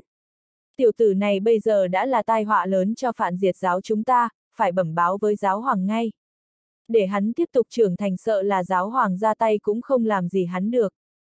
ầm, um, Phong Phi Vân vận chuyển mắt đại thánh, hai con người bắn ra hai luồng sáng đại thánh xuyên thủng từng tầng không gian, đánh nát trận pháp ẩn núp. Hai luồng sáng đánh vào người thiên đô giáo chủ, địa vấn giáo chủ. Ánh sáng đại thánh lợi hại biết bao, thánh vương cũng không ngăn được. Phập, phập, thiên đô giáo chủ, địa vấn giáo chủ bị ánh sáng đại thánh xuyên thủng bay ngược ra ngoài, ngực có hai lỗ máu ghê người.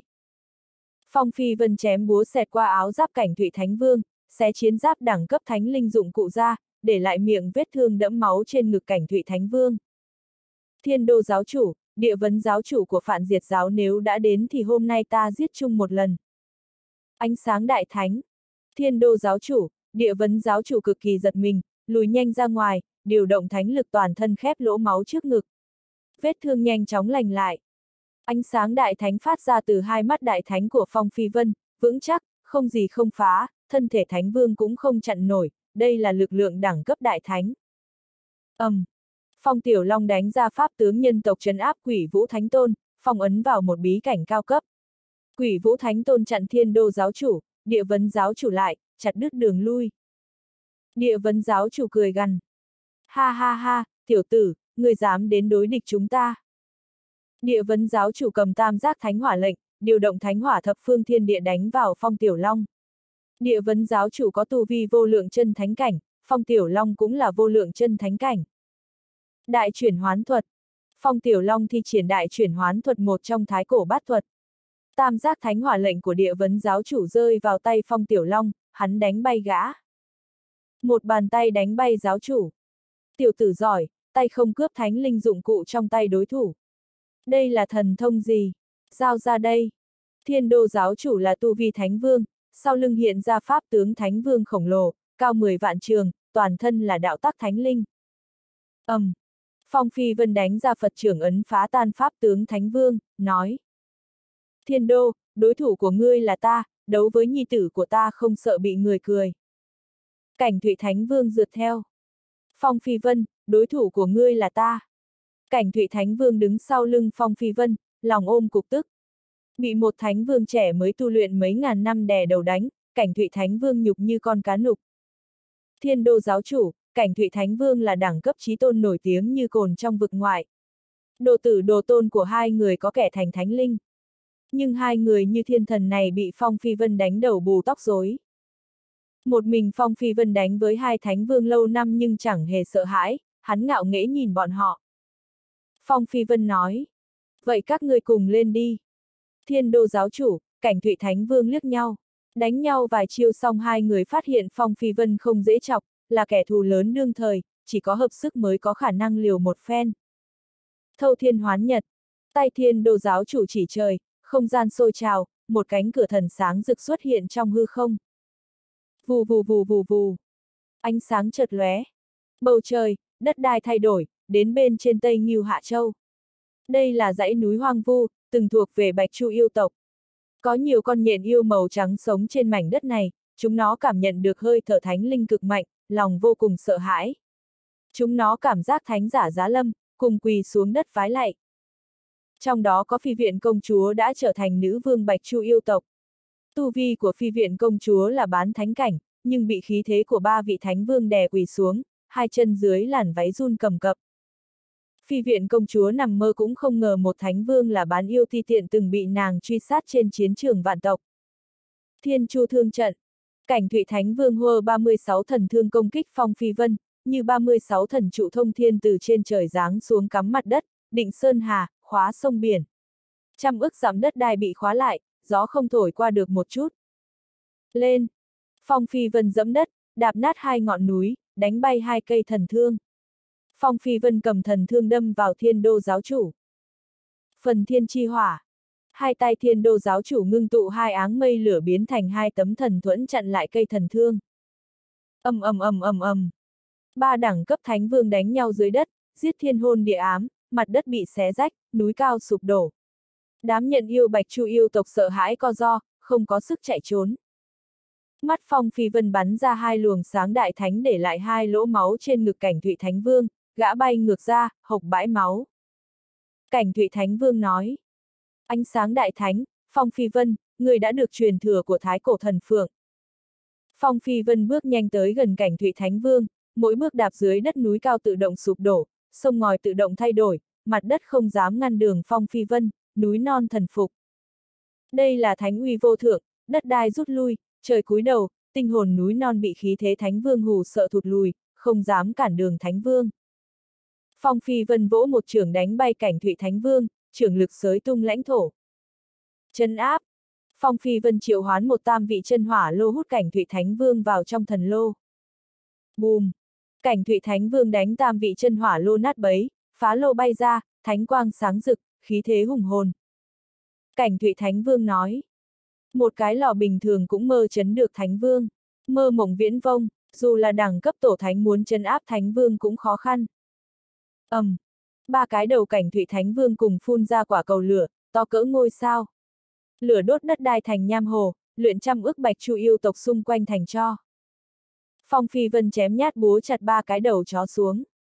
Vì phòng ngừa đầu cảnh Thụy Thánh Vương mọc lại, Phong Phi Vân đánh bay ba cái đầu chó thành ba ngôi sao bay đến cuối trời. Bùm! Phong Tiểu Long bước ra từ hư không, tay sách địa vấn giáo chủ hấp hối. Phong Tiểu Long ném địa vấn giáo chủ xuống đất, lấy thần thuyền màu tím ra, thu ba cái đầu chó vào thần thuyền màu tím. ầm, um, Tuy cảnh Thụy Thánh Vương bị chặt đầu nhưng vẫn chiến ý hừng hực, ngực thành mắt, rốn thành miệng, tay múa 36 cây thần thương. Cảnh Thụy Thánh Vương chiến ý ngút trời công kích Phong Phi Vân. Thiên đô giáo chủ lấy một vòng tròn lửa ra, cao ngàn trượng, đường cơ sinh ngàn dặm. Vòng lửa xoay tít công kích Phong Phi Vân. Thiên kiếp. Phong Phi Vân vận dụng kén thần Phật quang bảo vệ cơ thể, tay chỉ lên trời. Thiên địa hôn ám, lôi điện chấp động. Các lôi kiếp từ trên trời giáng xuống, biển xét đè xuống, tất cả đánh vào người thiên đô giáo chủ, cảnh thụy thánh vương. Mạnh quá! Phong Tiểu Long vừa chấn áp ba cái đầu chó trong thần thuyền màu tím vừa ác nhanh chóng thụt lùi, sợ rơi vào thần uy thiên kiếp. Giờ Phong Tiểu Long mới hiểu lúc trong thiên quốc Phong Phi Vân đã rất nhẹ tay, đây mới là thực lực thật sự của hắn. Lực lượng một thiên kiếp đủ đánh vô lượng chân thánh cảnh hấp hối.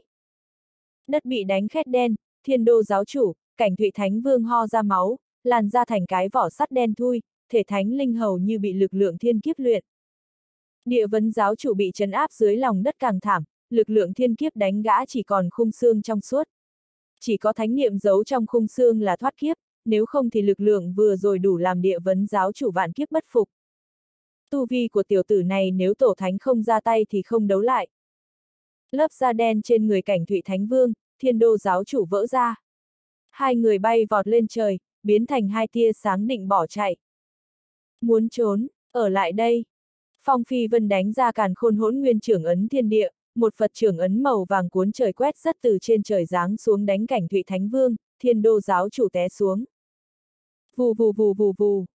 Thanh đồng cổ thuyền bay ra khỏi người Phong Phi Vân, Long Mã Hà Đồ chuyển động, bộc phát ra lực lượng bí ẩn viễn cổ thu hai thánh vương vào trong, chân áp. Âm âm âm âm âm Âm âm âm âm âm. Hai thánh vương liên tục oanh kích thanh đồng cổ thuyền, muốn phá thuyền cổ bay ra ngoài. Thanh đồng cổ thuyền rung bần bật. Đẳng cấp thánh vương quả nhiên lợi hại, khí linh thanh đồng cổ thuyền cũng sắp không trấn áp được bọn họ. Phải tìm bản thể thanh đồng cổ thuyền mới được, thanh đồng cổ thuyền mới có thể hoàn toàn phát huy lực lượng.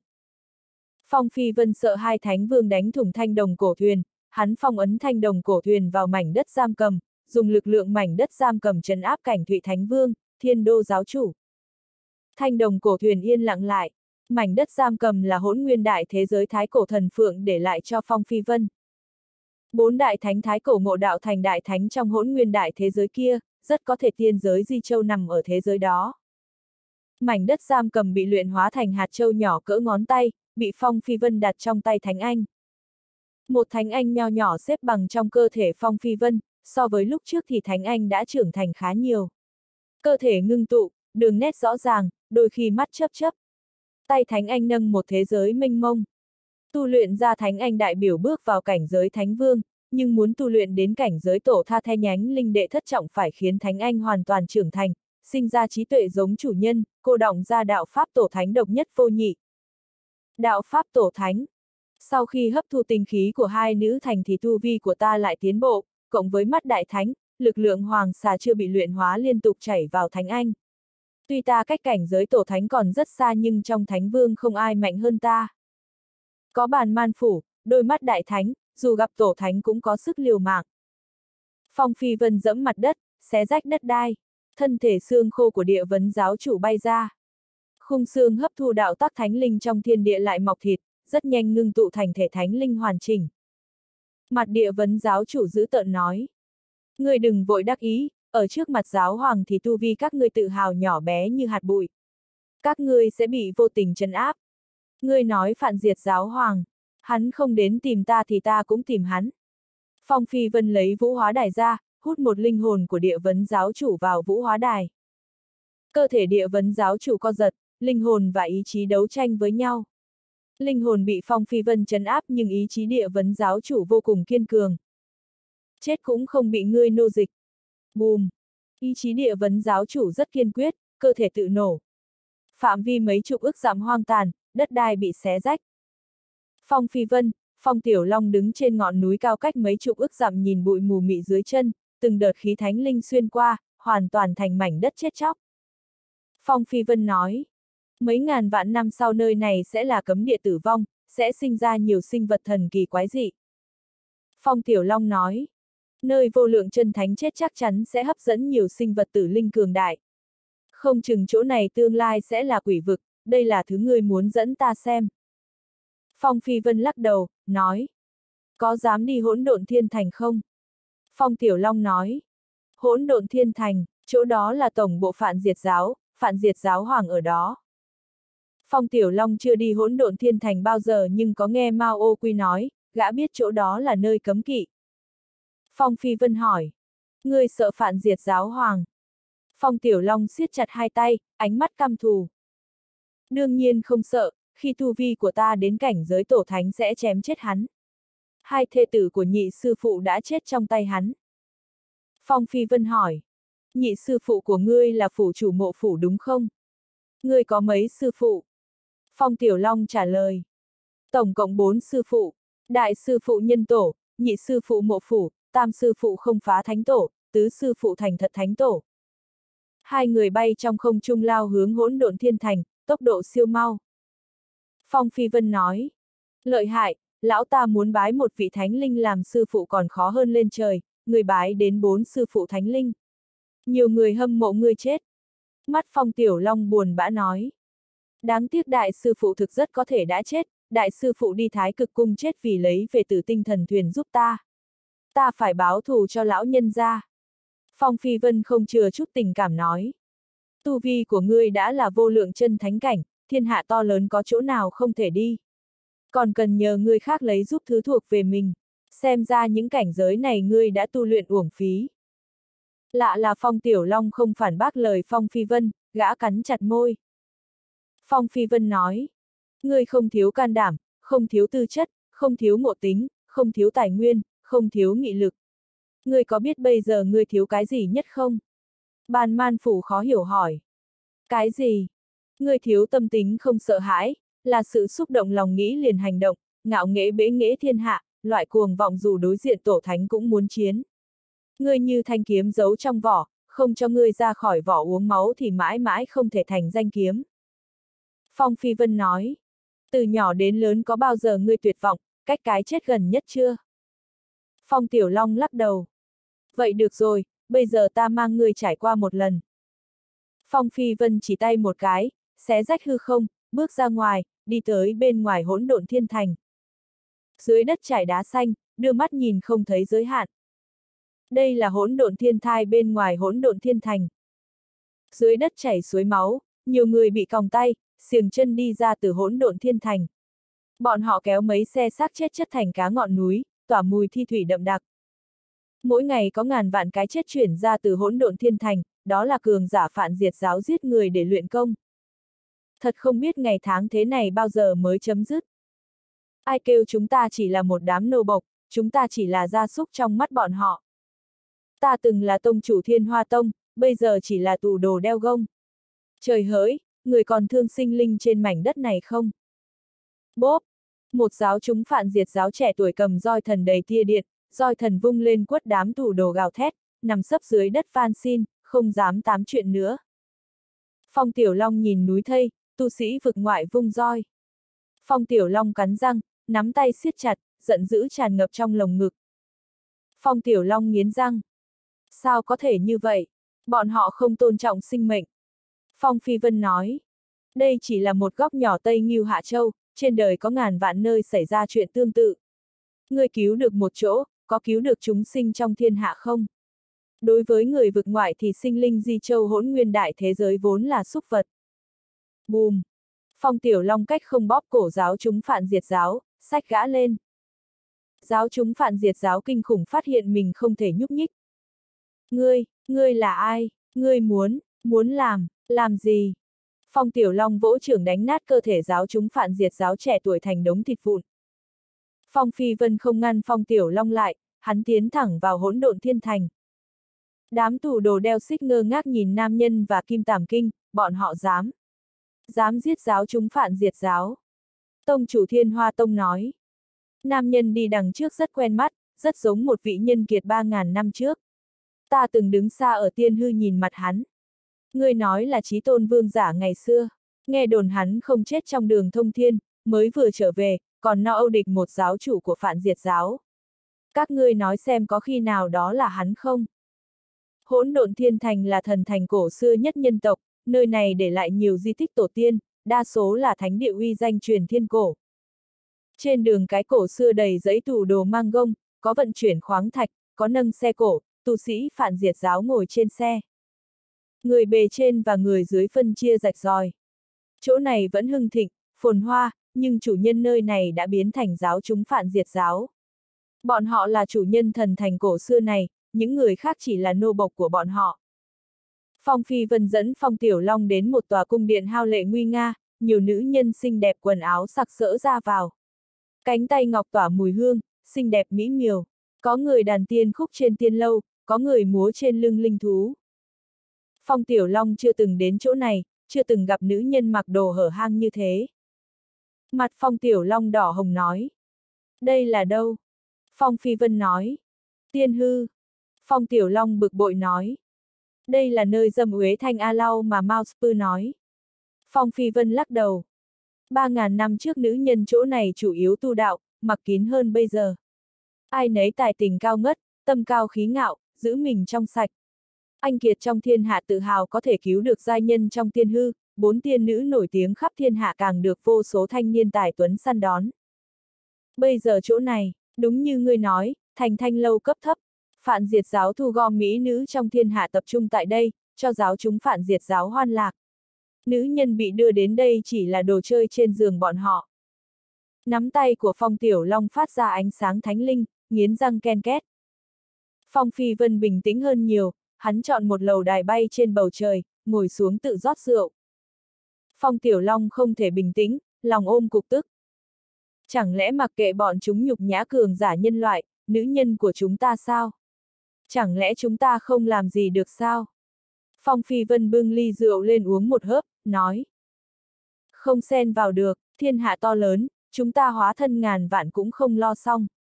Muốn thật sự không bị bọn họ khi dễ thì phải biến mạnh, giết hết thánh linh vực ngoại.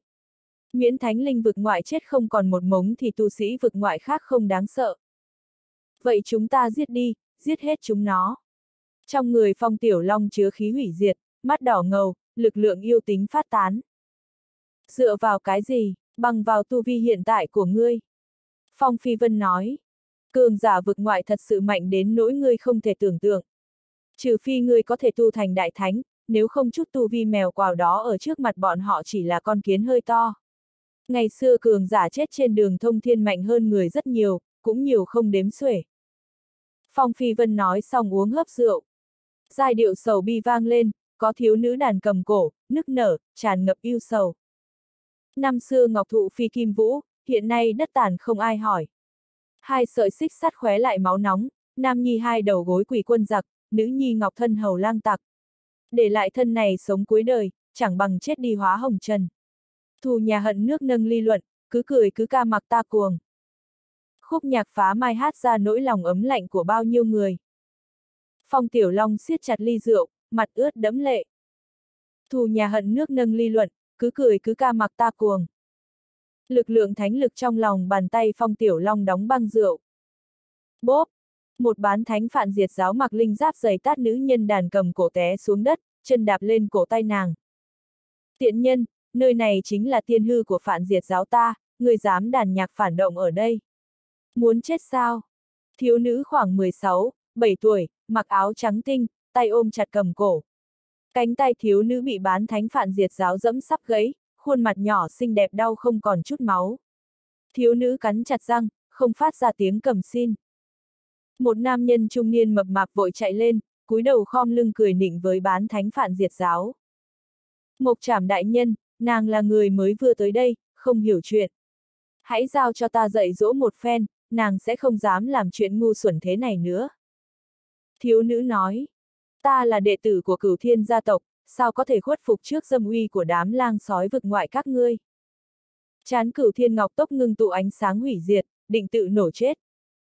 Mộc trảm bán thánh đánh ra trưởng ấn, một đạo tắc thánh linh nhập vào người cửu thiên ngọc tốc, khóa lại ánh sáng hủy diệt. Mộc trảm bán thánh lạnh lùng cười. Ta thích nữ nhân cá tính như vậy, ta mang nha đầu này đi, ngươi không có gì phản đối đúng không? Nam nhân trung niên mập cười nói.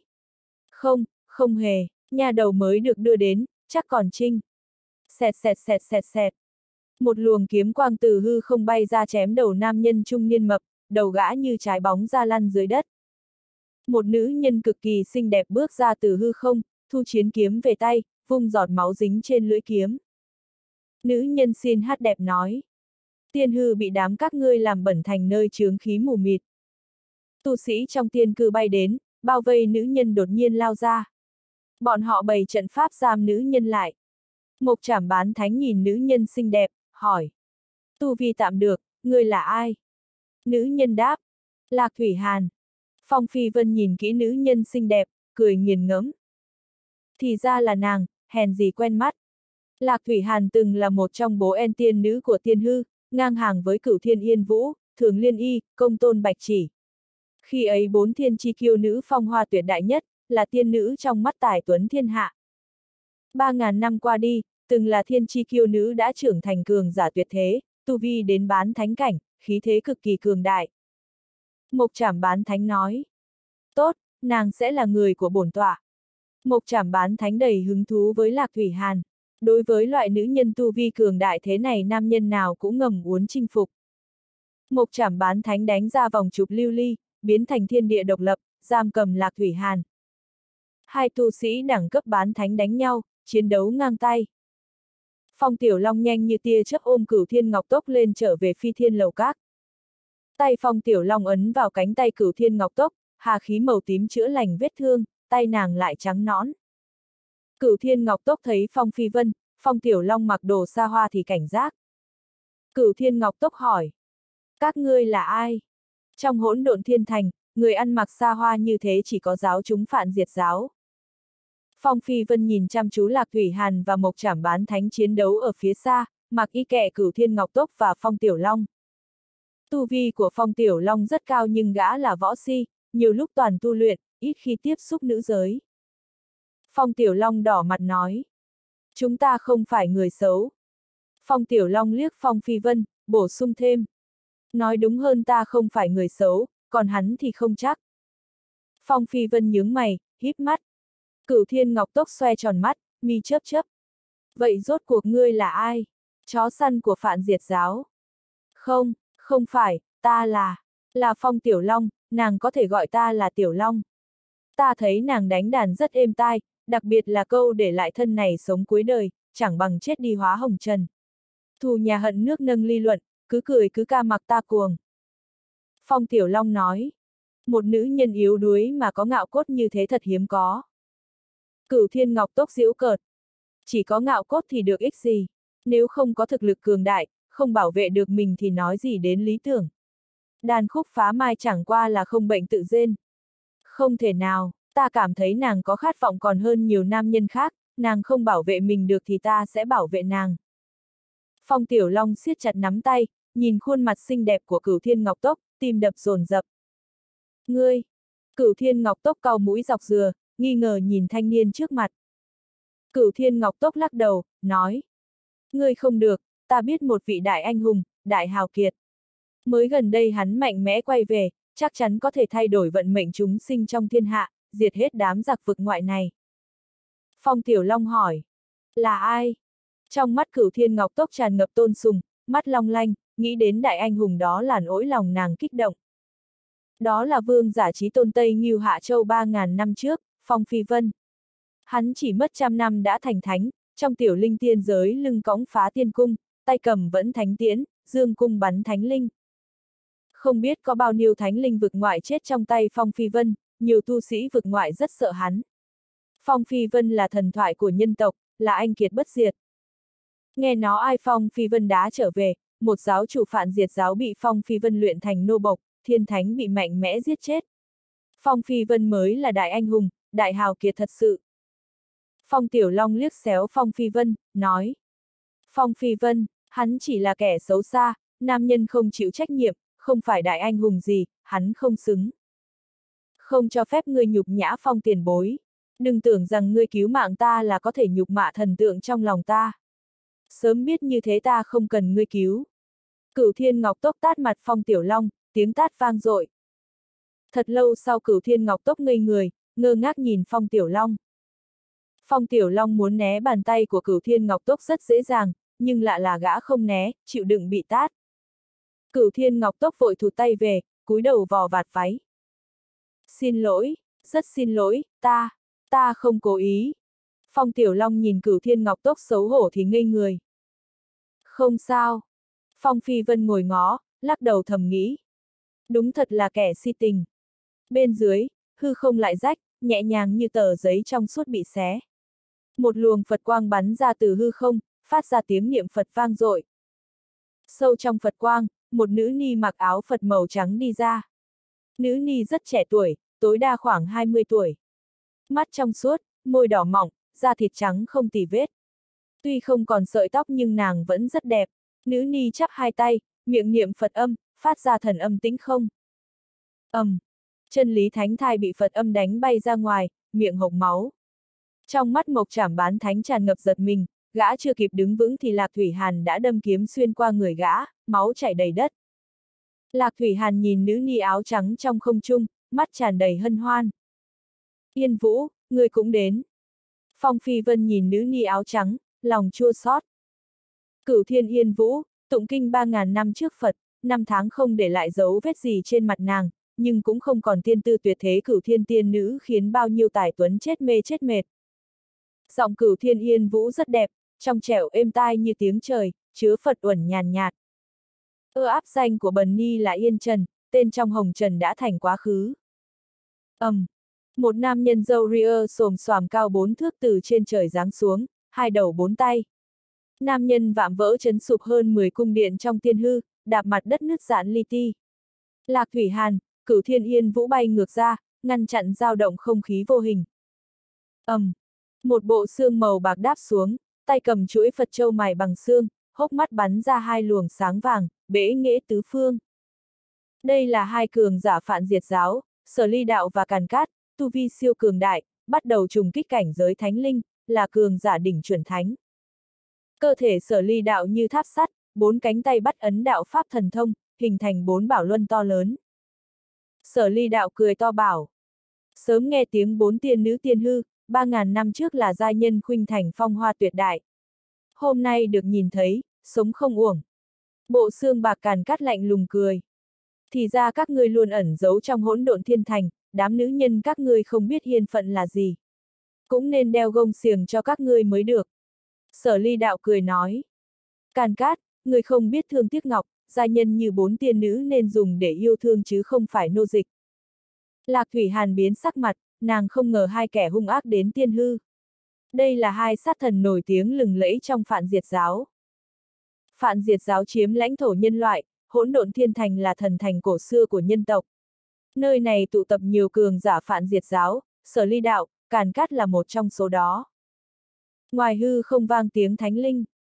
Tiên hư sớm không là tiên hư ngày xưa, bây giờ ta sẽ tự tay hủy diệt nó. Thanh âm truyền đến từ ức giảm. Ánh mắt xuyên thấu từng tầng không gian có thể thấy cách ức giảm có bóng tiên bao phủ trong mây mù đứng bên hồ lớn, người phát ra vân hà bảy sắc. Phong Phi Vân nhìn phương xa. Tiên hư động chủ. Bóng ngọc ngà bên hồ lớn chính là thiên chi kiêu nữ tiên hư động chủ. Tiên hư động chủ được gọi là một trong các nhân kiệt có khả năng phá tan cảnh giới thánh linh nhất nhân tộc. Ba ngàn năm trôi qua, rốt cuộc tiên hư động chủ đột phá cảnh giới cuối cùng, bước vào cảnh giới thánh linh. Khuôn mặt lạnh lùng của Lạc Thủy Hàn cười tươi như hoa. Động chủ cũng đến. Tiên hư động chủ thi triển vô thượng thánh linh pháp thân, ngưng tụ ra thánh tượng thiên nữ xá vũ. Một cánh tay mảnh khảnh thò ra từ vân hà bảy sắc, cách hư không xa xôi đánh nát tiên hư thành phế tích. Nhiều tu sĩ vực ngoại bị tiên hư động chủ một trường đánh chết, biến thành bột máu trôn vùi theo tiên hư. Thánh linh nhân tộc, nếu ngươi đã ra tay vậy thì đừng đi nữa. Trên hỗn độn hải, một thánh giả phạn diệt giáo mở mắt thánh phát ra thần quang chói mắt. Thánh giả phạn diệt giáo chỉ một cái chấn vỡ vô số không gian, công kích ức giảm. Thánh linh phạn diệt giáo có tu vi thông thiên thánh cảnh, tạo hóa thông thiên, lực lượng dồi dào như nước chảy. Tiên hư động chủ tựa tiên nữ dáng trần, vân hà bảy sắc quanh người biến thành bảy pháp tướng phân thân vây quanh thành hình dạng xích thần bảy sắc. Vù vù vù vù vù. Bảy thiên hà bay ra ngoài đánh vào hỗn độn thiên thành, đập nát mấy vạn kiến trúc cổ xưa, san bằng tất cả. Tiên hư động chủ, thánh giả phản diệt giáo người khẽ run thụt lùi lại. Va chạm một kích, lực lượng tương đương. Lạc Thủy Hàn, cửu thiên yên vũ, các người hãy đi theo ta. Tiên hư động chủ biết trong hỗn độn thiên thành có nhiều cường giả phản diệt giáo, không thể đấu lại. Tiên hư động chủ đánh ra hai đại hư không thủ ấn nâng Lạc Thủy Hàn, cửu thiên yên vũ trong lòng bàn tay, định đưa hai nàng đi. ầm, um, một luồng kiếm quang vàng từ trên trời giáng xuống, tia điện lấp lóe trên thân kiếm, đánh nát đại hư không thủ ấn. Lạc Thủy Hàn, cửu thiên yên vũ bị lực lượng thánh linh hất văng, bọn họ như hai con thuyền nhỏ trên sóng dữ, cơ thể tùy thời bị xé rách. Ba thánh giả phản diệt giáo cùng giáng lâm, có hai người tu vi thông thiên thánh cảnh, một tu vi đại chân thánh cảnh. Ba thánh giả như ba vị thần đứng ba hướng quanh tiên hư động chủ, đông lại lực lượng không gian và thời gian. ầm ầm ầm ầm ầm. Lạc Thủy Hàn, Cửu Thiên Yên Vũ bị sóng khí thánh linh đánh bay, chưa ổn định thân hình thì sở ly đạo, càn cát lao lên. Càn cát, sở ly đạo tu vi đỉnh chuẩn thánh, chân đạp dao động sóng khí, cùng đánh ra thần thuật sức chiến đấu mạnh nhất ngưng tụ thành hai vòi rồng cuồng phong. Hai sức gió có thể xé rách ngôi sao nhưng không chạm vào Lạc Thủy Hàn, Cửu Thiên Yên Vũ được. Lạc Thủy Hàn, Cửu Thiên Yên Vũ bình yên đứng trong cuồng phong, những sức gió tự động triệt tiêu quanh thân hai người. Có chuyện gì? Lạc Thủy Hàn, Cửu Thiên Yên Vũ thấy khó tin. Càn cát, sở ly đạo nhìn sau lưng hai nàng, biểu tình hãi hùng xoay người bỏ chạy. Sau lưng Lạc Thủy Hàn, Cửu Thiên Yên Vũ bay ra Phật thủ ấn to lớn đè càn cát, sở ly đạo xuống. Cơ thể hai người tan vỡ, bị Phật lực hút tinh hoa hết. Lạc Thủy Hàn quay người lại, thấy nam nhân áo trắng đứng trên lầu các sụp đổ. Mới rồi là nam nhân áo trắng ra tay. Lạc Thủy Hàn cực kỳ kích động nói. Là ngươi. Lạc Thủy Hàn vui mừng như thấy thánh nhân bước ra từ sách cổ. Khí thế trên người nam nhân áo trắng làm Lạc Thủy Hàn tôn sùng muốn quỳ lạy. Cửu Thiên Yên Vũ xoay người lại, ngơ ngác nhìn nam nhân, mím môi son, cuối cùng niệm một câu. A-di-đà Phật. Ba thánh giả phạn diệt giáo, thiên hư động chủ cảm nhận được khí thế từ người Phong Phi Vân, ánh mắt trầm trọng. Phong Phi Vân. Ba thánh giả phạn diệt giáo ánh mắt e ngại, bị khí thế từ người Phong Phi Vân chấn nhiếp run rẩy. Trên lầu bay, cửu thiên ngọc tốc ngơ ngác nhìn bóng lưng cao lớn, cực kỳ kích động, môi run run.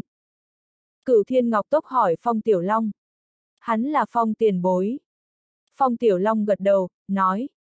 Đúng vậy. Cửu thiên ngọc tốc nhíu mày nói. Ở trước mặt Phong tiền bối sao ngươi còn dám nói xấu tiền bối. Cửu thiên ngọc tốc không hiểu nổi, thiếu niên quá to gan, dám nhục mạ thánh giả nhân tộc ngày xưa. Phong Tiểu Long mím môi nói. Bởi vì hắn là phụ thân của ta, nhưng hắn không xứng làm phụ thân. Cửu Thiên Ngọc Tốc há hốc mồm, mắt chớp lia. Cửu Thiên Ngọc Tốc không ngờ thiếu niên này có lai lịch lớn như thế, nhi tử của Thánh Linh, lúc trước nàng còn tát tai gã. Phong Phi Vân đứng trên lầu đa à sụp đổ, quanh người chảy xuôi chân lý đại đạo, mắt như nhìn xuyên núi non đất đai, thanh âm hùng hồn như chuông thần truyền khắp hỗn độn thiên thành. Phạn diệt giáo hoàng đâu? Phong Phi Vân đích thân đến luận đạo với phạn diệt giáo hoàng. Phong Phi Vân đích thân đến luận đạo với phạn diệt giáo hoàng. Sóng âm khuếch tán. Những nô bộc đeo gông xiềng, hay giáo chúng phạn diệt giáo đều nghe thấy thanh âm thánh vương, rung động hồn người. Trong hỗn độn thiên thành, tất cả sinh linh nghe giọng Phong Phi Vân, thấy nam nhân áo trắng đứng trên ẩu các bay. Nam nhân áo trắng như vị thần đứng thẳng ngạo nghễ, đè ép các tu sĩ vực ngoại quỳ xuống, không ai dám đứng trước mặt hắn. Một lão nhân mặt nhăn nheo từng là phủ chủ vũ phủ, giờ đôi tay bị còng sắt, hai chân trói xích thần. Mắt lão nhân tràn đầy kích động quỳ xuống. Hắn đã về, thánh linh nhân tộc đã quay về, chúng ta không bị vứt bỏ. Một nam nhân da vàng kim quỳ xuống, tu vi bán thánh cảnh dâng lên, nếu không phải bị xích sắt trói thì gã đã gầm giống vọng chín tầng trời. Các tu sĩ nhân loại trong hỗn độn thiên thành cực kỳ kích động, có quỳ lạy, có gào khóc, có đọc kinh quyển cổ xưa. ầm, um, người phong phi vân phát ra ức vạn ánh sáng thánh linh, mỗi ánh sáng biến thành một xúc tu như tay người chặt đứt xiềng xích trói tám vạn ức tu sĩ nhân loại trong hỗn độn thiên thành. Đây là vô thượng đại thần thông, nhất niệm hóa ngàn vạn. Lực lượng thánh vương một ý niệm chặt đứt tám vạn ức gông xiềng. Gông xiềng đứt, các tu sĩ nhân loại phát ra chiến ý ngút trời, các cột sáng giận dữ bắn lên cao, khí thế chu thiên chiến Phật. Chiến! Giết! Giết hết giặc vực ngoại, trả lại non sông nhân tộc ta. Có Phật giả, có đạo giả, có võ giả, có đại hiền, có tài tuấn. Tất cả chiến ý hừng hực, đứng lên công kích giáo chúng phản diệt giáo. Những cung điện hùng vĩ chớp mắt bị dao động lực lượng khủng bố đánh nát thành đốm nhỏ li ti. Con đường cổ xưa rộng rãi bị đao chém nứt nứt cái khe to trăm thước. Đám người lạc thủy hàn, cửu thiên ngọc tốc, cửu thiên yên vũ, tiên hư động chủ rất kích động. Tuy là nữ nhân nhưng bọn họ ngạo cốt, ba ngàn năm qua chưa từng vui như hôm nay. ầm, um, một đại yêu đôi cánh đỏ máu, người đầy vảy xẹt qua không trung, móng vuốt cào Phong Phi Vân, đánh nát không gian. Đây là thánh giả phản diệt giáo, tu vi đến vô lượng chân thánh cảnh. Phong Phi Vân đứng trên lầu gãy, mắt bắn ra hai tia sáng chói lòa chứa vô số hoa văn đại thánh. Thánh giả phản diệt giáo bị tịnh hóa trong không trung thành mấy hạt bụi trần. Một luồng sáng giết một thánh. Cửu Thiên Ngọc Tốc đứng sau lưng Phong Phi Vân tràn ngập tôn sùng. Cửu Thiên Ngọc Tốc nhìn bóng lưng to lớn của Phong Phi Vân, ôm cầm cổ, tay gãy đàn một khúc phá mai. Băng hàn lâu ba thước, trong tuyết ngọa hồng mai, gió thổi hoa rơi xuống tuyết, gót sắt đạp phá mai. Năm xưa ngọc thụ phi kim vũ, hiện nay đất tàn không ai hỏi. Hai sợi xích sắt khóe lại máu nóng, nam nhi hai đầu gối quỷ quân giặc, nữ nhi ngọc thân hầu lang tặc. Để lại thân này sống cuối đời, chẳng bằng chết đi hóa hồng trần. Thù nhà hận nước nâng ly luận, cứ cười cứ ca mặc ta cuồng. Tiếng cầm, tiếng ca, tiếng chém giết, tiếng kêu rên, tiếng đao đâm vào thịt, tiếng thần thông tan vỡ, tiếng vũ trụ tan ăn, tiếng điện vũ sụp đổ. Tất cả thanh âm đan sen vàn hua, làm người ta máu nóng sục sôi. Phong Phi Vân vươn một thủ ấn to ra, xuyên thấu mây mù chộp thánh giả phản diệt giáo đầu có sừng thủy tinh. Phong Phi Vân hỏi, phản diệt giáo hoàng ở chỗ nào? Bản thể thánh giả phản diệt giáo này có tinh không thủy tinh thú dài 3.000 dặm, nhưng dù nó biến hình bản thể thì chỉ bằng con kiến trong tay Phong Phi Vân, không thoát khỏi lòng bàn tay hắn được. Thánh linh phạn diệt giáo nói. Giáo hoàng đang bế quan trùng kích trí cảnh càng cao, nếu không làm sao cho phép ngươi cản rỡ trong hỗn độn thiên thành. Bùm! Phong Phi Vân không nói nhảm với thánh giả phạn diệt giáo, tay bóp nát, bóp bể cơ thể nó thành đống thịt vụn. Phong Phi Vân rút một lũ linh hồn thánh giả phạn diệt giáo chân áp trong vũ hóa đài. Khi thánh giả phạn diệt giáo lại ngưng tụ thân hình có máu thịt thì biến thành người thủy tinh, quỳ trước mặt Phong Phi Vân. Phong Phi Vân dặn dò. Phong Tiểu Long, giao nơi này lại cho ngươi, hãy giết hết giáo chúng phản diệt giáo rồi mang bọn họ đi thiên quốc lánh nạn. Phong Phi Vân đạp hư không từng bước đi hướng hỗn độn hải trung tâm hỗn độn thiên thành. Mỗi bước đạp nát hư không, Phong Phi Vân toát ra hào tình đi không quay đầu. Phong Tiểu Long nhìn bóng lưng Phong Phi Vân, lòng thiết chặt. Ngươi muốn đi đâu? Phong Tiểu Long cảm giác Phong Phi Vân có thứ gã không có, đó là chiến ý không sợ hãi, có gan chu thiên. Ai đều biết Phong Phi Vân đi khiêu chiến phản diệt giáo hoàng, đây là con đường không lối về. Tựa như người bình thường khiêu chiến thiên thần, cần có can đảm lớn, hào tình lớn. Phản diệt giáo hoàng là tồn tại vô thượng giết cùng lúc thủ hoàng thánh tổ, tuyết anh thánh tổ. Phản diệt giáo hoàng tọa chấn hỗn độn thiên thành, ba ngàn năm qua biết bao nhiêu người khiêu chiến phản diệt giáo hoàng nhưng không ai sống quay về. Người khác 13 không biết phản diệt giáo hoàng mạnh cỡ nào nhưng thánh linh như phong tiểu long, tiên hư động chủ thì biết rất rõ. Bọn họ không dám cơ miêu chiến phản diệt giáo hoàng, thậm chí không dám đến gần hỗn độn thiên thành. Chỉ có phong phi vân là dám làm. Cửu Thiên Yên Vũ muốn đuổi theo Cửu Thiên Yên Vũ cùng đi hỗn độn hải nhưng bị Thánh Quang giam cầm, đóng đinh trong hư không, ngăn cản nàng đi theo. Tiên hư động chủ nhìn bóng lưng dần khuất xa, lòng dâng lên cảm xúc tôn sùng. Hắn đi chiến cho nhân tộc, cho Di Châu hỗn nguyên đại thế giới. Tiên hư động chủ chưa từng phục nam nhân nào, chưa từng có nam nhân khiến nàng khâm phục, nhưng bây giờ đã có. Phong Tiểu Long siết chặt hai tay, cắn môi. Đây là thứ ta thiếu mà hắn đã nói. Phong Tiểu Long hét to một tiếng. Chiến! Bùm! Phong Tiểu Long phá tan nóc lâu đài, người phát ra thần quang màu tím. Hàng vạn tia chớp tím bắn ra từ cơ thể Phong Tiểu Long, gã thỏ bàn tay to chộp thánh giả phản diệt giáo cuối cùng, ném bay đi. Thánh giả phản diệt giáo đụng sụp một nửa hỗn độn thiên thành. Hỗn độn thiên thành đầy dẫy chiến hỏa, tiếng giết sung trời, máu chảy ngàn dặm. Phong Phi Vân đi vào hỗn độn hải như bước vào không gian khác, xung quanh tĩnh lặng. Nước biển bình tĩnh, sương mù dày đặc, các linh đảo cổ xưa nằm trên biển, các tiên cung lơ lửng trong không trung. ầm ầm ầm ầm ầm. Sóng nước cao vạn trượng ngưng tụ thành hình người khổng lồ vô biên. Hình người là lão nhân dâu bạc, đầu đội huyền ngọc hoàng quan, tay cầm cửu long thần trượng, ngực khảm hỗn nguyên bát quái ấn, phát ra khí thế đáng sợ khiến người sợ hãi. Nước chảy rào rào nhưng không thể lấn át thanh âm hùng hồn ồm ồm của phản diệt giáo hoàng. Phong Phi Vân, ngươi không nên đến đây. Tư chất như ngươi nếu trốn đi tu luyện, có lẽ sau vạn năm sẽ đến thánh linh đệ thất trọng, phong tổ lập hiệu. Cần chi đâm đầu tìm chết. Phong Phi Vân đứng trên mặt biển, thân thể nhỏ bé như hạt bụi. Phong Phi Vân nói, nếu ta trốn đi tu luyện vạn năm có lẽ sẽ đến cảnh giới tổ thánh thật, tu vi có một không hai thiên hạ. Thậm chí người trốn vào trời sao, không ai làm gì được ta. Nhưng ta không muốn nhìn bằng hữu bị giết chết và nô dịch, không muốn thấy mảnh đất tầm ỉnh sống bị người hủy diệt. Tu sĩ có cái nên làm, có việc không nên làm, không cầu nhất chiến công thành, chỉ cầu một hơi bất diệt. Phạn diệt giáo hoàng nói. Kiến càng lay cổ thụ, châu chấu đá xe, đó chỉ là hành động ngu xuẩn. Không ngờ ngươi đến cảnh giới thánh vương nhưng vẫn ngu ngốc như thế. Hôm nay bản hoàng không giết ngươi thì ngươi sẽ không chạy.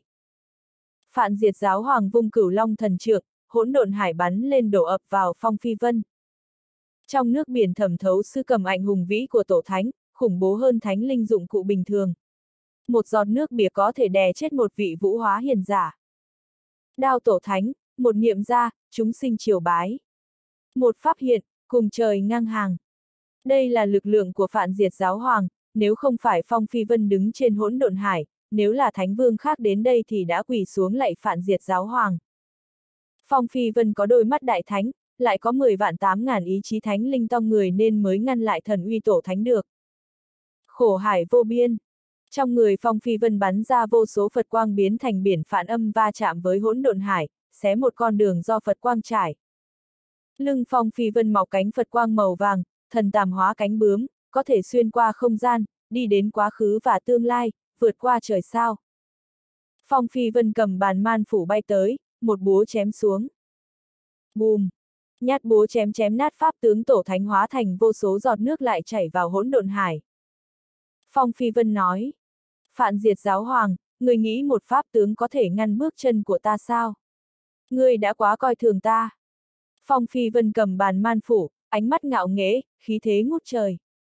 Phong Phi Vân từng bước tiến sâu vào hỗn độn hải. ầm ầm ầm ầm ầm. Mặt biển dâng lên 72 pháp tướng tổ thánh, giống pháp tướng phản diệt giáo hoàng vừa rồi y như đúc. Đỉnh thiên lập địa, thần thái hợp nhất, trong người chứa khí thế hùng hồn khiếp người. Mỗi pháp tướng tổ thánh sánh bằng một thánh vương, 72 pháp tướng tổ thánh cùng hiện ra đủ chấn nhiếp chu thiên sinh linh. Phong Phi Vân không sợ, tay cầm búa to bay lên cao, bóng dáng như tia chớp. Ước van gì cái bóng bay trên bầu trời. Trên hỗn độn hải hỗn loạn, không biết bao nhiêu thời không hủy diệt. Phong Phi Vân xuyên qua 72 pháp tướng tổ thánh, tóc dài dựng ngược, búa lấp lánh tia điện, người đầy vết máu, áo dài bay trong gió, khí thế kiêu ngạo sông lên không quay đầu. ầm ầm ầm ầm ầm. 72 pháp tướng tổ thánh sau lưng Phong Phi Vân sụp đổ thành hơi nước, sóng dập dìu. Phong Phi Vân đạp chân lên một hòn đảo biển, hòn đảo là trung tâm hỗn độn hải, do thần thạch chất thành, hình dạng như cái bánh xe.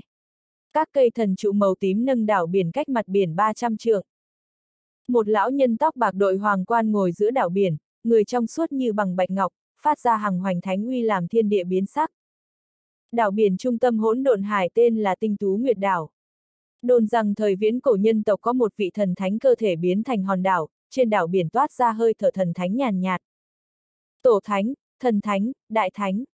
Đây là ba cảnh giới thánh linh cao nhất, thánh linh bước vào ba cảnh giới này tu vi đã cao thâm khó dò, phong tổ, phong thần, nhân tộc suốt đời tôn sùng.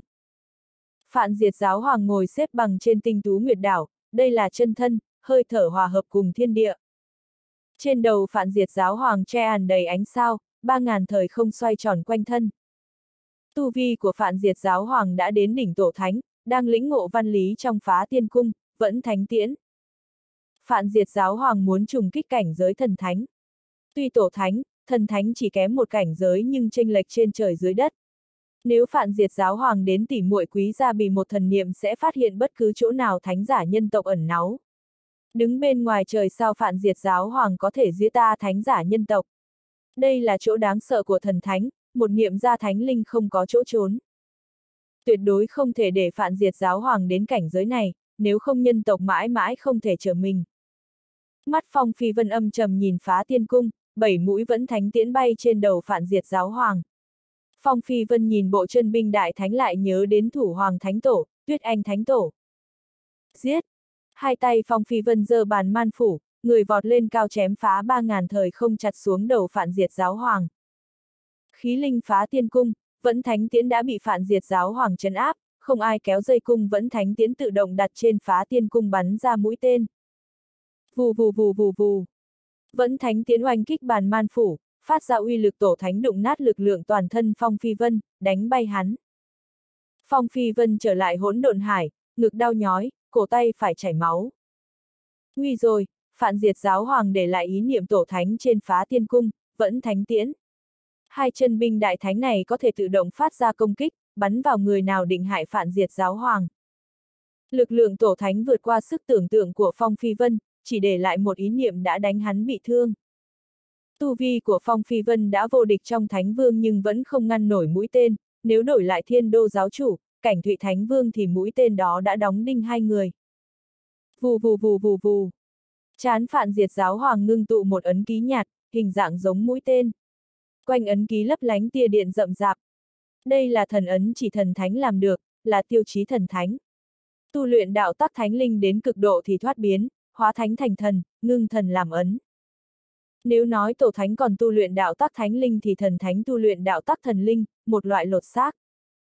Phạn diệt giáo hoàng sắp tu thành thần thánh, phải ngăn lại. Phong phi vân lại bay lên, bàn man phủ tỏa thánh huy rực rỡ, lưỡi búa lóe ánh lửa. Nhưng bàn man phủ vẫn bị vẫn thánh tiễn đê nhá bay về. Phong phi vân khinh thường nói. Không được, có vẫn thánh tiễn, phá tiên cung bảo vệ phản diệt giáo hoàng thì không tới gần được. Thu. Phong Phi Vân kết thu tự tiến quyết. Bốn vẫn thánh tiến trên tinh tú nguyệt đảo dung dinh định bay hướng Phong Phi Vân nhưng bị lực lượng ức chế, cuối cùng thất bại. Nếu không luyện hóa ý niệm tổ thánh trên phá tiên cung, vẫn thánh tiến thì cửu tự tiến quyết không thể khống chế chúng nó. Vù vù vù vù vù. Thần ấn trên chán phản diệt giáo hoàng càng ngưng tụ, máu thịt chìm nổi, các đạo tắc thánh linh tụ tập vào chán lão biến thành thần linh đạo tắc, một phần của thần ấn. Quy tắc xung quanh phản diệt giáo hoàng biến thành vòng xoáy, lực lượng khuếch tán đánh nát ngôi sao trên bầu trời rơi xuống hắc ám, góc vũ trụ lạnh lẽo. Hết cách, giờ là lúc phản diệt giáo hoàng sắp tu thành thần thánh, cũng là lúc phản diệt giáo hoàng yếu ớt nhất. Miễn ta đến gần phản diệt giáo hoàng thì không chừng sẽ giết được phản diệt giáo hoàng. Phong phi vân bay hướng tinh tú nguyệt đảo, mau như tia chớp. Vù vù vù vù vù. Một mũi vẫn thánh tiễn bay tới. Phong Phi Vân không tránh né, mặc cho vẫn thánh tiễn đâm thủng tim. Cơ thể Phong Phi Vân thành thánh, cơ bắp co rút cưỡng ép ghi mơ chặt vẫn thánh tiễn trong thân thể. Nhưng xung lực vẫn thánh tiễn vẫn đẩy Phong Phi Vân bay ngược mấy ngàn dặm. Phong Phi Vân phun ra ngụm máu thánh, lại bay hướng tinh tú nguyệt đảo. Vù vù vù vù vù. Vù vù vù vù vù. Vù vù vù vù vù. Ba mũi vẫn thánh tiễn còn lại kéo cái đuôi dài mấy chục dặm đâm vào chán, ngực, thánh anh của Phong Phi Vân.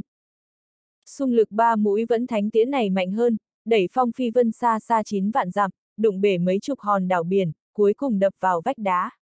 Bốn cây vẫn thánh tiễn cắm vào người Phong Phi Vân, đóng đinh trên vách đá. Ý niệm phản diệt giáo hoàng vang vọng trong hỗn độn hải. Đã sớm nói là ngươi là kiến càng lay cổ thụ, chết chưa hết tội. Hôm nay bản hoàng sẽ phong thần, cho người tận mắt thấy cường giả nhân loại lần lượt chết như thế nào. Bùm! Phong phi vân chấn vỡ vách đá, đáp xuống mặt biển, miệng đầy máu thánh, cơ thể gần như bị bốn mũi vẫn thánh tiễn xé nát. Chạm nhẹ một cái là phong phi vân sẽ rách thành mấy mảnh. Cơ thể phong phi vân cõng bốn cây vẫn thánh tiễn từng bước khó nhọc đi hướng tinh tú nguyệt đảo. Mỗi bước đi là một đống máu chảy ra ngoài, nhuộm đỏ khu vực biển. Ý niệm phản diệt giáo hoàng kinh ngạc kêu lên bị bốn mũi vẫn thánh tiễn xuyên thấu thân thể mà ngươi không chết. Ý niệm phản diệt giáo hoàng muốn rút về bốn mũi vẫn thánh tiễn nhưng nó bị cơ thể phong phi vân kẹp chặt, lấp lóe ánh sáng trong người hắn nhưng không bay ra được. Cuối cùng phong phi vân leo lên tinh tú nguyệt đảo, đi hướng phản diệt giáo hoàng ngồi xếp bằng. Mỗi bước đi là cơ thể phong phi vân vỡ một phần. Phong phi vân đến trước mặt phản diệt giáo hoàng, khuôn mặt dính máu bê bết cười nanh tranh vỗ vào đầu phản diệt giáo hoàng. Không cam lòng, cho ta thêm một giây là có thể trùng kích cảnh giới thần thánh, chỉ kém một giây. Phong Phi Vân, người thật đáng ghét, làm hỏng chuyện tốt của bản hoàng. Đầu phạn diệt giáo hoàng bị Phong Phi Vân ấn nát, ngay lúc đó lão cưỡng ép đánh tan thần ấn trên chán, mở mắt ra. Phạn diệt giáo hoàng vỗ trưởng vào Phong Phi Vân. Chỉ cần một giây là phạn diệt giáo hoàng có thể ngưng tụ thần ấn, trở thành thần thánh, trở thành một trong mấy người mạnh nhất cõi đời. Thời đại này không ai trở thành đại thánh, thần thánh là tồn tại trí tôn vô thượng. Nhưng tất cả bị Phong Phi Vân phá hỏng, buộc phản Diệt Giáo Hoàng phải tán đi thần ấn. Nếu phản Diệt Giáo Hoàng không tán thần ấn sẽ chết vào bàn tay Phong Phi Vân. Chỉ thiếu một giây, chỉ có một giây. Phản Diệt Giáo Hoàng thức điên, lão tu luyện bao nhiêu vạn năm mới có cơ hội trùng kích cảnh giới thần thánh, sau này muốn có lại cơ hội này không biết phải chờ đến năm nào tháng nào, thậm chí suốt đời kẹt lại cảnh giới tổ thánh. Chết, phải chết, đáng hận, hận quá. Phạn diệt giáo hoàng định vỗ trưởng giết Phong Phi Vân, chém chết nhân loại đáng ghét này. Một thánh giả phạn diệt giáo phá tan hư không đến hỗn độn hải, quỳ trước mặt phạn diệt giáo hoàng. Giáo hoàng, không thể giết. Phạn diệt giáo hoàng rụt tay về, trầm giọng nói. Bản hoàng muốn giết người, trong thiên hạ không ai ngăn cản được. Thánh linh phạn diệt giáo vội la lên. Thuộc hạ vừa nhận được tin khi chấp niệm thái cổ thần phượng biến mất thì giao tiên giới Di Châu cho Phong Phi Vân. Chỉ cần tu vi của Phong Phi Vân đến cảnh giới tổ thánh là có thể luyện hóa tiên giới Di Châu, hóa thân thành tiên. Phạn diệt giáo hoàng không tin lời đồn. Ha ha ha ha ha ha. Nói bậy bạ, nếu tiên giới Di Châu có trong tay thái cổ thần phượng thì hắn sớm tự mình luyện hóa, sao có thể giao cho thằng nhãi Phong Phi Vân. Nhưng phạn diệt giáo hoàng thầm để bụng, dù sao thánh linh vực ngoại đến Di Châu hỗn nguyên đại thế giới với mục đích tìm tiên giới Di Châu, chuyện này liên quan đến thành tiên. Thánh linh phản diệt giáo giải thích rằng, lúc thái cổ thần phượng có được tiên giới Di Châu đã bị tâm linh kiếm thần giết, chỉ còn một lũ tàn hồn và chấp niệm, không thể luyện hóa tiên giới Di Châu. Cho nên thái cổ thần phượng để lũ tàn hồn kia luân hồi chuyển thế tu luyện lại, hy vọng có ngày lại đến cảnh giới tổ thánh. Phạn diệt giáo hoàng nửa tin nửa ngờ. Phong Phi Vân là chuyển thế của thái cổ thần phượng. Phạn diệt giáo hoàng nhìn Phong Phi Vân chằm chằm, cuối cùng rút về bàn tay sắp giáng xuống, không tấn công. Tiên giới Di Châu liên quan rất lớn, không thể sai lần một ly. Phạn diệt giáo hoàng mới thất bại trùng kích cảnh giới thần thánh, không muốn bỏ qua tiên giới Di Châu. Hèn gì Phong Phi Vân tu luyện mau như vậy, có mấy ngàn năm đã đến cảnh giới thánh vương, thì ra hắn có tiên giới Di Châu. Chắc nhờ tiên khí ẩn dưỡng nên mới tu luyện nhanh như thế. Phạn diệt giáo hoàng nhìn Phong Phi Vân bay trên mặt biển, bốn mũi vẫn thánh tiễn vẫn còn cắm trong người, máu thánh tuôn ồ ạt. Một mũi vẫn thánh tiễn có thể bắn chết một thánh vương, nhưng bốn mũi vẫn thánh tiễn cắm vào người hắn mà không giết được Phong Phi Vân. Rất có thể Phong Phi Vân đã hấp thu tiên khí. Phạn diệt giáo hoàng càng nghĩ càng thấy khả năng rất lớn, cuối cùng đã tin bảy, tám phần. Con người là như thế, càng ngầm muốn có thứ gì thì càng tin tưởng nó tồn tại. Phạn diệt giáo hoàng là người trí tuệ siêu quần, nhưng trong lòng có một suy nghĩ ảnh hưởng, ám thị lão. Tiên giới Di Châu nằm trên người Phong Phi Vân, phạn diệt giáo hoàng muốn lấy trí bảo thành tiên kia. Trời cũng giúp ta, trời cũng giúp ta. Kết quả này khiến phạn diệt giáo hoàng rất vui sướng, như thể lão đã có tiên giới Di Châu, sắc thành tiên đắc đạo, bất tử bất diệt. Phạn diệt giáo hoàng lục tìm trên người Phong Phi Vân nhưng không tìm ra tiên giới Di Châu, lão rất thất vọng. Phạn diệt giáo hoàng nhìn người Phong Phi Vân rách nát tùy thời tắt thở, mắt lóe tia sáng trí tuệ. Phải rồi, báu vật như tiên giới Di Châu con đường Phong Phi Vân sẽ không mang theo bên mình, chắc chắn đã giấu đi. Thánh linh phạn diệt giáo đứng bên dưới hỏi. Giáo hoàng, Phong Phi Vân bị vẫn thánh tiễn xuyên thủng chán, trái tim, ngực, thánh anh. Ta cảm giác thánh lực trong người Phong Phi Vân đang khô kiệt, có khi nào hắn sẽ chết ngay không? Phạn diệt giáo hoàng hừ lạnh một tiếng.